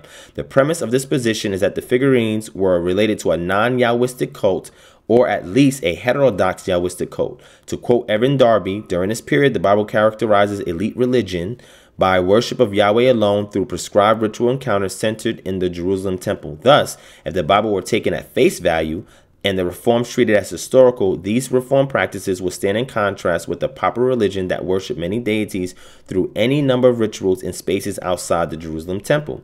Nevertheless, a connection to Hezekiah does not seem possible archaeologically speaking, since the figurines continued to be popular throughout the late 8th and the entire 7th century and were not smashed. A connection to Josiah remains possible, however, since his reform was only a few decades before the exile, and it would be hard to sharply distinguish between Josiah's reform and the exile archaeologically. Now, watch this. Idols in the Bible. The biblical text prohibits several types of images. For example, the Decalogue prohibits the people of Israel from making a pesel. So why is the word pesel, which is right here, why is that word pesel important? Well, not just pesel, the word for likeness is important as well. Because these are two things that require certain production methods in order to accomplish those things. We see here we see here uh, first in um, the Ten Commandments is Exodus chapter 20, verse 4 and 5. You shall not make for yourselves a sculpture, image, pesel, and like any likeness of what is in the heavens above, on the earth below, on the waters below the earth. You should not bow down to serve them. Now, interestingly enough, this is in Exodus, right? When we get to Deuteronomy, now we look like the game changed a little bit. It says, Do not act wickedly and make for yourselves a sculptured image in any likeness whatever, the form of a man or woman, the form of any beast on earth, the form, tabnit, of any winged bird that flies in the sky, the form, tabnit, of anything that creeps on the ground, the form of any fish that is in the waters below uh, the earth. So in Exodus, it's very generic. But when we get to Deuteronomy, it gets more specific. Okay. It says similarly, the Israelites are prohibited from worshiping certain pre-existent items, even if they did not manufacture them. This is noted, especially in Deuteronomy 7 5, which commands to tear down their altars, smash their pillars, cut down their sacred posts, and consign their images. This is saying this is what you do to the other nations. Not to Israel. This is this is implied because what they're doing is following after the practices of the other nations. Their practices were slightly different. And any attempt to identify the biblical terms may refer to JPF's Erin Darby has recently summarized some of the scholarship on this topic. The Hebrew word pesel is the most common biblical term for an idol. Its related verb means to hew or hew into a shape and can refer to stone tables or building stones. The noun, however, refers to idols, idols in general. These seem to have usually been made of wood, stone, or metal, and this is the likely referent in the early use of the term pesel, though the term may theoretically refer to a wider range of materials, including clay. Similarly, other words associated with idolatry, selem, mesekha, asab, haras, and ma'aseh, and elil, all suggest items made mostly of wood, stone, and metal, and not of terracotta, which is clay. Moreover, none of the biblical texts using clay terminology, Heres, Homer, and Nisir, inter- intersect with those describing idol production. Then it goes into other terms, however, such as this, do not indicate the material from which they were produced and often are appended to the word pesel. This may have been done with the intent of broadening the meaning to include any type of image or likeness, regardless of the material from which the object is made. Now, this is extremely intriguing. If the original intent had nothing to do with these household items that was made out of clay, but only talked about things that could be hewn and cut into shape which would be your metal, your wood, and your stone, then that means that the understanding of the concept of the idol, which the other nations practiced, were items of wood, stone, and metal that they then worship because it was a covenantal vessel with the deity. But the Israelites, on the other hand, when we see these figurines, are mostly made out of clay, and a lot of the prohibitions are not speaking about clay because you don't hewn clay. You make it on a potter's wheel. You shape and you form it. The moment that is hewn or cut, it is no longer usable. But in order for you to make an item to worship, like wood, stone, metal, it has to be cut and shaped and formed and fashioned. This was the implication. But over time, because of reforms, things change. We get more explicit information because the purpose of it is to create a fence around the Torah so the Israelites will not be tempted because of the hardness and wickedness in their hearts to imitate the things the other nations did. But if you have a righteous heart, which a lot of these people have because they did not have these other items in their home, just these JPFs, they were obviously not following and imitating the other nations. But because the king who is in power, he has, you know, has to step up to the plate and say, hey, everything that everybody's doing is evil and wicked. We got to outlaw everything. I don't care if people are doing it for a righteous cause or not. Let's get rid of it. this was this was the mindset of the reformers because they did not believe that there was anybody righteous there in the land and that everybody was doing wickedness and this was not true. There was always a small remnant that's righteous. The Most High even said it to Eliyahu, who believed that there was no other righteous Nebaim in the land but him, and said, "No, no, I got other righteous ones that are there." But guess what? The righteous has to suffer with the unrighteous when the unrighteous is the majority and they cause those who are being righteous and with the righteous intent to suffer. The teraphim is something also that I mentioned. And again, the teraphim is not mentioned in regards to image and likeness. The teraphim has nothing to do with these commands. So it falls outside of the scope of what these commands are talking about. Then you got to ascertain what is a teraphim. That's another study altogether, and I'm not going to talk about it. And then this article goes into more depth, talks about the reasons for the Bible's elusiveness by not specifically talking about the teraphim or the terracotta or the clay items. And then it goes on to why that may have been ex, ex, you know um, expanded etc now this person here this guy you know he's he's a jew because he says here our ancestors, because he's referring to the people who are involved in the stuff that we re- we're reading. But he says whether the JPS were destroyed by religious reformers or just fell out of use, the final stage of the anti-idolatry laws in the Bible erased this ancient Judite practice from existence and even from Jewish Israelite collective memory. Only 2,500 years later, with the advent of modern archaeology, are we now beginning to learn about these figurines, items that our ancestors crafted and cherished. It's books like this going into the terracotta figurines, going into the anthropomorphic cult items, Going into the function and meanings of male figurines, horse and rider figurines, the function and meaning of animal figurines, the function and animal of zoomorphic vessels, the fu- function and, and, and, meaning of anthropomorphic vessels, the function and meaning of miniature shrines, the function and meaning of model furniture, the function and meaning of stands, the function and meaning of kernoi, the function and meaning of composite libation vessels, where we get to find out well, why they're using it, when do they use it, tripod censer cups the function and meaning of altars, the function and meaning of amulets and seals. And then it goes on to the pattern of use of category A objects and it lists all these category A objects and try to give you an idea of what these things are for. Diagnostic items, collectibles, luxury and imported pottery, lamps, rattles, small miniature vessels, chalices and goblets, cosmic items, the so-called incense bowls or laddos, game pieces, and astragali, usage pottery of category B objects, etc. So when you go and you examine these things based on the excavational reports that are left behind by those who do the exhumations of these items and look at it in situ within the context in which it was left behind and compare how it was done in Judah and Israel as opposed to the nations outside, there was a distinctness in which they performed it that differed from the other surrounding nations, which goes to show that they were set apart in some form that they were not imitating what the other nations were doing according to what Torah outlines. So, so this is what I'm putting forth the information for people to go back and research to understand that if you don't look at something within its proper context, you're gonna assume or presuppose that it's wicked, it's evil, it's wrong, you shouldn't do it without even investigating how it was used. That's like you coming into my house after I die and you see a whole bunch of items in my house and you say, oh, this guy got a big TV. Man, he must have worshiped this TV because why is this TV so big? But then neglect to, to take into account that I got kids. I got children. I got a large family. So therefore, we need a big TV so we can see what's going on. Everybody can see where every detail from every angle because when you study LCD panels, you know you have a viewing angle a range in which you can see all the colors accurately and you must sit indirect in front of it unless you have an OLED panel in order for you to see the TV. But if you don't investigate this matter, you're going to assume that I got a big TV because I'm worshiping the TV. That happens when you take things out of context, when you don't study it, and when you presuppose or assume something based on what you've already been taught or trained to believe.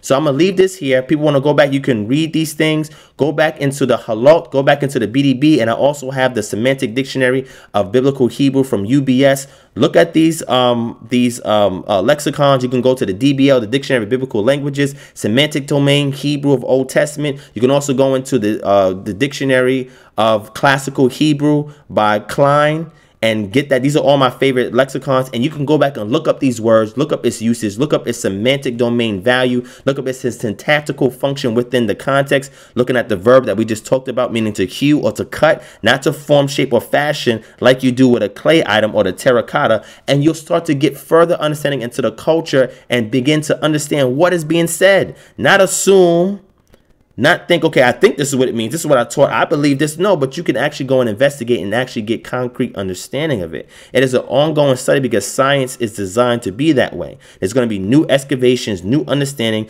new collection of data in order for you to determine to a more precise accuracy of how something's performed. Hence why even when we get new manuscripts, critical edition Bibles use these new manuscripts that have a more weightier reading than the manuscripts that were used previously because this is what happens when you discover new manuscripts and you do comparative analysis on the text. Because if you're not looking at this, you're going to assume that what you're reading is something prescribed by God when it's just a textual variant. And the other manuscripts don't have the same weight behind it. And it's an isolated reading. And we assume this is written by God, this is inspired by God, but it could have been a scribal, scribal note that made its way into the text. And we over here thinking and quoting like it's a precept, and it's really not. This is why you got to read Emanuel Tov's work on the Old Testament because he goes into textual criticism and compares all these manuscripts so you can find out what is the best reading for this passage. People say, well, when you do that, you dip it and dab it, and what you're doing is you're messing up the whole scriptures. and mess. No, you're not. You're strengthening your faith in the text because number one, you see a high degree of high frequency of agreements between these manuscripts, but the places in which it differs allows you to see different angles because we don't have the, the original autographs and we can deduce the best reading. There's a method to doing that so we can ensure that what we have is closer to original than what we assume we had previously. This stuff's helped you with your walk, but most people do not want to do this work. That's fine. I make it easy. I microwave it to the best that I can. I give the resources, I do the demonstration, and I give it back to the community.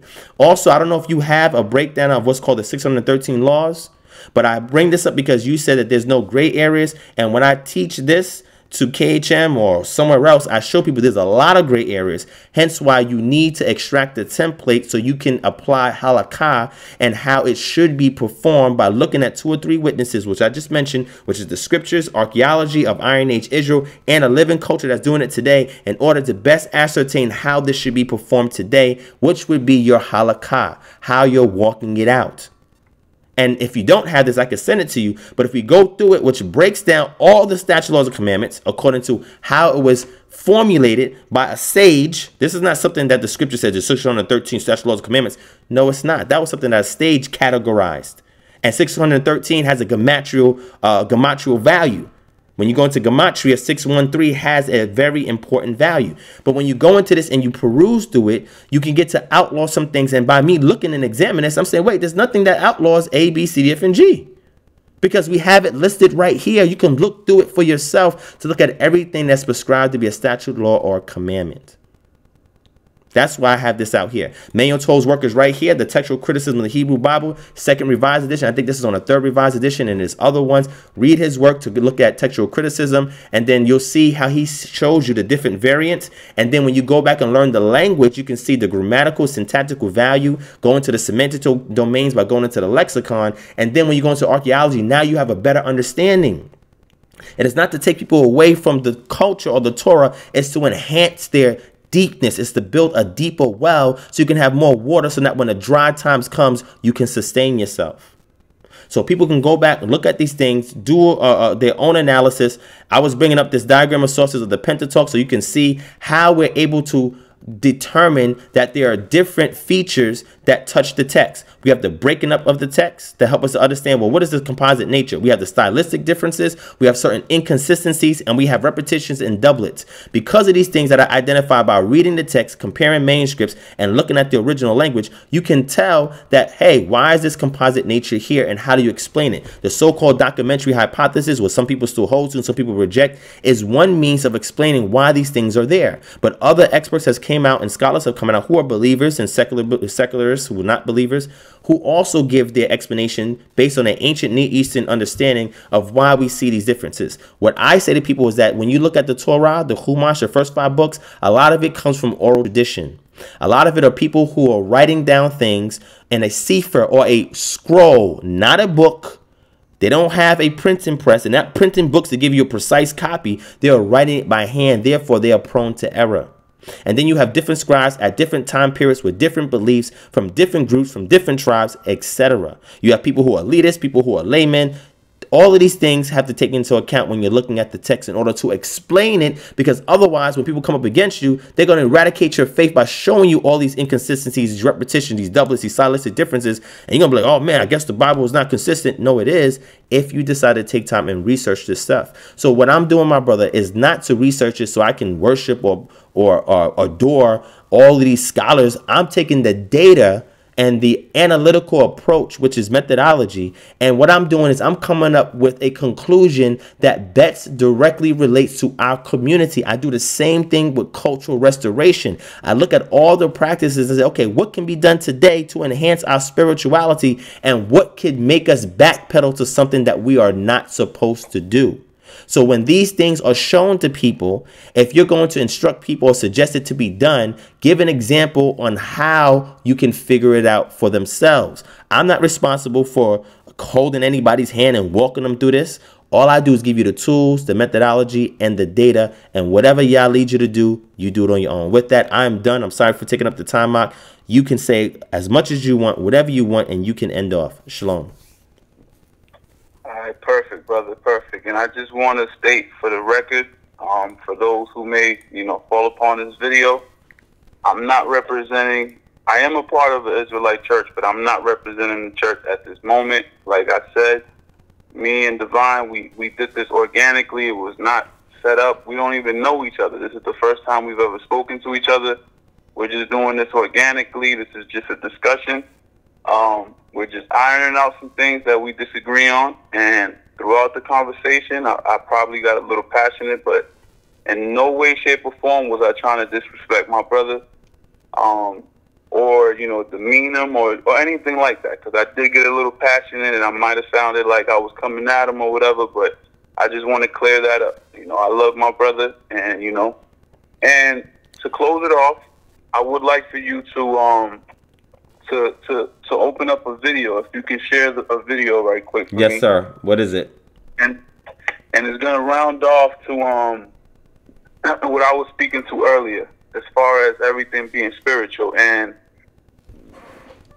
it's called. I don't know if you ever heard of this brother, but his name is Gano Grills. Right? Yes, I, I I know the bro. I actually met him. Perfect, perfect. So you should be familiar with his work. Right? Yes. So what's the name of the video? Gano Grills called Gods and Angels. And I got a couple time markers that I want you to just touch on right quick. Okay. Uh, is this one right here? Talk with the Titans. Talk with the Titans, yeah. All right. It's my brother right there as well. Talk with the Titans. All right. So what's the time marker? Hold on. Let me skip. Let me skip this first. Hold on. Hold on. Potential is to All right. What's the time marker? About the nine, nine minute and fifty eight mark. Okay. 50 Nine minutes and fifty eight mark. do you know is that, and this may not pertain to any of the atheists that may be watching, but I do know of some atheists and their third eye has been completely cut off. And the gods that rule their reality have turned their backs on them. Therefore, they are unplugged from the grand scheme of things. And they have no other choice but to become an atheist because that is a cut down. And when you're in a dark room and there's no light, that would be analogous to, unfortunately, where the atheists reside in their temporal cognition. However, when someone does believe in the forces that rule, they have access to power and plugging into that database of information. And atheists prefer not to believe in things because a lot of them have been hurt. A lot of them have been actually All right, stop right destroyed there. in their Stop right past there. Stop right there? Okay, hold so on. it's more comfortable Yeah. for them not to be Now go to the thirteen minute mark.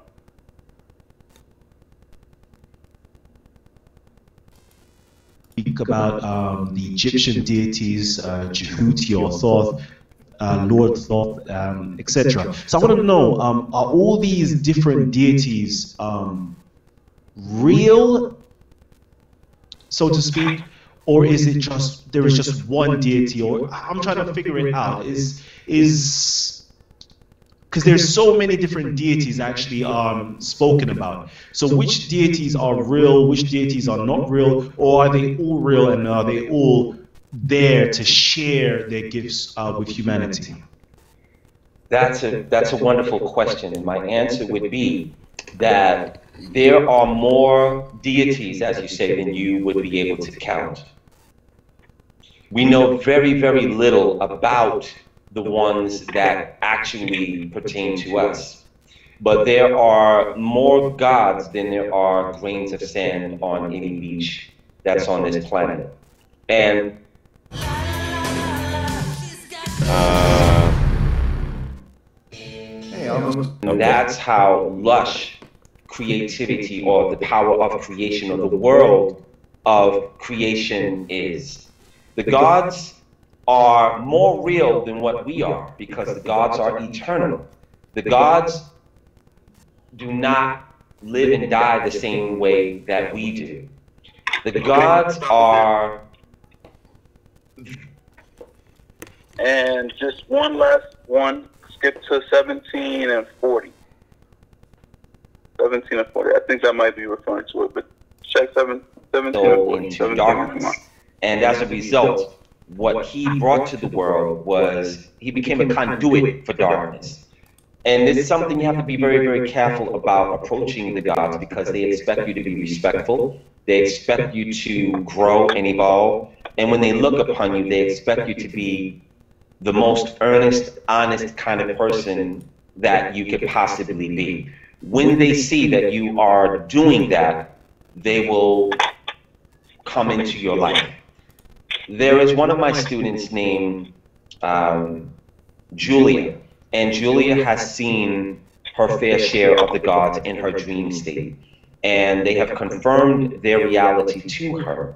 A lot of people have to really open up their perception in order to perceive the God's reality because they're just too big for us to even see in our dream state. So we have to have this working. And in most people, I would say 90%, it is this first eye or the third eye. This is the first thing that forms.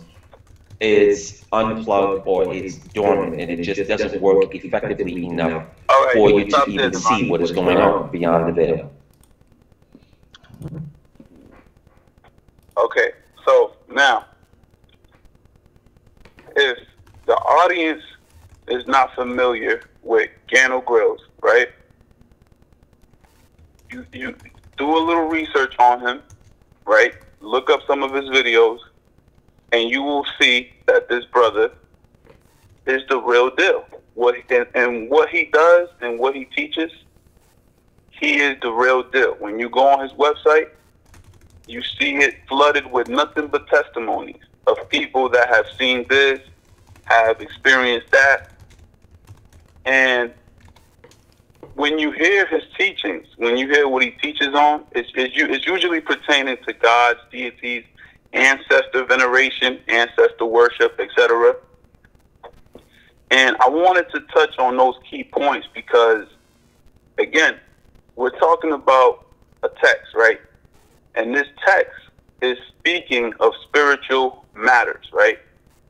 Even though we get it in book form, we get it in letter form, it's, it's always important to keep in mind that this is speaking of something that's that's greater than us. It's something that's spirit that, that's of a spiritual um, spiritual origin. And no matter how many books you read, no matter how many scholars you read, you're not going to get all of the knowledge and wisdom that's contained in the universe in books. No matter how many books you read, you can read thousands and thousands upon thousands of books. You may get book smarter, you may become more articulate, you may know more about history, the things that were recorded, because we know that a lot of things in history are actually not recorded, right? But in general, you're not going to know everything about the universe as it pertains to creation, as it pertains to the creator. Therefore, I stand firm that we must have a foundation that we draw upon.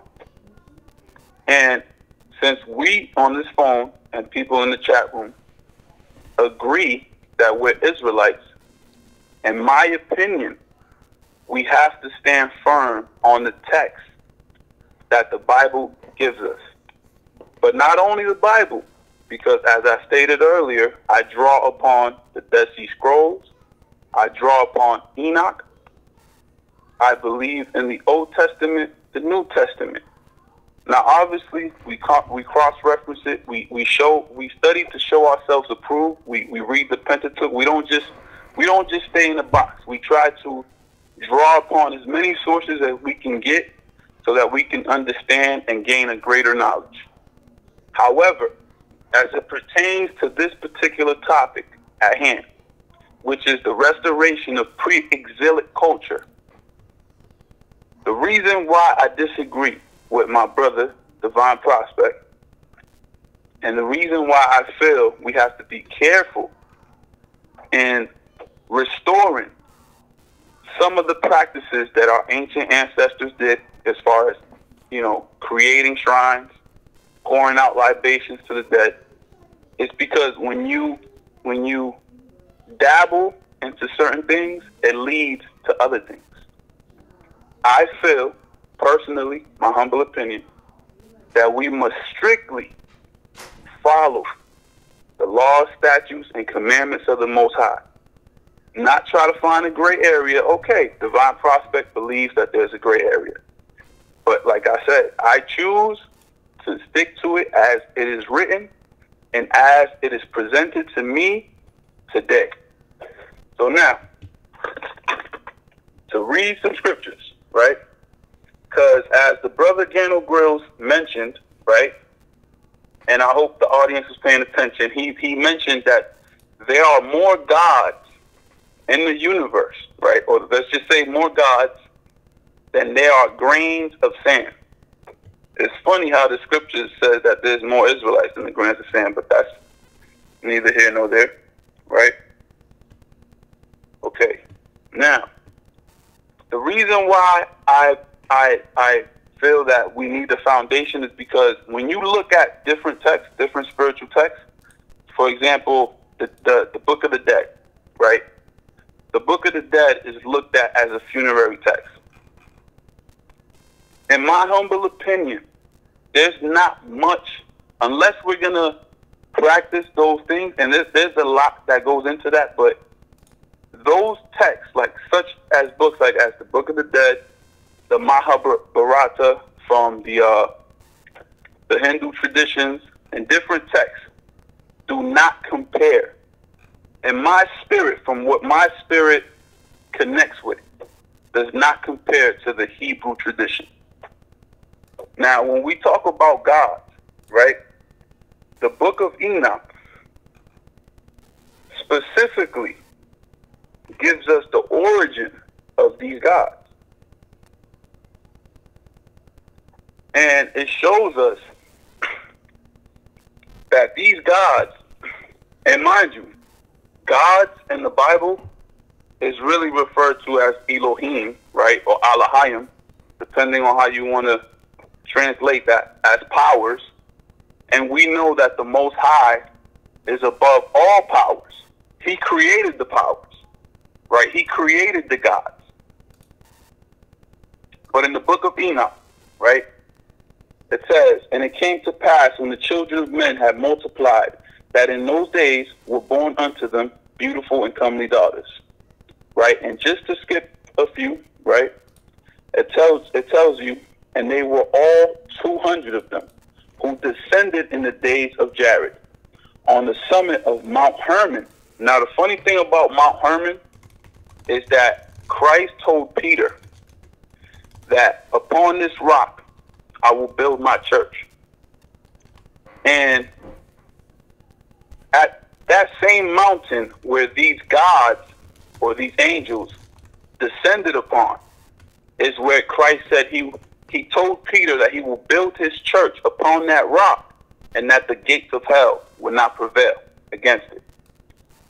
But it gives us a clear origin of some of these gods that are being worshipped in these other religions like the brother Divine Prospect mentioned. Um, I forgot who he mentioned, but he mentioned a, a Hindu deity. Now, mind you, it changes from pantheon to pantheon, and I have a video where actually the brother's also showing you how the gods can change from one pantheon to the next. So, in one pantheon, in the Egyptian pantheon, one god will be called Lord Thoth, and then in the next pantheon, he'll be called Lord Ganesha. But it's the same deity. So with all this confusion that's going on in the world, we must have a clear light to give us clear understanding of what's going on beyond the veil, right? So as the book of Enoch says, that these angels, 200 of them, and I'm not going to name their names, they descended upon Mount Hermon they took to themselves wives, right? And it tells you, and they became pregnant, and they bare great giants, whose height was 3,000 ells, who consumed all the acquisitions of men, and when men could no longer sustain them, the giants turned against them and devoured mankind.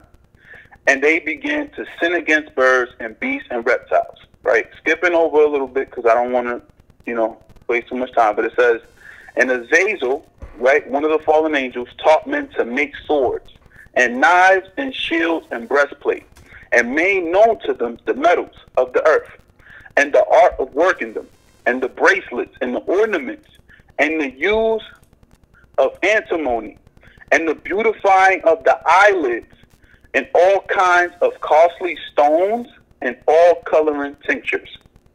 And there arose much godliness, and they committed fornication, and they were led astray, and, be- and became corrupt in all their ways. Semjaza taught enchantments and root cuttings, Armaros, the resolving of enchantments. He taught astrology, the constellations, Arikiel, the signs of the earth, the signs of the sun, the course of the moon, and as they perished, they cried. Okay, so now, to get to the point. Mm, okay, I think I lost him. Hold on. Let me get him back. Um...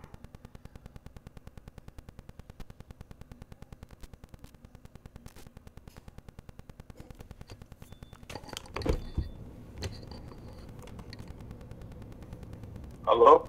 Yeah, I don't know what happened. Who's this? This is Devon. I was just speaking with you, Nah, right? you gotta leave a message. Hello? Call from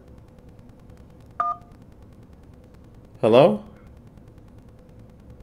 Yeah, hello? Yo, you're answering. Your voicemail's crazy, yo. I know, I know. I did it. I did it for a purpose. But come on, bro. Am I good? Could I? Could I continue? yeah, go ahead. I don't know what happened. Go ahead. All right, man. I know. I, I'm rocking a couple spirits, but it's all right, though. It's all right. So, all right, we're seeing clearly the origins of some of these gods who the nations are worshiping because some of us may ask if you study mythology, if you study other religions, you will see that there's a lot of confusion out there. So, in my opinion, we have to have a clear source that gives us clear direction on what we must do and what we must and what and what we what, what we must do and what we can't do. And the beautiful thing about the, the scriptures, right, including the book of Enoch, I know a lot of people out there don't agree with the book of Enoch. That's fine. Uh, that's on you. You don't have to. We'll see at the end of all of this who was right and who was wrong. But the book of Enoch, it agrees with my spirit. And based on what I what I have experienced in my personal life, I can attest that it agrees with me. And, and there's a lot of people out there that also agree with the book of Enoch. But for those that don't agree, that's fine. That's your opinion, right? But again, it gives us a clear direction and a clear origin to some of these practices like enchantments, like um, witchcraft, Root cutting. Root cutting. root Mhm. cut, root cutting. Mhm. Exactly. So it gives us a clear Cosmetics. origin to these things, and and and it it, it actually gives us an origin to war as well, because at, at some point, mankind they didn't know how to war with each other. Just think about it. If we go way back to the beginning, at some point things had to have been more peaceful than what they are now. So what what came in and introduced that to humanity? It had to be something from the heavens. And the book of Enoch shows us how these gods descended. And it goes further, but to make this quick and to round this off, it tells us Psalm 96, 4 through 1, the Most High is great, greatly to be praised. He is to be feared above all gods. So yes, like the like the brother like the brother Gano Grill said, there are many gods, right? But we fear one. We worship one. We serve one, which is the Creator, the Most High. I call him Ahaya Ashar Haya, based on Exodus 3:14 through 15. Right? And it tells us.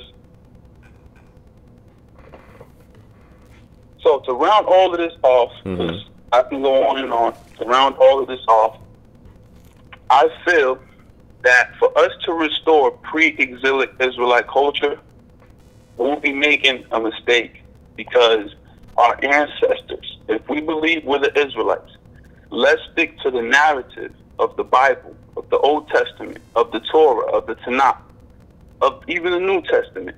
Let's stick to the narrative and what it says. And it clearly shows us that our ancestors were wicked. A lot of them, not all of them. Hopefully, some of them, some of us here today, alive this day, have righteous ancestors that we can you know, that hopefully were, able to, to do what was right in the sight of the Most High. But a lot of them was wicked. If not, we would be established in our own land. But instead, we're in a foreign land right now. We're serving. We're at the bottom. We're still in captivity. Even though you don't have shackles on you right now, you're still captive because you're still paying taxes. You're still paying rent. In your own land, you wouldn't have things like that. Maybe in a different form, but not in the way they have it now. Is the, the, the system that's in place now, it's an oppressive system. And the brother Divine actually brought something out in, in the video, the Wind Down Wednesdays, when he talked about the elite in that time, right? He talked about the elite in that time was trying to control the people. And it's funny that he mentioned the elite in that time because if you study the elite in this time, most of them are Satanists. Most of them are Luciferians. They have a clear spiritual system that they adhere to. If you study and, and, and go into those things. But again, I'm going to keep it short and simple. Um, hopefully, at some point, me and his brother can, you know, discuss some of these things further. Like I said, I, I really didn't even, I, I prepared this in one day. I just put a lot of sources together, a lot of things that I've learned throughout the years, and just put it together as fast as I could. But if I was given more time, I would be able to go back and really dissect every single thing that Divine Prospect ever said, and it would be a totally different presentation. But for now, this is just a, a simple discussion that we've had just to, you know, just to iron out some things. I hope I got my point across. Like I said, I, I wasn't trying to disrespect the brother or nobody else's belief out there. At the end of the day, everybody in that chat room, y'all still my brothers and sisters. I got love for y'all, and I hope that we do unite under the Most High, that the righteous come together, and that we do build a foundation that we can all draw from to to to move forward in the future. Awesome. Well, I thank you for that, my brother. I truly appreciate, um, you know, you sharing your perspective with us and being uh, authentic and disseminating your truth and what you're convinced of. Um, I appreciate your uh, cross examination of my position um, and being um, open and honest with what you disagree with and standing uh, firmly on what your position is. I respect that. Like I said again, I respect the fact that you're young and you are doing what you're doing. I, I mean, you have an advantage over me because you know when I came into understanding this stuff, it was much later on in life, right? So you have an advantage, and if I could do anything to enhance that advantage so that you can be greater um, than I ever was, you just let me know what I can do to help and assist that. Um, I'll continue to keep you in my prayers, um, in my meditations. Um, like I said, if you need me, my brother, you can reach out to me. I wanted to do a Q&A, but I mean, our conversation got deep and it got lengthy, so I just want to end it off for now so that this video is not too long. I'm going to do an after show in a moment, and if people want to join in, if they're still awake, they can. I'm gonna keep the after show kind of short because it's, it's really early in the morning. Um, and I, I, I, may possibly go live again tomorrow or later on today um, after the Sabbath if I get the time to. Um, but I definitely want to have you on again, Denis. Uh, again, thank you for your honest representation, uh, for your straightforwardness. Um, I like the fact that you know you're very passionate about what you believe and uh, you know and, and what you stand on in regards to the scriptures and the Most High. So thank you so much for your time. If if I got passionate in a way that you may have felt disrespected, I apologize in advance. Um, you know, this is just how I talk. This is how I get it in when I share information. Um, and you know, next time, you know, when we talk, it could be a different subject matter. Uh, we, could just build on, or you know, sharpen iron with each other. Um, or you know, it could be be both of us talking to somebody who's against our entire community. You know what I'm saying? So sometimes we may have to fight back to back as well. Um, but whatever it may be, my brother, uh, I just thank the Most High that even from your comment, um, you know, being as uh, straightforward and as cutthroat as it was, you know I'm saying, that I that I gained the brother in the process. This is why I don't underestimate anybody. This is why I'm willing to give people a chance to hear them out, uh, allow them to dialogue with me, and even disagree and agree with me. You know what I'm saying? Because that's how I learn, that's how I grow, and um, taking time to not see you as an enemy, but see you as my brother before anything, and look at the common denominator before we discuss the numerators to understand that the purpose of this discussion was to edify not just each other, but to edify all those who are watching. I, I like I said, I refrain from taking it, making it personal, calling you any names, disrespecting you. I don't tolerate that on this channel. Um, I hope that you felt that you was heard and that you were able to get your points across as much as you could given the allotment of time. Um, and that you would also be more than happy to recommend this platform for other people who want to have dialogues or discussions because the moderator is willing to be fair um, because that's what we learn in the scriptures. We have to have fair balances and scales. Um, so with that being said, um, is there any way that people can contact you on social media who are interested? Because a lot of people also they like your spirit, even though they may disagree with you, and some do agree with you. Um, regardless, they know that a brother was gained on this evening. Um, I'm willing to welcome you into the fold now. You can hang out with us at any time. You know what I'm saying? But let the people know if you have any uh, way they can reach out or contact you if they're interested in building with you, my brother. I do have a YouTube channel. It's called Soul Content. S O U L. Hold on, hold on, hold on, hold on, hold on. I didn't know you had a YouTube channel. I do, but I, I don't have no content on it right now. Oh, but man. I'm, I'm actually, Okay. I'm actually working towards that. I'm actually, I, I mean, right now, like I told, like I said, I'm a student. I'm not really a teacher.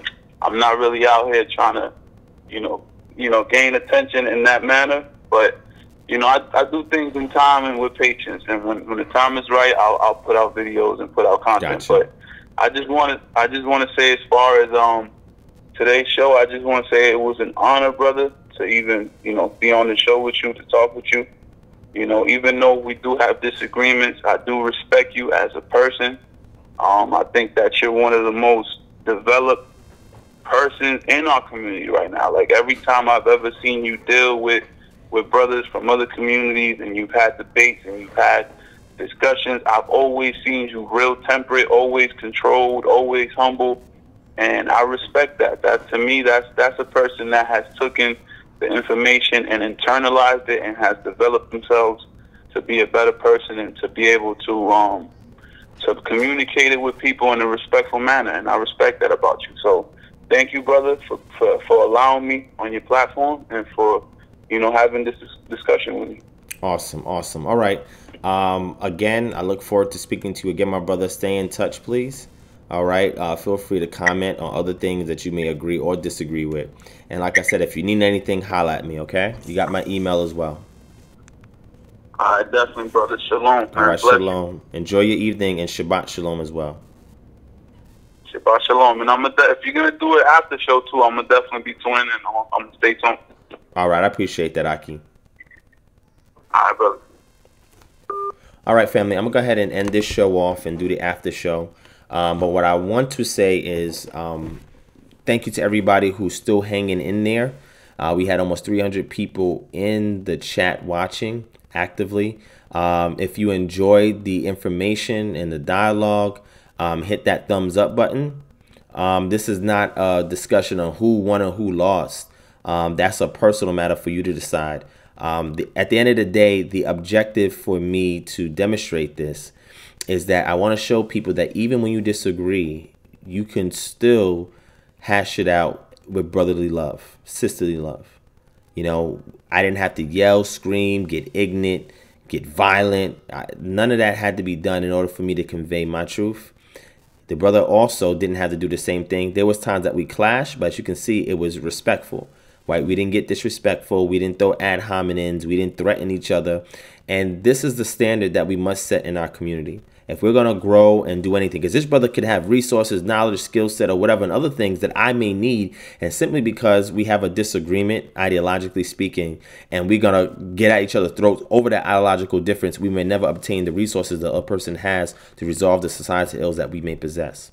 And this is why we have to be very careful because it's easier to gain a brother even with your disagreement, if you understand the purpose of the disagreement is to help you to grow. Even if the person is wrong, it teaches you patience, it teaches you self control. So, all of these times when people talk about spiritual things to me, what I try to do is exemplify those things when I interface with people and the, the, the best time to do that is when you disagree with somebody. It takes a lot of patience, it takes a lot of control, a lot of discipline. You know, I'm not the same person I was 10, 15, 20 years ago, and I thank Yah for that. That He has transformed me into a totally different person. And coming into this information, if it's not transformative, then what are you doing with it? Why are you in it? What's the purpose of it? It must transform your character. You, you, your light must be shown before men so that when they see you, they see the Creator, they see Yah. And a lot of times we have forgotten that. But I've never been so out of touch with the scripture that I can't go to it, I can't quote it, I can't read it in context, I can't exegete or meet, uh, get midrash from it. I can still do these things, but what I've done is I've expanded that information to use other things externally to substantiate what we read in the text to help further enhance the cultural values and the norms that we should have today. And this subject matter, I think, is extremely pertinent and I think that this should be shared everywhere that people should to watch it. They should review it. They should cross-examine it. They should critique it because we need more dialogue that's dynamic in our community. And we need more examples on how differences should be settled and how love should be shown at the end of the discussion. And this is something that I want to impart into y'all. I want to impart to everybody who's watching this that it's extremely important for us to keep these things in mind. So again, thank you all for watching. Everybody that's watching, please, if you did not hit the thumbs up, hit the thumbs up button. If you're brand new to this channel, hit the subscribe button. Share this video everywhere so that everybody in our community can get a sample or taste of the content that we perform here to help to enhance your spirituality day to day. There will be more talks and discussions in regards to that, more guest speakers that will be on here. But I really want you guys to have this information so that way, again, it could be transformative. Dig a deep well so you can fill it up so when the times of drought and famine comes, you have a reserve that you can fall back on. And Yah will fill that well for you the digger you deep you dig it. The deeper you dig it. Excuse me. All right, so with that family, I love y'all. Thank you for watching. If you want to support, the information is up there. If you want to follow me on social media, if you don't already, it's up there as well. Take a look up there. I think this is right, like this.